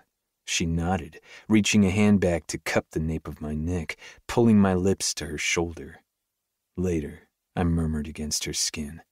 I'm going to fuck you first. Ford, she whimpered as I rocked my erection against her ass. One of these days, I'd take her there, too. I'd own every inch of this woman's body. My hand shifted across her ribs, cupping her breasts and tugging hard on her nipples, rolling them between my thumbs and fingers. Then I let her go, planting one hand in her spine to push her forward. Without any hesitation, I lined up at her slick entrance and thrust home, filling her completely. Oh, God, she gasped, her inner walls fluttering around my length. I love you. I eased out slowly, then with a fast shift of my hips buried myself to the root, falling forward against her trembling body. I love you, Millie. I fucking love you, baby. More, she panted. I need. I know what you need. With an arm banded around her chest, I shoved back to my knees, bringing her with me. My ass rested against my calves. Millie's still impaled and sitting on my cock. God, I was deep, deep into this woman, and I was never letting her go. Never again. I rocked out, then in again, gentle and slow this time. Then I did it again, over and over. Millie fell into the rhythm, our bodies moving in perfect sync. My mouth latched onto the side of her throat, sucking and licking, wanting to leave a mark for the world to see. My hands cupped her breasts again, rolling and flicking and tugging. You feel so good, Mills. Yes. She put her hands over mine, threading our fingers together as I thrust faster and faster. With one of our laced hands, I brought our fingers to her clit. Then, just like I had been with her nipples, I played with her, working her up higher until every muscle in her body was shaking. The pressure built in the base of my spine, the urge to fill this woman with my cum, so overpowering I groaned, my release barreling into me like a freight train. Ford! Millie shattered, clenching around me so tightly I lost any hope of holding back. I came on a roar, burying my face in her hair as I poured inside her. White spots erased my vision. The scent of Millie and sex blanked my mind. All that kept me tethered to the world was the woman in my arms. We collapsed in a sweaty heap of tangled limbs and ragged breaths. When my heart stopped pounding in my chest, I forced myself up and to the bathroom to get a warm cloth to clean Millie up. Then I tucked her beneath the sheets, kissing her forehead. Be back, she hummed, sinking into a pillow. Don't fall asleep without me. Her eyes popped open. Not a chance she'd be awake when I came back. My woman crashed, hard. I snagged my boxers from the floor, tugging them on before slipping out of the bedroom. I hit the lights in the living room and padded to the garage, closing the overhead door. The opener I'd let Sienna borrow was on the workbench. Then, with the house closed up for the night, I headed for Joey's room, cracking the door to peek in on her. The light she liked to sleep with was on, casting rotating pink and white stars around the walls and ceiling. I eased the door closed, about to return to Millie, but stopped when a pair of arms snaked around my waist. She okay? Yeah, but tomorrow's going to be rough. While I was more than ready for Sienna to leave Montana, Joey had loved having her mom close. You're a good dad, Ford. Am I? Millie kissed my spine, a hand sliding up to cover my heart. Don't ask silly questions. I feel like I make a lot of the wrong decisions, I whispered. She's happy, but if you think she isn't, you could always ask her. How had that thought never occurred to me? Truth? I'm scared of her answer. I'm not. Her arms banded tighter. I blew out a long breath. Figured you'd be asleep. Not yet. Her hand moved away from my chest, trailing down my stomach, her fingers sliding into the peaks and valleys of my abs. My cock stirred, ready for a second round, so I turned, sweeping Millie off her feet, and carried her to my bed again, exhausting our bodies until we both crashed. When my alarm went off at four, Millie reached across my chest where she'd been sleeping and smacked it off. Then instead of sneaking out, she snuggled into my side. Want a refill? I held up the coffee pot. Millie nodded, holding her mug out across the island from where she was perched on a stool. I like this look on you, Coach. What look? You in the kitchen, cooking me breakfast. I rounded the island, setting the pot aside to lean down and kiss the corner of her mouth. I like this look on you, too. She was wearing a pair of my sweats, cinched at the waist and rolled up at the ankles. The matching hoodie dwarfed her and might as well have been a dress, but the look of her wearing my clothes was one I'd like to see every morning for the rest of my life. The sound of bare feet on the wood floor made me turn from Millie. Joey came walking our way, her hair a wild mess. Hi, Daddy. Hey, Princess. I dropped to a crouch, arms opening for her to fall into a hug. Missed you yesterday. Missed you too. She yawned. Did Mom leave? Yeah. Oh. She sagged against my chest. I didn't get a lot of cuddles these days, usually only when she was half asleep or hurting. This one was likely a combination of both. Joey shifted, resting her chin on my shoulder. Hey, Millie. Hey, Joe. I let my daughter go, shifting so she could sit on my knee. Millie is going to hang with us today. Okay. Joey leaned her head into the crook of my neck. Millie hadn't said anything, but her nerves about being here this morning had been palpable. Now the tension crept from her frame, noticeable to me and me alone. Can I paint your nails? Joey asked. No, I said at the same time Millie said, Definitely. Daddy, I was asking Millie. Joey rolled her eyes, standing up. Then she went to her room, coming back a minute later with her caddy of polishes. Then my daughter painted Millie's nails. Chapter 33 Ford There were times a single loss could derail an entire winning season. When players lost their confidence, when coaches started second guessing their decisions, when a team spiraled after the chink in their armor had been found. After last weekend's loss, I'd feared that for the Wildcats. Except, as I sat at the conference room table surrounded by my coaches, I saw nothing but iron determination to win. I suspected I'd see the same from the players at this afternoon's practice. Everyone had returned from Idaho, well, mad. And six days later, the simmering anger from last week's game had only grown hotter. We'd played like shit last Saturday. We'd made stupid mistakes and lost focus. Maybe that loss was exactly what we'd needed. I loved the frustration hanging heavy in the air. We'd take that rage into the final regular season game this weekend. The Treasure State Wildcats versus the University of Montana Grizzlies. The biggest game of the season. The rivalry. Fuck, but I wanted to win. We'd be going to the playoffs this year, and so would the Grizzlies, but this upcoming game was what mattered most. And if this was my last season in football, there'd be no better way to end it than with a victory. Anything else? I asked the room. We'd just spent an hour hashing through the plan for today's last practice before tomorrow's game. Torin leaned his forearms on the table. I'm gonna watch film on the Grizz for a while if anyone wants to join me. I'm in, Parks said. Everyone else at the table nodded too. As much as I wanted to join them, I had a list a mile long of shit to take care of before the game. Besides, I'd spent plenty of time this week watching film. Each night, Millie had come over after work, other than the two evenings when Joey and I had been at her volleyball practice, the three of us had eaten dinner together. Then Joey had done her homework and we'd hung out before her bedtime. Once she was asleep, Millie and I would curl up on the couch. I'd watch film for a couple hours while she read or worked on her laptop. Then I'd carry her to bed and worship her body until we both fell asleep. Life was almost perfect. I only wished that the world could know she was mine that I could slide a ring on her finger and make it official. Soon. After the Grizz game, after the playoffs, I'd quit. My heart twisted, already feeling the pain from that loss, but I shoved it aside. First things first, I'd give the rest of this season my all. Thanks, everyone. I rapped my knuckles on the table and stood, the meeting breaking apart. Torin and I were the last in line to walk out of the room. I was about to head for my office when my phone vibrated in my pocket with a text from Millie. XOXO. You guys all good? Torin nudged his elbow to mine. Yeah, man, I nodded. We're good. He gave me a sad smile. You're going to quit, aren't you? As much as I wanted to lie, Torin saw the truth in my gaze. I won't make her give up her career just so I can keep mine. Then I guess we'd better win tomorrow.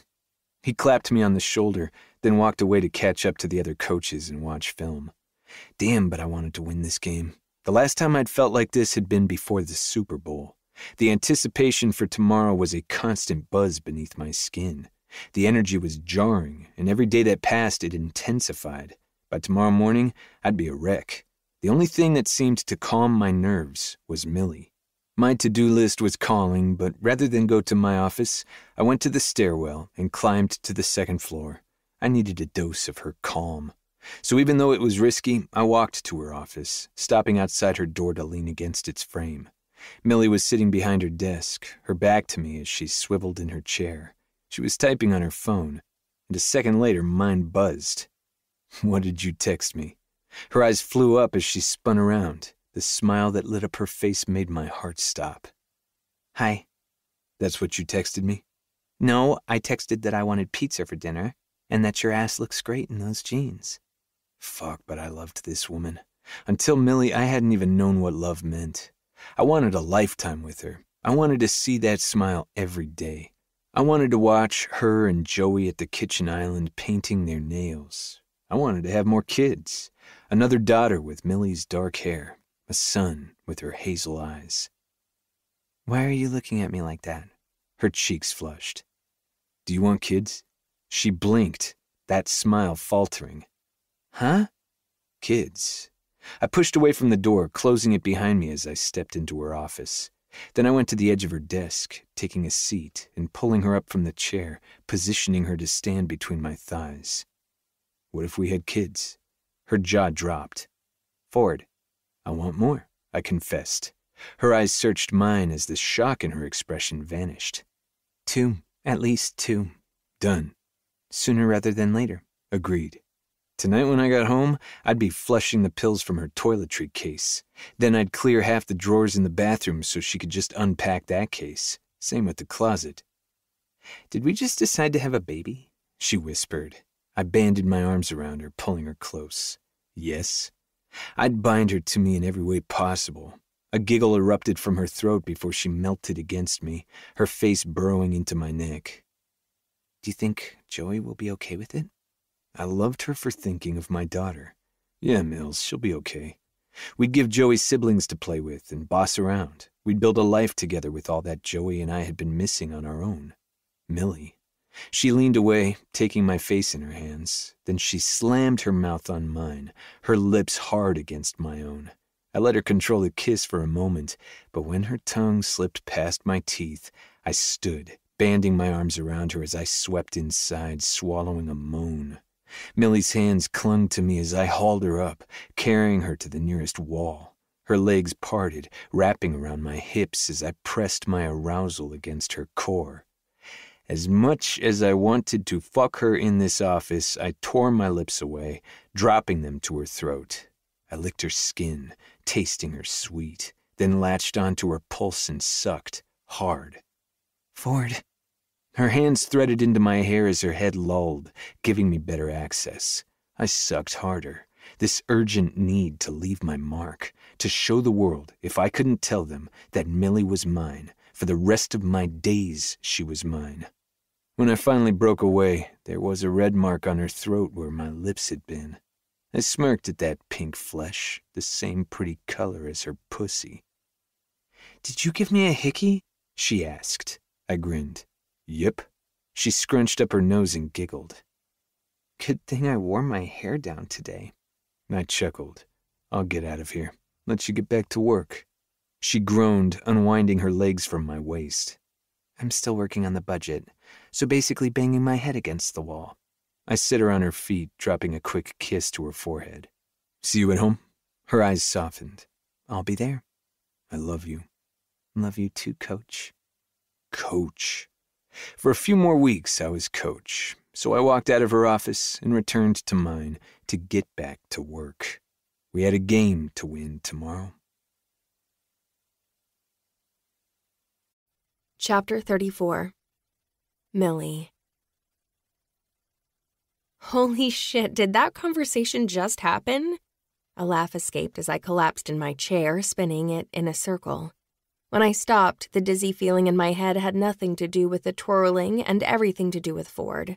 My fingers drifted to the spot on my neck where he'd kissed me. I didn't need a mirror to know he'd left a mark. A mark I'd wear with a dreamy smile. I'd thought about having kids, someday, with the right man. Ford. He'd always been the right man, and this, us, felt right. Oh my God. I swiped my phone from my desk, about to call Autumn and tell her everything, when a throat cleared. My gaze flew to the open door. To Adrian. We hadn't spoken since the game when he'd kissed me. Given the angry clench in his jaw, I doubted he was here to apologize. Hi, I said, my good mood fading.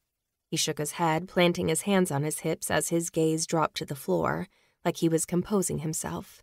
Silence hung between us, and in that silence, a jolt of panic raced through my veins. He'd watched Ford walk out of here, hadn't he? I loved you, he murmured, barely above a whisper. Then he looked up, his gaze so full of pain and heartbreak it made my stomach roil. Adrian. I love you, Millie. His voice cracked. Not loved, love. He was still in love with me. Oh, God. I'm sorry. There was nothing else to say, except it was the wrong thing. Instead of walking away, the hurt in his expression shifted to anger. No, rage. His eyes blazed with fury as he glared at me. I knew there was something going on with you and Ford. You couldn't just tell me? I. I couldn't tell anyone. Even now, I couldn't admit it. I'm sorry I hurt you, Adrian huffed. What happens when he leaves? What happens when he gets fired? Fired? The Wildcats had a winning season, and Ford was beloved by his staff and players. Plus, the alumni and donors were absolutely smitten. Anyone who attended a football game could tell he'd won over the crowd. Why would Ford get fired? I asked, except I didn't need Adrian to answer. It was you, wasn't it? You're the one who complained to Kurt. Adrian didn't answer. He just flicked a wrist, dismissing the subject. He used to do that when we were together, too. Whenever I'd bring up a topic he didn't want to discuss. The strained relationship he had with his father, the way his sister had always been rude to me, He'd flick his wrist, discussion over. I hadn't realized until now just how much that had bothered me. Maybe because Ford was as open as the Montana sky. But it had to have been Adrian who'd lodged those complaints, or at least one of them. All this time, I'd suspected the complaint about Joey had come from Kurt. What if it hadn't? What if it had been Adrian? He'd been at that bar event after the first game and must have seen Ford and Torin taking a shot. He could have complained about the drinking, and he must have spotted Ford and Joey the day he'd brought her to campus. Ford is a good man. I sat straighter, my glare matching Adrian's. And he's a good coach. He's good for this school. Your jealousy is showing. Of course you'd defend him. Without another word, Adrian stormed down the hallway, probably walking straight to Kurt's office. His footsteps thudded like nails being driven into a coffin. A coffin that was my career.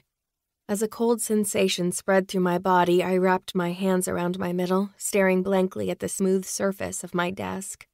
This was it. This was the end of my time here. For months, I'd known this day would come. This was my choice. Ford was my choice. Except no amount of time had prepared me for this strange feeling that settled in my heart. I wasn't angry. I wasn't hurt. I wasn't sad. I was just relieved. No more hiding, no more secrets. A framed photo of Dad sat on my desk beside my monitors. He was dressed in his uniform, smiling at the camera. He'd be proud, wouldn't he? Dad would have loved Ford. I picked up the picture, clutching it to my heart. Then I opened my desk drawer and slid it into my purse. Considering how long I'd worked here, it didn't take long to pack up my office. A few special trinkets, the personal stuff, like gum and concealer and lip balm, was taken from my drawers. The rest was left behind for the person who'd get this chair next. I only hoped he or she would love the Wildcats as much as I did, that they'd cheer for every athlete, no matter their gender or their sport. With my belongings stuffed into my purse and a tote that I'd had buried in my bottom drawer, there was nothing to do but wait for Kurt. I stared at the open doorway, checking the clock. It was like awaiting an executioner. The minutes ticked by slowly, and with every passing second, my heartbeat began to hurt. The numbness from earlier vanished. This sucked. I wasn't waiting any longer. So I unlocked my computer and sent one final email. Then I shoved to my feet, taking a fortifying breath before I marched from my office, chin held high, to Kurt's. He was seated at his desk, his head buried in his hands. His gray hair caught the light streaming in through his windows, making it nearly white. Here we go. I squared my shoulders and knocked on his open door. Kurt. He lifted his head. Oh, hi, Millie. I'd expected to see some frustration, maybe disappointment on his face. Instead, he looked exhausted. Come in. He waved me forward to one of the chairs opposite his desk. I eased the door closed, not wanting anyone to overhear this conversation. Then I took a seat, placing my hands on my lap. I opened my mouth, ready to speak, but he beat me to it.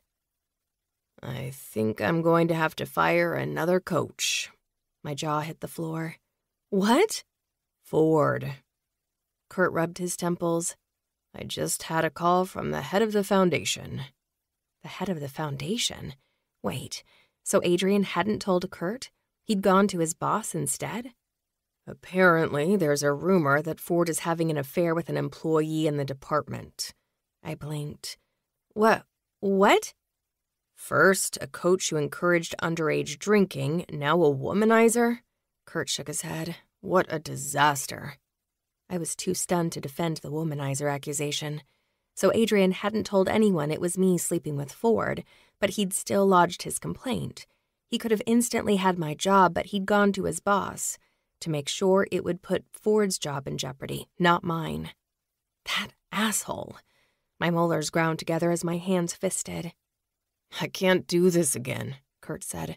I can't have another scandal. I won't survive it. Kurt always spoke in eyes.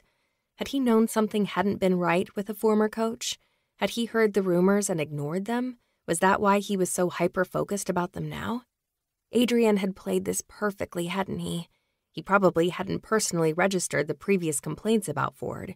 He'd probably had someone else call Kurt, just like today. The first two had been minor, enough to raise suspicion, enough to conjure doubts in Kurt's mind. Anyone else probably would have dismissed them. Except Kurt, because this wasn't really about Ford's job, it was about Kurt's. Today's complaint, a third with more severe consequences, would be the end, and it was utter bullshit. Ford's a good coach, I said. He's good for this program. We both know it. And I wouldn't take this from Ford. He is. This season has been incredible, beyond my wildest dreams. Kurt nodded, blowing out a deep sigh. But. Adrian Allen is the reason you've received these complaints. It has nothing to do with Ford's character or integrity. It has everything to do with my very jealous ex boyfriend. Kurt blinked his attention wholly fixed on me now, his posture stiffening. What? Ford is in a relationship with an employee. Me. I pointed to his computer. If you check your email, you'll find my resignation, effective immediately. Thank you for the opportunity to work here, Kurt. This job has meant the world to me. His eyes widened, his mouth fell open. Millie, wait. I ignored him, standing from my chair. Then I left my boss's office, former boss's office, and returned to my own to collect my things. The cubicles were noisy this afternoon. The eagerness for the game against the Grizzlies charged the air. I ducked into my office, my heart in my throat as I collected my things. Then, with my purse and tote slung over a shoulder, I stood in the doorway, taking one last look at my desk. I pushed the light switch down. Click. The end of one chapter, the beginning of another. I didn't have to work at TSU to be a wildcat. Royal blue and silver were the colors of my heart. So as I walked down the hallway, making my way to the exit one last time, I smiled and waved goodbye to the other employees, promising to see them tomorrow at the game. No one so much as blinked at the amount of stuff I was toting home. I slipped down the stairwell and outside to my car waiting in the parking lot. The moment I was in the driver's seat, closed inside, my eyes flooded. I had no regrets about quitting, but the reality of it was still raw, the sting sharp. I didn't give in to the tears, not yet. I pulled my phone from my pocket and called Ford. Hey, baby, he answered. Hi. I forced cheer into my voice. What's up? My mom just called me, I lied. She's making a last minute trip to town. Okay. Want to have her over tonight? Actually, I think it might be good for me to spend some time with her. We haven't talked much lately, and she can just stay in my guest bedroom. Or she can stay in mine. My chin began to quiver, but I squeezed my eyes shut, hoping he wouldn't hear the emotion clawing at my throat. Let's work up to that. I'll spend time with her. You can focus on preparing for the game. With any luck, Kurt wouldn't make a big announcement about my resignation, not until Monday, and Ford needed to focus on tomorrow. Mills? Ford? Fine, he grumbled. See you at the game? Absolutely. Love you. Love you too. The first tear dripped down my cheek. Good luck tomorrow, coach. Chapter 35 Ford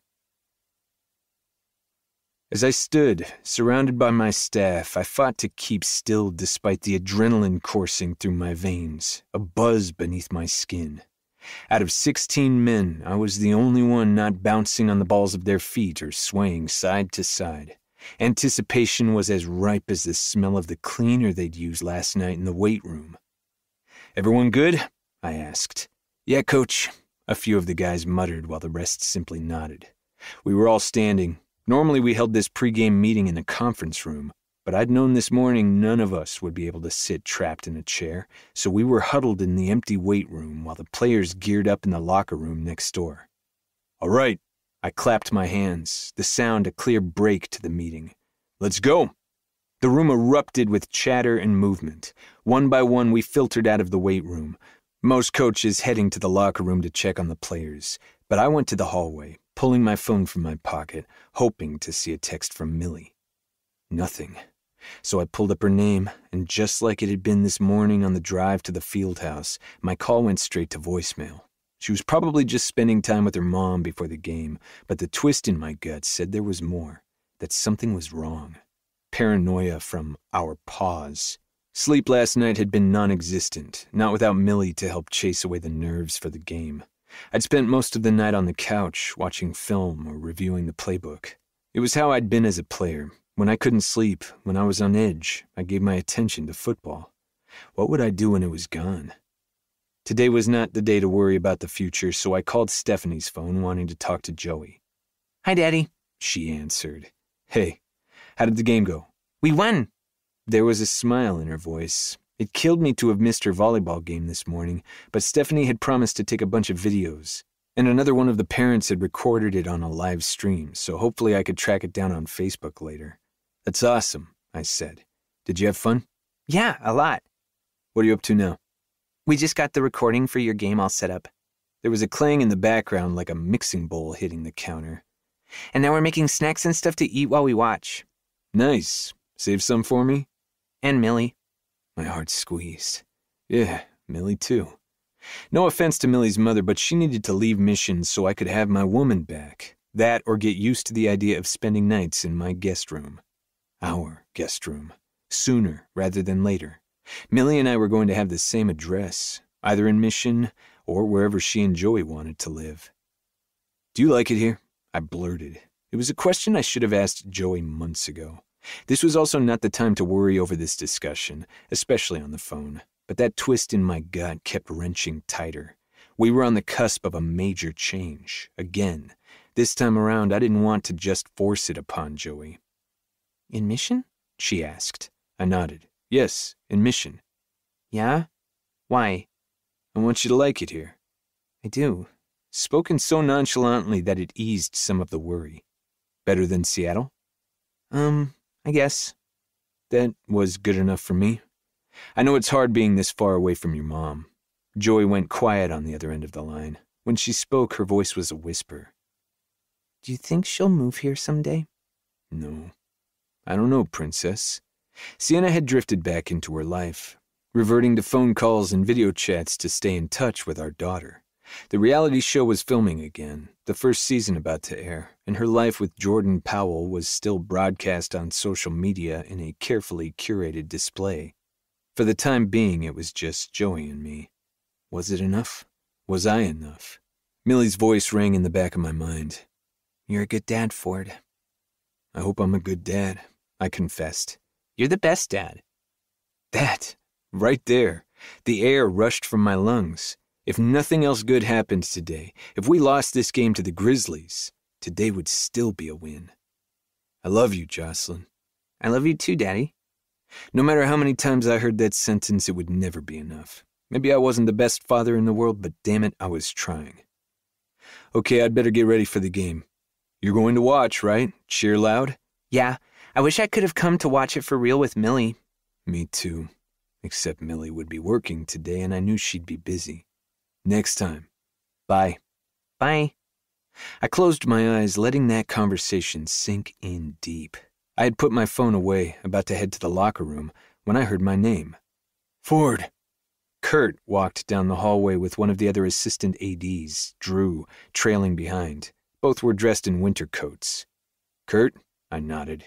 He stopped in front of me, his frame tense and his expression apprehensive like he was, well, scared. Like he expected me to rip his head off. Was that how the former coach had been? A loose cannon on major game days? Kurt should know better. I hadn't once acted like that before any of the previous games. But today was different. Every emotion was heightened to the extreme. Are you, um, okay? He asked. Yes, I drawled. Are you? Oh, yes. He nodded too wildly. Great. Excited for the game. I just wanted to check in with you, make sure you were good. Yesterday was an, er, eventful day. Busy, but all Fridays before a game were busy. Yep, good to go. Let me know if you need anything, he said, then motioned to Drew beside him. Or Drew. Drew looked like he was about to puke. I suspected that I'd have a few players who looked green, too. I'll be in the stadium club today, Kurt said. Just like Millie had told me, when the weather was bad, Kurt was in the club, and today it was going to be damn cold. The high was 11. The forecast was calling for snow this afternoon. If you need anything, Drew will be on the field, he said. Drew nodded from Kurt's side. We're covered, I said, but thanks. Good luck, Ford. Kurt extended his hand for a shake. No matter what happens, it's been a great season. That was a lie. Yes, it had been a great season, but what happened today did matter. With a wave, Kurt headed for the nearest exit. A blast of cold air rushed inside before the door slammed closed behind him. Drew waited until Kurt was gone, then cleared his throat. Could you, um. Kurt told me this morning about what happened yesterday. Millie left without saying goodbye. Could you tell her that we're all going to miss her? It was pretty devastating to hear the news. Hold up. News? What the fuck? She was really good for the department. She balanced Kurt and made sure the other programs didn't get overlooked. Drew sighed. Whoever takes her position is going to have a high bar to chin. His words were muted and dull, too quiet to combat the blood rushing in my ears as my heart hammered against my sternum. She'd quit. She'd fucking quit, hadn't she? What the hell had happened yesterday after I'd left her office? How could she do this without talking to me? How could she make this sort of decision on her own? Granted, I'd planned to do the same damn thing, but still, I would have talked to her. Probably. Except she would have refused. She would have adamantly refused, just like I would have if she'd run this by me first. How long had she been planning this? Had something happened yesterday? What about sneaking around until the end of the season? God damn it. No wonder Kurt had looked so terrified. He'd assumed I knew. Had he fired her? My hands balled into fists, furious, at Kurt, at Millie, at the fact that she beat me to leaving, that she'd lied to me. Was her mother even in town? Maybe the reason she'd stayed away was because she wouldn't have been able to hide this from me last night if she'd come over. I'd thought her voice had sounded different on the phone yesterday afternoon, but I hadn't pressed. I should have fucking pressed. I should have insisted she come to my place, or I should have just gone to pick her up from hers. Fuck. Now she was avoiding me. Did she think she'd make it through the game without me finding out? Oh, we would have words about this. Drew must have taken my silence as acceptance, so he nodded. Thanks, Coach Ellis. Good luck. He took the same door as Kurt, leaving me alone in the hallway, fuming. What the actual fuck? My bark echoed off the walls. I ripped my phone from my pocket, hitting Millie's name. Again, the call went straight to voicemail. Millicent, I clipped. One word. That was the extent of my message. That was all she'd need to know. I was livid. A ruckus drifted from the vicinity of the locker room, the guys pumping each other up. As much as I wanted, needed to track Millie down and talk this out, it would have to wait. The Wildcats had a game to play. Chapter 36 Millie. Surrounded by thousands and thousands of Wildcat fans, hidden in a sea of royal blue and silver, I yelled. I yelled and screamed and whistled. My noise was lost in the chaos, just a whisper compared to the collective roar whirling through the stadium. For the first time since college, I was here only as a Wildcat fan, my single responsibility to cheer for my team against the Grizz. Thanks for coming with me. I leaned closer to Autumn, taking her gloved hand in mine. Anytime. How are you doing? I just want to win. Nearly everyone from the athletics department was here today. None of them had so much as blinked when Autumn and I had walked through the gates. I'd been greeted with smiles and waves, which meant Kurt must not have told anyone I'd quit. The only person I hadn't seen today was Drew. If Kurt had told anyone, it would have been him. But Drew was probably crazy busy today if he was covering for me. Poor Drew. I felt awful for leaving him in the lurch. But awful was the adjective for the past 24 hours. I'd managed not to cave and call Ford last night. Instead, I'd called Autumn. She'd come over with a bottle of wine and pizza, both consumed while I'd told her about Adrian and Kurt and quitting my job. Since I hadn't trusted myself last night not to call Ford and have a breakdown, I'd asked her to hold my phone hostage until this morning. He needed to concentrate on the game, not my unemployment situation. After breakfast, we donned our winter gear and made our way to the stadium, my phone still tucked safely in her coat pocket. But 30 minutes before the game had started, after Ford and his team had made the trek from the field house to the stadium and the stands had begun to fill with people, she'd given it back so I'd slipped off my thick mittens and turned on my phone. The first message he'd left this morning had been nice, sweet. He missed me, wanted me to have a good day, told me to find him after the game. I'd breathed a sigh of relief that I'd gotten lucky, that he hadn't found out I'd quit. But then I listened to his second message. Millicent. Oh, I was in trouble. Ford stood on the sidelines, his undivided attention on the game, but there was an edge to his movements today, a calculation. Not once had he casually put his hands in his pockets, not once had he smiled. Granted, this was the game of the season. Except I knew that man to the core. He was angry and football was his outlet, so he was giving everything he had to the game. So far, it was paying off. The Wildcats were leading the Grizzlies 10 to 7. Both teams had scored during the first quarter, and since, nothing. The Grizz defense had shown up to play. They weren't giving the Wildcat offense a break. Thankfully, our defense had matched theirs beat for beat to keep them from scoring too. The clock on the scoreboard kept ticking down. With only four and a half minutes left to play in the fourth quarter, if we could just hold them off for a little while longer, we'd be the Big Sky Conference champions. A feat no one had expected this year, not with a new coach and the drama from last year's scandal. People had underestimated Ford. Of course, he'd come here to win. A surge of pride swelled in my chest, so strong it nearly brought me to tears for the hundredth time since yesterday. I'd spent last night crying on Autumn's shoulder, mourning the loss of my career. But this morning, when I'd woken to a beautiful, chilly November morning, the tears of sadness were gone. Today, the only tears I'd cried had been of joy, of pride. Ford was magnificent. He'd been born to lead this Wildcat team. Not once since I'd been here today, watching the game, rooting for my alma mater, had I regretted my decision. If me quitting meant Ford could stand on the sidelines, exactly where he was meant to be, I'd do it a thousand times.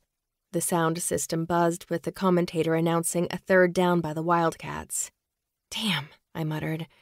With the time left, I'd expected the Grizzlies to get another possession, but I'd hoped that our offense would have made it farther and chewed up the clock. But they'd only managed eight rushing yards. The defense has got to be getting tired, I told Autumn, smacking my hands together in frustration. We can't seem to keep them off the field. We're still winning, she said. We'll be okay, as long as the Grizz didn't score on this drive. If we can just hold them off here. It's scary how well you know football, she said. Scary awesome. Autumn pointed to the Grizz sideline. That coach right there is smoking hot. No, I shook my head. If you date a Grizz coach, our friendship will never recover. Fine, she muttered.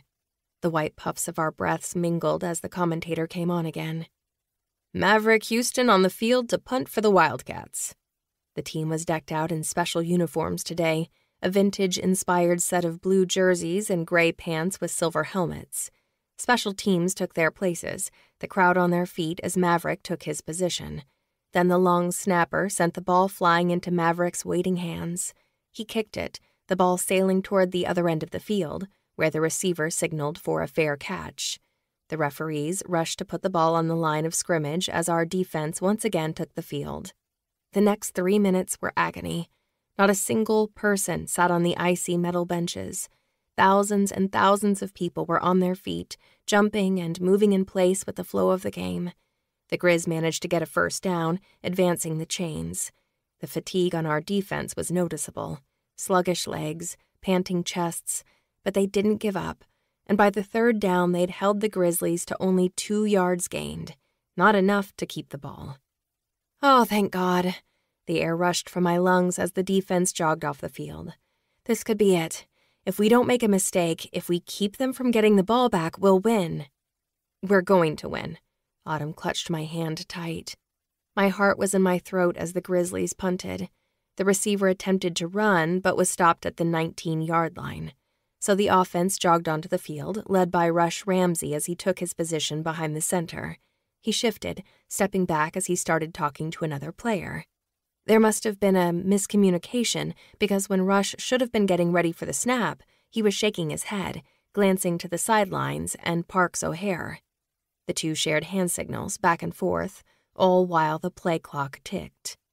Watch the clock, I screamed, my arm flying toward the scoreboard. Ten seconds, nine, eight. Hurry up! What are they waiting for? A man behind me asked. My heart was in my throat, my gaze glued to the field. But then there was Ford stepping up beside Parks to signal the play. Twins, right, special. I'd been paying attention to Ford's playbook this week as he'd prepped for the game. This was one of the simpler plays, but nonetheless effective, especially when you had a quarterback who could run the ball if his running back wasn't open. Rush ran to his spot behind center, hands ready as he called it out.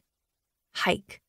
The center snapped him the ball, and Rush dropped back into the pocket looking for his receiver. Except he was under tight coverage, that freaking grizzly defense almost impenetrable so Rush tucked the ball and took off. It was one of Rush's great strengths as a quarterback. He was a beast, strong and fast, and wasn't afraid to get hit. Running the ball was a risk. It opened up quarterbacks to injuries, but he ran regardless, gaining the Wildcats six yards. Yes, I breathed, letting my shoulders sag. Then I clapped, ready for the next play, like I was out there on the field myself. Four more. Let's get four more yards. The confusion from the first play was gone. This time, as the offense took formation and Rush waited, the delay was intentional. Let the play clock run to eat up the game clock. The snap came, and Rush handed the ball to a running back, the kid busting past the line and gaining five yards before he was brought down. Yes! My arm shot in the air. First down, Wildcats. The commentator's voice filled the stadium along with a chorus of cheers. While a handful of the other coaches were cheering, Ford stood stoically on the sideline, gaze locked on the field as he crossed his arms over his chest. You got this, I murmured, willing my words to hitch a ride on the slight breeze and float their way to Ford. His arms uncrossed, his gaze drifted from the field to the stands. It was ridiculous to think he could see me, but I smiled all the same. Then, like Ford, I shifted my attention to the Wildcats. We just had to run down the clock. Don't fumble the ball. Do not fumble the ball. Should you even be putting that on the universe, Millie? Sorry. I held my breath as the ball was snapped, and Rush took a few steps back, arm raised like he was going to throw it. No, I gasped. A pass was too risky. We couldn't risk an interception, not now. But Rush threw the ball anyway, sending it straight into the arms of Eric Manning, our star wide receiver. Eric took off running for the end zone, his long legs stretched, his body pushed to the extreme as he outmatched every grizzly attempting to take him down. In that moment, he looked a lot like Ford. And I was taken 10 years into the past to a game not all that different from this one, when I'd cheered for the man of my dreams as he'd run the ball the length of this exact field to score the winning touchdown. Every single person in the stadium was locked on Eric, but I only had eyes for Ford. I watched him as he stood, unmoving, as the rest of the players and coaches were waving Eric on, screaming and cheering. I watched Ford do a fist pump, then shoot that arm straight in the air as the crowd erupted. I watched Ford as everyone around him converged, jumping and leaping on him while the cannon fired its thundering boom in the background. I watched Ford as the football sailed through the goalposts for the extra point, the clock ticked to zero, and the Wildcats declared victory over the Grizzlies. We won. We won. My eyes flooded, my chin quivered. I sucked in a breath, willing myself not to cry. Then I started clapping with muffled thwacks of my mittens. Hey, Autumn nudged my elbow, then pointed toward the Jumbotron. And there I was. Ollie, a cameraman I'd known for years, was on the field below my section. He'd zoomed in so close that my face filled the massive screen. I smiled, then raised an arm in the air. Go, Big Blue! Autumn laughed as the screen changed to another group of fans, and I turned my attention again to the field, to Ford, who was staring straight at me, no hiding this time. My cheeks flushed because he did not look happy, but I simply shrugged, lifted a mitten to my face, and blew him a kiss. He pointed at me, then he pointed to the field. A clear, get your ass down here, if I'd ever seen one. And that's my cue to go home and unthaw.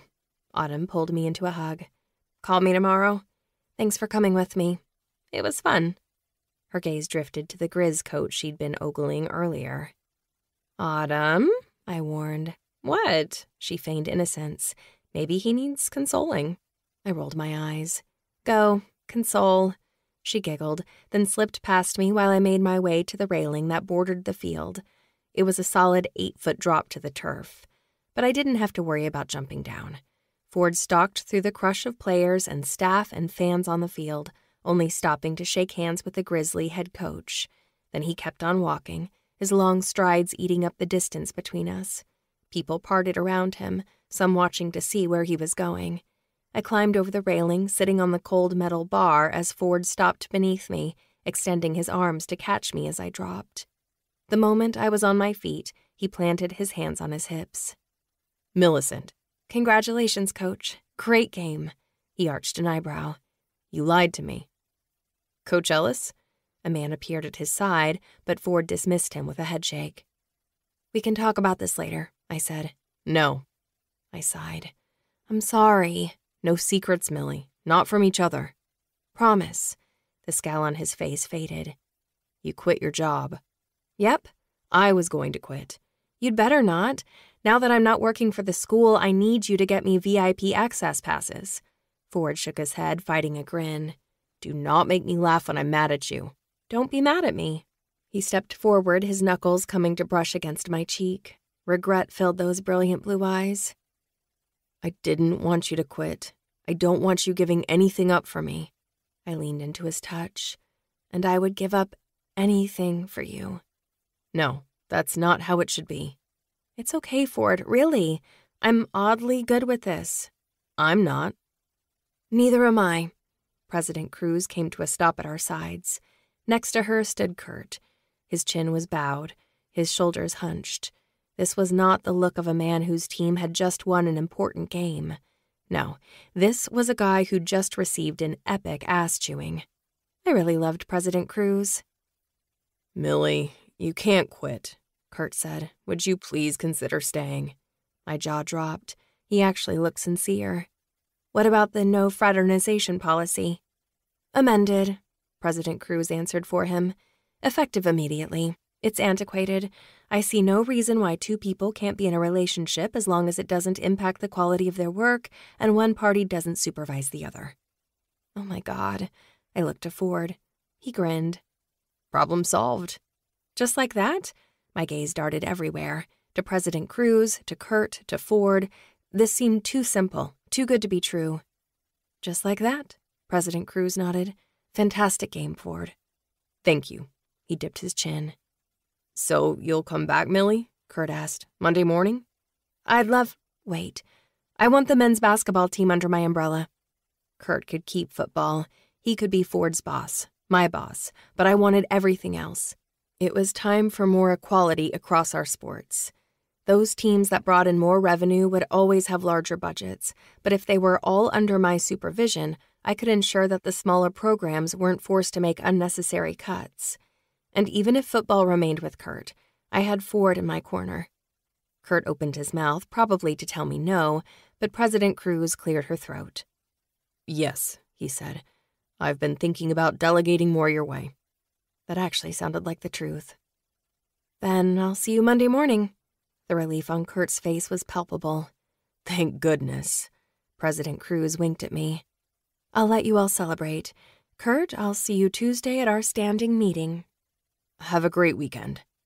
She disappeared into the crowd, leaving Kurt behind. He extended his hand to Ford. Big Sky champs. It's incredible. Congratulations. Thanks. Ford shook Kurt's hand. See you both next week. Kurt turned like he was about to leave, but he stopped, and this time he held his hand out to me.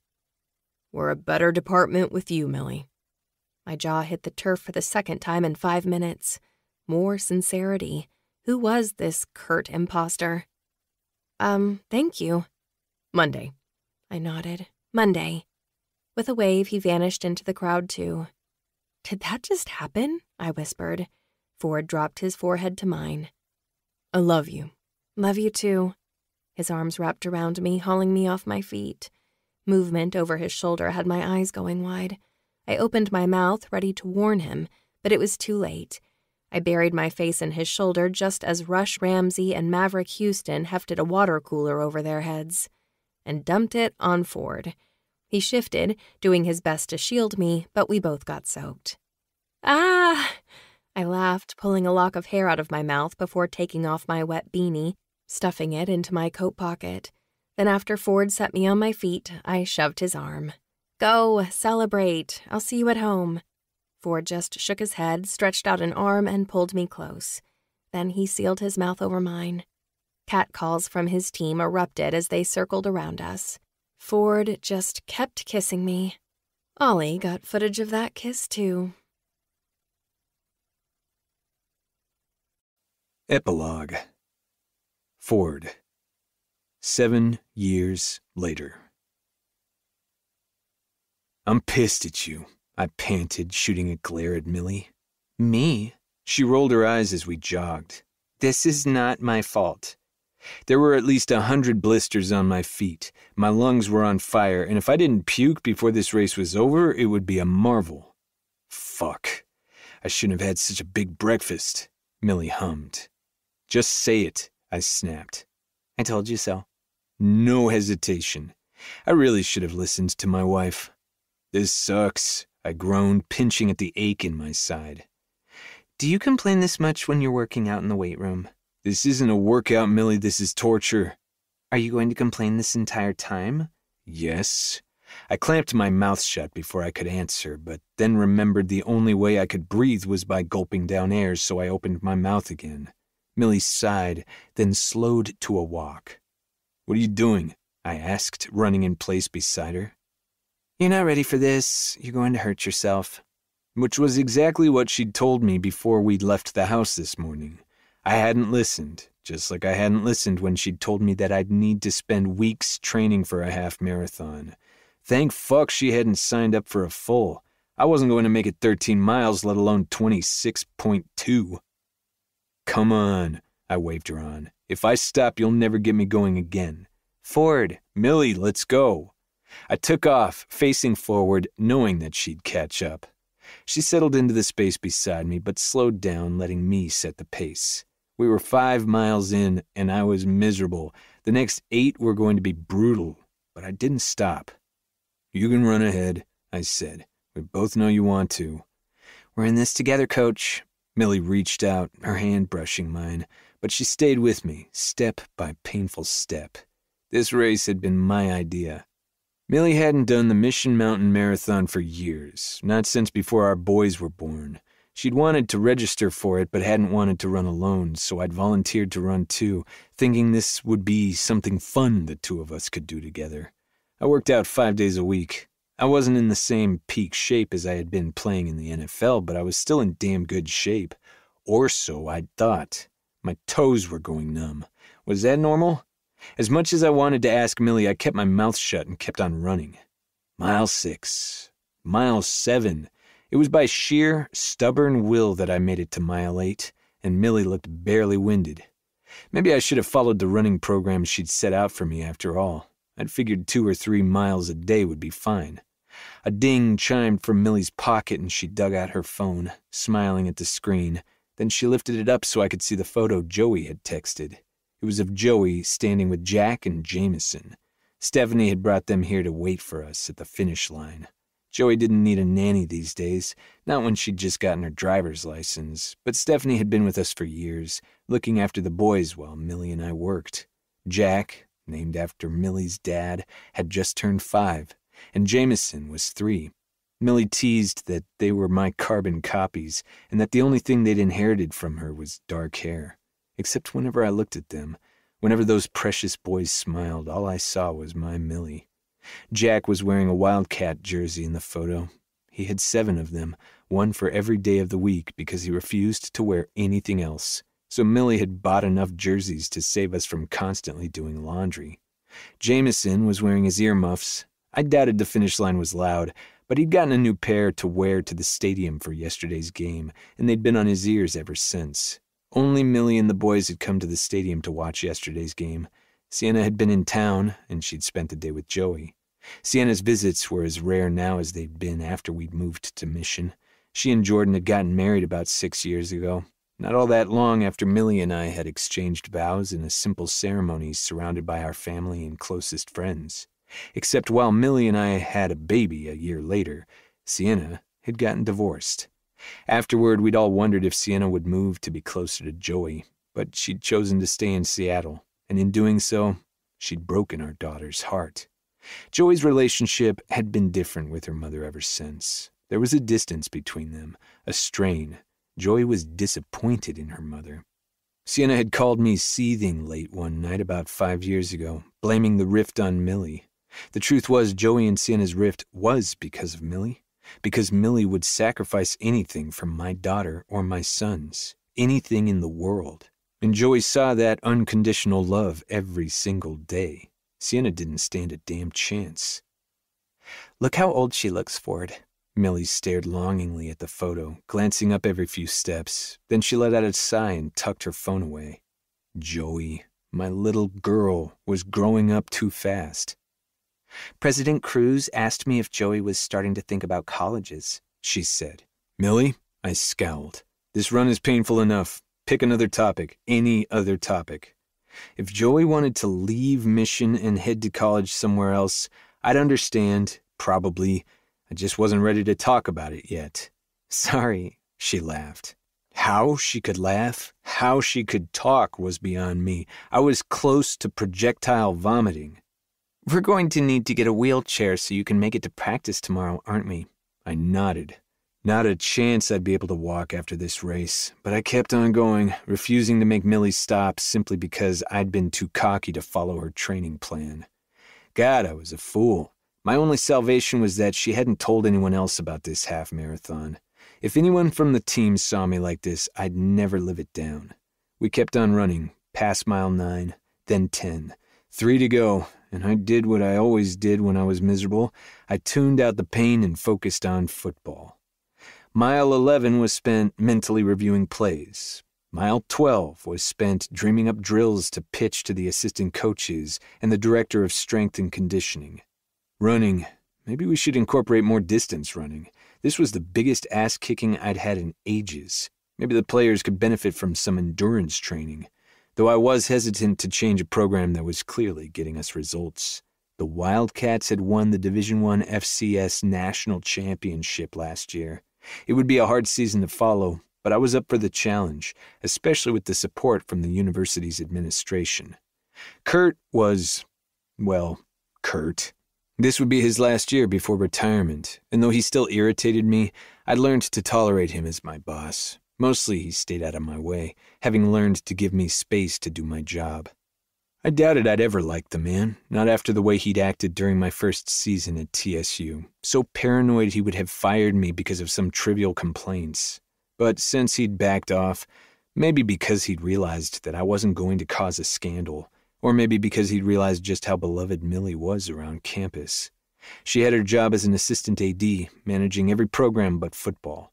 That allowed us to both work for the same department without violating the updated no fraternization policy. And although it meant that as long as I was the head coach, she couldn't take over as director when Kurt retired, he'd given her much more freedom with her position. She loved her job, and when I'd asked her a few months ago if she wanted to go for the director, that I'd step down as a coach, she refused. Being the director would mean even more responsibility, more nights and weekends away from home, so she was content to do exactly what she was doing. A win win for us both. We rode to work together. We ate lunch in one of our offices. The TSU campus was our second home. And it was even better now that that prick Adrian Allen had quit his job at the foundation, finally leaving Mission this past winter. Last mile, Millie pointed to the marker as we passed the final water station. You got this. I gulped, too drained to speak. Every ounce of energy went into pushing my legs to keep on running. The applause from the finish line echoed from behind a bend in the road. It reached us before the archway came into view. Keep pushing, Millie said, like she could tell I wanted to quit and walk. Almost there. Almost there. I summoned the feeble remains of my strength, willing my body to keep pushing, and then, with my wife at my side, I crossed the finish line and immediately came to a stop. The kids are up there. Millie pointed down the line of clapping spectators to where Joey had both hands in the air, flagging us down. The boys, like always, copied her every move and shouted for us. Autumn had come too. She stood beside Joey holding a sign that said, Run, Millie, run and behind our crew was what looked to be the entire Treasure State University football team. Go, Coach Ellis! One of the guys yelled, his hands cupped to his mouth. Rush Ramsey stood in the mix, a recent addition to our coaching staff, with his son perched on his shoulders. The boy's hair was the same strawberry blonde as Faye's. The team cheered louder, a few of the upperclassmen starting to chant, Coach, Coach, Coach, Coach! You've gotta be fucking kidding me. I shook my head. My feet fell in step with the chant, and I dragged a hand through my sweat drenched hair as we headed toward the kids. No doubt I looked like I'd just been put through the ringer. The teasing at practice tomorrow would be unforgiving. Did you tell them? Before Millie could answer, I spotted Torin in the group, wearing a shit eating grin. Never mind. Millie just giggled, brushing a lock of damp hair off her temple. Thirteen miles beside my slow ass, she looked as beautiful as ever. Not a day went by when I didn't feel like the luckiest man on earth to be hired as the Wildcat coach. Not for the job, not even for the home I'd built with Joey, but for Millie, my Millie. I tossed a sweaty arm around her shoulders, pulling her close to kiss the top of her head. There isn't a woman in the world besides you I'd run 13.1 miles with. Oh, that's not true. Millie looked up, her hazel eyes sparkling. Then she cast them to Joey. Yeah, I'd hate it, but if Joey ever asked me to run a half marathon with her, I'd do it, begrudgingly. Thank you for running this with me, she said. I love you. I leaned into her. She leaned into me. I love you too, coach. Then she gave me that beautiful smile that still made my heart skip. Or maybe that was my heart finally crapping out after all those miles. If it did, I'd die a happy man. Thank you for listening to Coach, written by Devney Perry, narrated by Teddy Hamilton and Ava Erickson, both members of SAG AFTRA. Produced by One Night Stand Studios. Post production by Kyle Verville. Text copyright 2022 by Devney Perry, LLC. Production copyright 2023 by Devney Perry, LLC. All rights reserved.